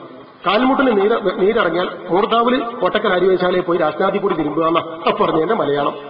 നല്ല നാടൻ ഭാഷയെ പറഞ്ഞാൽ ഉപ്പുമാങ്ങാൻ രണ്ടി എന്ന് പറയുമ്പോൾ അപ്പാര മണ്ട എന്ന് ചിലക്കിയാന്ന ഇതാ പെണ്ണുങ്ങൾ വർത്താനം പറഞ്ഞു. ഒന്ന് ചോദിക്കുമ്പോൾ വേറെ പറയുക ശശികല പറഞ്ഞ എന്താ ചുവന്ന തരും അവിടെ പൂട്ടി അവിടെ തുടങ്ങുമെന്ന് എന്ത് പൊട്ടത്തരാത് കുതർക്കം എന്നാണ് അതിന് പറയുക ഒരു തെരുവിൽ തോരണം തൂക്കുക ചെറുപ്പക്കാർ ഡെക്കറേറ്റ് ചെയ്യാൻ ഒരു നമ്പൂരി അതുവഴി വന്നു. ചെറുപ്പക്കാരോട് ചോദിച്ചു എന്താ മക്കളെ വിശേഷം വല്ലതും ഉണ്ടോ? തോരണമൊക്കെ തൂക്കുന്നുണ്ടല്ലോ. ചെറുപ്പക്കാരന്റെ അടുത്തും പറഞ്ഞു ഉവ്വ് തിരുമേനി ജില്ലാ കലക്ടർ വരുന്നുണ്ട് അതിനാ. അപ്പൊ നമ്പൂരി ഓ ദൈവം സഹായിച്ചത് തൂക്കിയാ പിന്നെ മൂപ്പര് വരൂലല്ലേ? ഈ ഏരപ്പനോട് എന്താ പറയേണ്ടത്? ചെറുപ്പക്കാരനൊരുത്തം പറഞ്ഞു തിരുമേനി പ്രായം കൂടുതലായതുകൊണ്ടാ. അണ്ണാക്കിലെ കണപ്പല്ല അടിച്ചു കയറ്റി ആംബുലൻസ് കൂട്ടിക്കൊണ്ടോ യാത്തോലിന്റെ മടി കടത്തേണ്ട ടൈപ്പ് അങ്ങനെ. നേരല്ല കാശുമില്ല പ്രായവും കൂടി അതുകൊണ്ട് ക്ഷമിക്കുക. കേട്ടോ കിളവാ ഞങ്ങളുടെ കലാസമിതിയുടെ ഉദ്ഘാടനത്തിന് ജില്ലാ കലക്ടർ വരുന്നുണ്ട്. അദ്ദേഹത്തിന് വരാനാണ് ഈ തോരണം തൂക്കണത് എന്ന് പറഞ്ഞാൽ പിന്നെ കുഴപ്പമുണ്ടാവില്ല വിചാരിച്ചു മക്കൾ. അപ്പൊ നമ്പൂരി. ഓ ജില്ലാ കലക്ടർക്ക് വരാനാ ഡെക്കറേഷൻ കിട്ടണത്? അതെ. എന്നാ ഉറപ്പുള്ള കയറെടുത്തോളി. കലക്ടർ തടിയുള്ള ആൾ അതുമ്മ കൂടിയാ വരികയല്ലേ എന്താ ഇപ്പൊ ചെങ്ങായിനോട് പറയേണ്ടത്? ഇതാ ശശികലയുടെ ന്യായം. ഈ കുതർക്കം കൊണ്ട് നാട്ടുകാരെ പറ്റിക്കാനാവോ? ചിലർ പറയുന്നത് സസ്യാഹാരം കഴിച്ചാൽ സാത്വിക മനോഭാവം സ്വീകരിക്കും. മാംസാഹാരം മൃഗീയഭാവം ഉണ്ടാക്കും മനസ്സിലായില്ലേ? മൂലിനെ തിന്ന മോശക്കാരനാവും മൃഗീയനാവും. പടവലം കറിവെച്ച് കൂട്ടിയ പളുങ്കു പോലെയാവും ശരിയോ തെറ്റോ? പൂർണമായും തെറ്റ്. ശാസ്ത്രവും ചരിത്രവും അതിനെ സാധൂകരിക്കുന്നില്ല. ശാസ്ത്രത്തിൽ എനിക്ക് പാണ്ഡിത്യമില്ല. ചരിത്ര വിദ്യാർത്ഥി എന്ന നിലയിൽ ഒരു സംഭവം മാത്രം സൂചിപ്പിക്കാം. ലോകത്തിലെ ഏറ്റവും നരാധമനായ ഭീകര ഭരണാധികാരിയാണ് അഡോൾഫ് ഹിറ്റ്ലർ. ജർമ്മനിയിൽ അവിടുത്തെ ന്യൂനപക്ഷമായ ലക്ഷക്കണക്കിന് ജൂതന്മാരെയാണ് അയാൾ കൊന്നു തള്ളിയത് അരിഞ്ഞു തീർത്തത്. ലക്ഷക്കണക്കിന് ജൂതന്മാരെ കൊന്നു തള്ളിയ ലോകത്തിലെ ഏറ്റവും നൃശംസനായ നരാധമനായ ഭരണാധികാരി അഡോൾഫ് ഹിറ്റ്ലർ. പക്ഷേ പ്രിയപ്പെട്ടവരെ ജീവിതത്തിൽ ഒരിക്കലും മത്സ്യം മാംസം തൊട്ടുകൂട്ടിയിട്ടില്ല. അവസാന ശ്വാസം വരെ അയാൾ സസ്യാഹാരിയായിരുന്നു. പൂർണമായും സസ്യബുക്കായിരുന്ന അഡോൾഫ് ഹിറ്റ്ലർ പക്ഷേ അദ്ദേഹത്തിന്റെ മേൽക്കുപ്പായത്തിന്റെ കുടുക്ക് ബട്ടൺ നിർമ്മിച്ചിരുന്നത് പ്ലാസ്റ്റിക് കൊണ്ടല്ല. ജൂത ചെറുപ്പക്കാരുടെ കൊന്നുതള്ളിയ ജൂത ചെറുപ്പക്കാരുടെ അണപ്പല്ലുകളിൽ നൂലുകൊരുത്താണ് അദ്ദേഹത്തിന്റെ മേൽക്കുപ്പായത്തിന്റെ കുടുക്കുണ്ടാക്കിയത് എന്ന് ചരിത്രം പറയുന്നു. അയാളുടെ ഓഫീസിന്റെ മേശപ്പുറത്തെ കടലാസുകൾ പറന്നു പോവാതിരിക്കാൻ കാറ്റത്തു പറന്നു പോവാതിരിക്കാൻ പേപ്പർ വൈറ്റായി ഈ നരാധമൻ സൂക്ഷിച്ചിരുന്നത് ഉപയോഗിച്ചിരുന്നത്. ഗ്യാസ് ചാമ്പറുകളിൽ കൊന്നുതള്ളിയ നമ്മെ ഇളയ പ്രായമുള്ള ചെറുപ്പക്കാരായ കുട്ടികളുടെ ജൂതക്കുട്ടികളുടെ ചെറിയ തലയോട്ടി ആസിഡിൽ കഴുകിയെടുത്ത് സുരക്ഷിതമാക്കി അതാണ് ഉപയോഗിച്ചത്. തലയോട്ടിയെ പേപ്പർ വൈറ്റാക്കിയ മനുഷ്യന്റെ അളപ്പല്ലിനെ കുപ്പായത്തിന്റെ കുടുക്കാക്കി മാറ്റിയ ലോകം കണ്ട വരാധമനായ കുട്ടിലതയുടെ കൊടുമുടി എന്ന് വിളിക്കാവുന്ന അഡോൾഫ് ഹിറ്റ്ലർ. പക്ഷേ മറക്കരുത്. ജീവിതത്തിലൊരിക്കലും മത്സ്യമോ മാംസമോ ഉപയോഗിച്ചിരുന്നില്ല. ഒരാളുടെ ഭക്ഷണ രീതി അയാളുടെ ജീവിതക്രമത്തെയോ അയാളുടെ രാഷ്ട്രീയ നിലപാടുകളെയോ അയാളുടെ നൈതികമായ ചേതനയെയോ നിയന്ത്രിക്കുന്നില്ല എന്ന് ചുരുക്കം ഞാൻ വിശദീകരിക്കുന്നില്ല. ആ ധാരണയേ തെറ്റാണ്. അതുകൊണ്ട് ഗോവധ നിരോധനത്തിന്റെ മുദ്രാവാക്യം ആർ എസ് എസുകാർ മുദ്രാവാക്യമാക്കി ഉയർത്തരുത്. ഇത് ആർ എസ് എസിന്റെ സംഘടനയായ ഗോരക്ഷാ പ്രചാരക സമിതി കേരള സംസ്ഥാന ഘടകം കേരളത്തിൽ അച്ചടത്തിറക്കിയ നോട്ടീസാണ്. ഗോക്കളെ കൊല്ലാൻ പാടില്ല അതിന്റെ മേന്മ അങ്ങനെ വിശദീകരിക്കുകയാണ്. ഒന്ന് പശുവിന്റെ തിളക്കമാർന്ന കണ്ണുകളിൽ സൂര്യചന്ദ്രന്മാരും ചാണകത്തിൽ ലക്ഷ്മി ദേവിയും പാവോ അതിനെ ചാണകത്തിലാക്കി. കാലുകളിൽ മഹാവിഷ്ണുവും മൂപ്പരെ ബി പി എല്ലാക്കി താഴോട്ടാക്കി. മഹാവിഷ്ണുവും കുടികൊള്ളുന്നു. ഗോഹത്യ നടത്തുമ്പോൾ ഈ ദേവതമാർ കൂടിയാണ് കൊല ചെയ്യപ്പെടുന്നത് എന്നോർക്കണം. അതുകൊണ്ടാ പശുവിനെ കൊല്ലരുത് അങ്ങനെയാണെങ്കിൽ ഇതിനെ കൊല്ലാൻ കഴിയില്ല. സുബ്രഹ്മണ്യന്റെ അല്ല ഗണപതിന്റെ സജ്ജന്മാർക്ക് അരിച്ചിനെ അത്. വാഹന. മയിലിനെ കൊല്ലാനാവൂല സുബ്രഹ്മണ്യന്റെ വാഹന. പാമ്പിനെ തല്ലാനാവൂല ശിവന്റെ ആഭരണമാണ്. നാട്ടിൽ ഒന്നിനും തൊടാൻ കഴിയില്ല. വിശദീകരിക്കുന്നില്ല. ഇനി പശുവിന്റെ മെച്ചം പറയുന്നുണ്ട് വരും ഒറ്റ കാര്യം പറയുള്ളൂ നെയ്യ് പാൽ ഗോമൂത്രം ചാണകം ഇതിന്റെ ഒക്കെ ഗുണം പറയാ. ഒറ്റ കാര്യങ്ങൾ നേരല്ലാത്തോണ്ട ഗോമൂത്രത്തിൽ ഏറെ ചെമ്പടങ്ങിയിട്ടുണ്ട്. ഇത് മനുഷ്യന്റെ ശരീരത്തിലെത്തിയാൽ ഉടനെ സ്വർണമായി മാറും. ഒറ്റ പൊട്ടന്മാരെ. ഗോമൂത്രം ശരീരത്തിലെത്തിയാൽ സ്വർണമായി മാറുന്നു. ബി ജെ പിന്റെ നേതാക്കന്മാര് തമ്മക്കളെ കല്യാണത്തിന് ഇനി അറ്റ്ലസ് ജ്വല്ലറി പോവില്ല. തലേന്ന് ഒരു ചെമ്പ് മൂത്രം കണ്ട് കുടിക്കും ക്ലോസറ്റിൽ പ്ലേറ്റ് വെക്കും.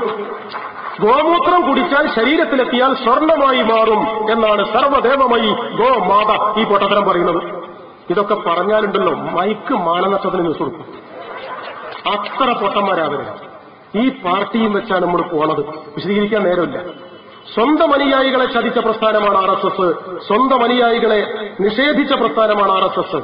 ഞാനിത് വിശദാംശങ്ങൾക്ക് മൂന്നിലെ സമയം പാടുവായി എന്റെ കയ്യിലുള്ളത് ആർ എസ് എസിന്റെ പ്രസിദ്ധീകരണമായ പത്രമായ ജന്മഭൂമിയാണ്. തൊണ്ണൂറ്റിരണ്ട് ഡിസംബർ മാസം ആറാം തീയതി പള്ളി പൊളിച്ചതിനെ തെറ്റായിപ്പോയി എന്ന് വ്യാഖ്യാനിക്കുന്ന നിരവധി പരാമർശങ്ങൾ അടങ്ങിയ വിവാദ മന്ദിരത്തിന്റെ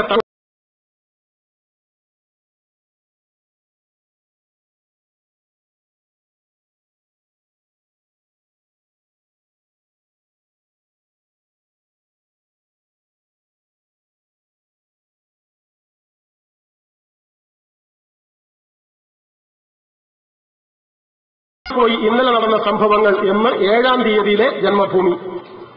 എട്ടാം തീയതിയിലെ ജന്മഭൂമി അതിന്റെ എഡിറ്റോറിയലിൽ പറയുന്നു വിശ്വഹിന്ദു പരിഷത്തിന് കെട്ടിടം തകർത്തതിൽ പങ്കില്ലെന്നും കർസേവകരുടെ കൂട്ടത്തിൽ നുഴഞ്ഞു കയറിയ സാമൂഹ്യ വിരുദ്ധരാണ് ഈ നിലപാടിനു പിന്നിലെന്നും പരിഷത്ത് വക്താവ് മനോഹർ പുരി അർത്ഥശങ്കക്കിടയില്ലാത്ത വിധം വ്യക്തമാക്കി ജന്മഭൂമി പറയുക. ജന്മഭൂമിയിൽ പറഞ്ഞതനുസരിച്ചാണെങ്കിൽ ആർ എസ് എസ് അല്ല പള്ളി പൊളിച്ചത് സാമൂഹ്യ വിരുദ്ധരാണ്. ഇത് ആർ എസ് എസ് എങ്ങനെ കാണുന്നു? പൊളിച്ചത് നിർഭാഗ്യകരമാണെങ്കിൽ എല്ലാ മാസം എല്ലാ കൊല്ലവും ഡിസംബർ മാസം ആറ് വിജയദിനമായി ആചരിക്കുന്നതിന് യുക്തി എങ്ങനെ വിശദീകരിക്കും നിങ്ങൾ? ഇത്രയും ഞങ്ങൾ ചോദിക്കുന്നുള്ളൂ. മുസൽമാനെതിരായി മുക്രയിട്ട് ചീറ്റുന്ന ആർ എസ് എസ് മുസ്ലിം ലീഗിന്റെ അടുക്കളയിൽ എച്ചിലിണക്കിയതിന്റെ ചരിത്രമാണ് കെ ജി മാരാരുടെ ജീവചരിത്രം. പാഴായ പരീക്ഷണം. കെ ജി മാരാർ രാഷ്ട്രീയത്തിലെ സ്നേഹസാഗരം. കുഞ്ഞിക്കണ്ണൻ എഴുതിയ പുസ്തകം അത്. ജന്മഭൂമിയിൽ രണ്ടക്ഷ വന്നിരുന്നു. ആർ എസ് എസിന്റെ പ്രസിദ്ധീകരണശാല അച്ചടിച്ച് പ്രസിദ്ധീകരിച്ചിട്ടുണ്ടത്. ജന്മഭൂമിയിൽ വന്നതും ആർ എസ് എസ് പ്രസിദ്ധി പുസ്തകമായി പ്രസിദ്ധീകരിച്ചതുമായ കെ ജി മാരാരുടെ ജീവചരിത്രം. കെ ജി മാരാർ രാഷ്ട്രീയത്തിലെ സ്നേഹസാഗരം ആ പുസ്തകത്തിൽ പറയുന്നു. തൊണ്ണൂറ്റൊന്നിലെ തെരഞ്ഞെടുപ്പിൽ ജയിച്ചേ തീരൂ എന്ന ചിന്ത ശക്തിപ്പെട്ടു ആരുമായും കൂട്ടുചേർന്ന് ലക്ഷ്യം നേടണമെന്നായിരുന്നു തീരുമാനം. ബി ജെ പിയുമായി ബന്ധപ്പെടണമെന്ന് യു ഡി എഫും അവരുമായി ചേർന്ന് പോലും ജയിക്കണമെന്ന് ബി ജെ പിയും തീരുമാനിച്ചു. ബി ജെ പി സ്ഥാനാർത്ഥിക്ക് എത്ര സീറ്റിലാണോ യു ഡി എഫ് വോട്ട് ചെയ്യുന്നത് അത്രയും സീറ്റിൽ തിരിച്ചു വോട്ട് നൽകണമെന്ന് ബി ജെ പി നൽകുമെന്ന് ബി ജെ പിയും ഉറപ്പു നൽകി. ലിസ്റ്റും കൈമാറി. നേതൃത്വത്തിന്റെ എല്ലാ തലത്തിലും നടത്തിയ ചർച്ചകൾക്ക് ശേഷമാണ് ഈ തീരുമാനം പൂർണമായി നടപ്പാക്കാൻ കഴിഞ്ഞത്. തെരഞ്ഞെടുപ്പ് ഫലം പക്ഷേ മറ്റൊന്നായിരുന്നു. കോൺഗ്രസ് ചതിച്ചു. ബി ജെ പി സ്ഥാനാർത്ഥികളെ അവസാന നിമിഷം തന്ത്രപൂർവം അവർ കാലുവാരി തോൽപ്പിച്ചു. ബേപ്പൂരിൽ ലീഗ് കാര്യമായി സഹായിച്ചു. അലഹമില്ല ലീഗ് കാര്യമായി സഹായിച്ചു ആരെ? ബി ജെ പിനെ ഡോക്ടർ മാധവൻകുട്ടിയെ മാധവൻകുട്ടിക്ക് അറുപതിനായിരത്തി നാനൂറ്റി പതിമൂന്ന് വോട്ട് നേടാനായത് ആ സഹകരണം വ്യക്തമാക്കുന്നു. ബി ജെ പിയുടെ അഹല്യ ശങ്കരന് അതിന്റെ മുമ്പുള്ള തെരഞ്ഞെടുപ്പിൽ ബേപ്പൂരിൽ നിന്ന് ലഭിച്ചത് പന്ത്രണ്ടായിരത്തി നാനൂറ്റി എൺപത്തെട്ട് വോട്ട് മാത്രമാണെന്ന് ഓർക്കേണ്ടതുണ്ട് മഞ്ചേശ്വരത്ത് ആയിരത്തോളം വോട്ടിന് മാരാർജി തോറ്റു. ബി ജെ പിക്ക് ജയിക്കാനായിരുന്നില്ലെങ്കിലും ജയിക്കാനായിരുന്നില്ലെങ്കിലും ബി ജെ പിയുടെ സഹായം കൊണ്ടാണ് യു ഡി എഫ് അധികാരത്തിൽ അത്തവണ വന്നത് എന്നത് സത്യമാണ്. മനസ്സിലായില്ലേ? മുസ്ലിം ലീഗിന്റെ അടുക്കള നിരങ്ങിയും യു ഡി എഫിന്റെ ഉച്ചിഷ്ടം പൂജിച്ചും കമ്മ്യൂണിസ്റ്റുകാരെ തോൽപ്പിക്കാൻ പണിയെടുത്തതിന്റെ ചരിത്രരേഖയാണ് കമ്മ്യൂണിസ്റ്റുകാരന്റെ പുസ്തകത്താളുകളിൽ നിന്നല്ല മാരാർജിയുടെ ജീവചരിത്ര താളുകളിൽ മുഴച്ചും മുന്തിയും നിൽക്കുന്നത് എന്ന് നാം തിരിച്ചറിയണം. ആർ എസ് എസുകാർ നമ്മോട് പറയുന്നത് ആർഷഭാരത സംസ്കൃതിയുമായി ബന്ധപ്പെട്ട് പ്രവർത്തിക്കണമെന്നാണ്. അതുകൂടി പറഞ്ഞ് രണ്ടു മിനിറ്റ് കൊണ്ട് ഞാൻ പ്രസംഗം അവസാനിപ്പിക്കാം. ഇത് ആർ എസ് എസ് പ്രസിദ്ധീകരിച്ച ഒരു പുസ്തകമാണ് നിത്യകർമാനുഷ്ഠാന പദ്ധതി എന്നാണ് ഈ പുസ്തകത്തിന്റെ തലക്കെട്ട്. ആർ എസ് എസുകാർ എങ്ങനെ ഓരോ ദിവസവും മുന്നോട്ട് കൊണ്ടുപോകണം എന്നാണ് ഈ പുസ്തകത്തിൽ പറയുന്നത്. ഒരു മനുഷ്യൻ എണീറ്റാൽ ഉറങ്ങുന്നത് വരെയുള്ള ദിവസത്തിന്റെ പ്രാഥമിക സംവിധാനങ്ങൾ മുതൽ കുളി മലമൂത്ര വിസർജനം പല്ലുതേപ്പ് ഇതൊക്കെ സംബന്ധിച്ച് വിശദമായി ഇതിൽ പറയുന്നുണ്ട്. വിശദമായി വായിക്കുന്നില്ല. ഒന്ന് രണ്ട് കാര്യം പറയാം. എങ്ങനെ വേണം ആർ എസ് എസുകാരൻ എന്ന്? ബ്രഹ്മമുഹൂർത്തം എന്നത് ഉദയത്തിന് മുമ്പ് ഒന്നര നാഴിക വെളുപ്പിന് ഒരു നിമിഷം മുമ്പുള്ള സമയമാണ്. ദേവസിദ്ധിക്കും ശുഭകർമ്മ ആരംഭത്തിനും നന്ന് നിദ്രാലസ്യം വെടിഞ്ഞ് ഉണർന്നെണീറ്റ് ദിനകൃത്യങ്ങളിൽ വ്യാപൃതരാവേണ്ടതാണ്. ഈ സമയത്ത് ഉറങ്ങുന്നത് ശാസ്ത്രവിഹിതമല്ല. അവരുടെ ആരോഗ്യവും ഉത്സാഹവും ആയുസ്സും നഷ്ടപ്പെടും. രോഗഗ്രസ്തരും ചിന്താധീനരും ദരിദ്രരുമായി അവർ തീരും. ആയതിനാൽ സൂര്യോദയത്തിനു മുമ്പേ ഉണരേണ്ടതാണ്. വലതുഭാഗം തിരിഞ്ഞ് എഴുന്നേൽക്കുന്നതാണ് നല്ലത്. ഉണർന്നാൽ കിടക്കയിലിരുന്ന് തന്റെ രണ്ട് കൈപ്പടങ്ങളും മലർത്തി അതിൽ നോക്കി ലക്ഷ്മി സരസ്വതി ഗൗരി ഈ ദേവമാ ദേവിമാരെ നമസ്കരിക്കുക. ഇതാണ് രാവിലെ നീച്ച ചെയ്യേണ്ട പണി. കിടക്കുക തന്നെ. ഇനി ബാത്റൂമിൽ പോണതിന് എങ്ങനെയാണ് ആർ എസ് എസ് നിങ്ങൾക്ക് നിഷ്കർഷ നിശ്ചയിക്കുന്നത് എന്ന് കാണാം. ഇക്കാലത്ത് വീടുകൾക്ക് പുറത്തു പോകുന്നവരും വീട്ടിനകത്തുള്ള കക്കൂസിൽ പോകുന്നവരും ഉണ്ടല്ലോ. ഒരു പൊതുശീലം എന്ന നിലയ്ക്ക് നമ്മുടെ പരിതസ്ഥിതി പരിതസ്ഥിതി എന്ന ലക്കടിച്ച് തെറ്റിപ്പോയതായിരിക്കും. പരിസ്ഥിതിക്ക് ചേരുന്ന ദോഷം വരാത്ത വിധത്തിൽ തന്റെ ദോഷം വരാതെ ഈ കാര്യം ചെയ്യുന്നതാണ് നല്ലത്. ഇനി എങ്ങനെയാണ് കക്കൂസ് പോകേണ്ടതെന്ന് തന്റെ ചുറ്റുമുള്ള ദേവ പിതൃ പൈശാച ഭൂതാദികളോടും ഔഷധികളോടും മൂന്ന് തവണ കൈയടിച്ച് ഞാനിവിടെ മലിനമാക്കുന്നു ഞാനിവിടെ മലിനമാക്കുന്നു ഞാനിവിടെ മലിനമാക്കുന്നു അകന്നു നിൽക്കണമേ എന്നപേക്ഷിച്ച് ചോർത്തുകൊണ്ട് കൈയും തലയും മൂക്കും മൂടി ക്ലോസറ്റ് കാലു കൊടുക്കുന്ന ഉറപ്പ് അതല്ല മൂടിയത് കൈയും തലയും മൂക്കും മൂടി തന്റെ ഇടതുഭാഗത്തായി ജലപാത്രം വെച്ച് പകൽ വടക്കു നോക്കിയും രാത്രി തെക്കു നോക്കിയും മലമൂത്ര വിസർജനം നടത്തണം. എന്റെ ബി ജെ പിക്കാരെ. ആകെ ഇന്നത്തെ കാലത്ത് ഒഴിച്ചു പിടിച്ച ആകെ മനുഷ്യനൊരു മൂന്ന് നാല് അഞ്ച് സെന്റ് സ്ഥലം ഉണ്ടാവുക. നല്ലൊരു മനുഷ്യനെ ഏൽപ്പിച്ച വൃത്തിയുള്ള ഒരു പ്ലേനവും വരച്ചു വരും അതിന്റെ ഉള്ളിൽ ആ കക്കൂസ് ഉണ്ടാവുക. തുറന്നാൽ ക്ലോസറ്റ് തട്ടും ചിലപ്പം വാതിലിന്. ആകെ ഒരു യൂറോപ്യൻ ക്ലോസറ്റാ വെക്കുക. ബി ജെ പിക്കാരൻ പറഞ്ഞത് പകൽ വടക്ക് നോക്കിയിരിക്കണം രാത്രി തെക്ക് നോക്കിയിരിക്കണം. ബാർബർ ഷോപ്പിലെ കസേര പോലെയാക്കുക ക്ലോസറ്റ് എന്ത് പൊട്ടന്മാരാണോ നിങ്ങൾ നിത്യ കർമാനുഷ്ഠാന പദ്ധതി എന്തിങ്ങോട്ട് വായിച്ചാലുണ്ടല്ലോ. കുതിരവട്ടത്ത് സ്ഥലം തികയൂല ആർ എസ് എസിന്റെ ക്യാമ്പിൽ ആളെ കൊണ്ടുപോയിട്ട് ഇതൊന്നും ഒരു ചെയ്യുന്നില്ലട്ടോ. അതുകൊണ്ടാണ് മനുഷ്യന്മാരെ ചൊരു നിൽക്കുന്നത്. ഈ പുസ്തകം വായിച്ച തല വട്ടം തിരിഞ്ഞ് പ്രാന്തായി പോകുന്ന ഉറപ്പാണ് ഇത് ആർ എസ് എസിന്റെ പുസ്തകമാണ്. ഞാൻ ആരെയും ആക്ഷേപിക്കാൻ പറഞ്ഞതല്ല പ്രിയപ്പെട്ടവരെ. ആധുനിക സമൂഹത്തിന് യോഗ്യമല്ലാത്ത നിരവധി വൃത്തികേടുകൾ പറയുന്നവരാണ് ഇത്തരത്തിലുള്ള ആളുകൾ എന്ന് നാം തിരിച്ചറിയണം. അത്ര മാത്രമേ ഞാൻ പറയുന്നുള്ളൂ. പല്ലേക്കുന്നതിനെ പറ്റി കൂടി പറഞ്ഞ് അവസാനിപ്പിക്കാം. അമ്പാണ് കുലുക്കു വീണത് തൂപ്പണത് ഒക്കെ ഉണ്ട് ഇത്. ദന്തധാവന വിധി എന്ന് പറഞ്ഞാൽ പല്ല് തേക്കുന്ന പണി. പ്രകൃതിദത്തമായ വസ്തുക്കളെ കൊണ്ടാണ് നാം പണ്ടേ പല്ലു തേച്ച് ശീലിച്ചിരുന്നത്. ഇന്ന് സ്ഥാന താപൽക്കരമായ രാസവസ്തുക്കൾ ചേർന്ന ടൂത്ത് പേസ്റ്റുകളാണ് അതൊക്കെ ഞങ്ങൾക്കും അഭിപ്രായമുണ്ട്. എവിടെ ഉപയോഗിക്കുന്നത്? മാറാരോഗങ്ങൾക്കും മറ്റും കാരണമാണ് ഇതെന്നറിയാതെ പരസ്യങ്ങളുടെ പിന്നാലെ പായുന്ന സംഭവങ്ങളുണ്ട്. അതും ഞങ്ങൾ അംഗീകരിക്കുന്നു. ആയുർവേദ പൽപ്പൊടികൾ പേസ്റ്റ് ഉമിക്കരി വാതില എന്നിവയും ഈർക്കിലും നാം ഉപയോഗിക്കണം. ഇനി പല്ല് തേക്കുന്നത് കേട്ടോളെ എങ്ങനെയാ തേക്കേണ്ടത്? വലതു കൈയിലെ നടുവിരൽ കൊണ്ടാണ് പല്ല് തേക്കേണ്ടത്. ഉദയത്തിന് മുമ്പ് കിഴക്കും. ഉദയം കഴിഞ്ഞാൽ പിന്നെ വടക്കും. കുറച്ചുകൂടി നേരം വൈകിയാൽ വടക്ക് കിഴക്ക് ഈശാന കോണ് നോക്കിയുമാണ് പല്ല് തേക്കേണ്ടത്. പല്ല് എവിടെയും പോണ്ട വാങ്ങാൻ. അപ്പുറത്തെ വീട്ടിൽ പെൺകുട്ടി മുറ്റടിക്കുന്നുണ്ടാവും. ഇടയ്ക്ക് നോക്കുക വടക്കോട്ട് നോക്കുക ഈശാനകോണ് നോക്കുക. ആരോഗ്യമുള്ള ചെറുപ്പക്കാരനാച്ച മിംസിൽ അഡ്മിറ്റ് ആവാൻ തോന്നുന്ന സമയം വേണോ? എന്താ നിങ്ങൾ പൊട്ടന്മാരെ പറഞ്ഞു കൊടുക്കുന്നത് ഞാൻ ഒന്നും വിശദീകരിക്കുന്നില്ല. ഈ പുസ്തകം ഒരു പത്തിരുപത് പേജുണ്ട് ഇത് വായിച്ചാൽ നേരം വെളുക്കും. ഞാൻ ആരെയും ആക്ഷേപിക്കാൻ പറഞ്ഞതല്ല. മതാന്ധതയുടെയും ജാത്യാഭിമാനത്തിന്റെയും കട്ടിക്കരിപിടം വലിച്ചിട്ട് മനുഷ്യസ്നേഹത്തിന്റെ സൂര്യശോഭയെ നക്ഷത്ര തിളക്കത്തെ നല്ല മേന്മയെ അന്ധകാരാവൃതമാക്കി മാറ്റാൻ ശ്രമിക്കുന്ന ഇരുളിന്റെ ശക്തികൾക്ക് ഇടം കൊടുക്കരുത് നമ്മുടെ മനസ്സിൽ. രാമനും റഹീമും കല്യാണിയും ഖദീജയും കത്രീനയും ഒരുമിച്ചിരിക്കണം. എന്തേ പട്ടിണി? ആരാണ് ഉത്തരവാദി? എന്താണ് പരിഹാരമാർഗം എന്നാലോചിക്കാൻ. അങ്ങനെ ആലോചിച്ചാൽ അവർക്ക് ഉത്തരം വേഗം കിട്ടും. എന്താ ഉത്തരം?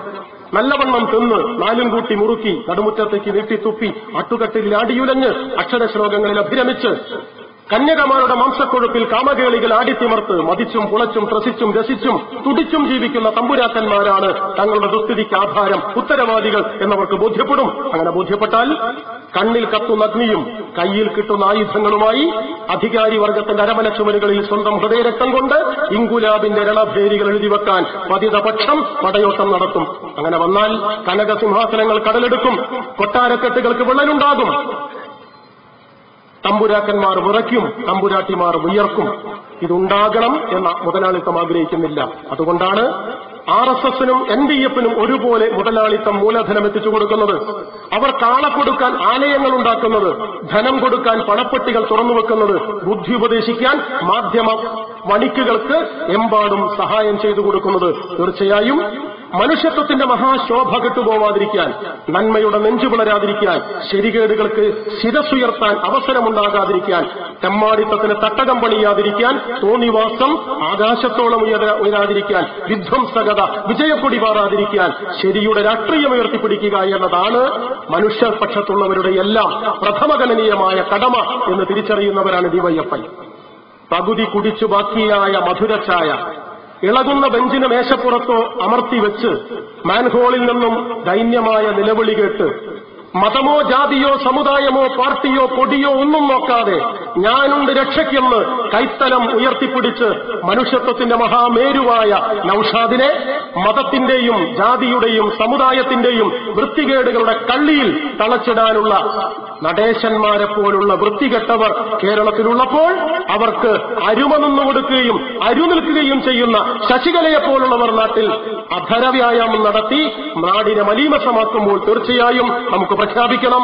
ഏത് മതക്കാരനാണെങ്കിലും ഏത് സമുദായക്കാരനാണെങ്കിലും തീർന്നില്ല.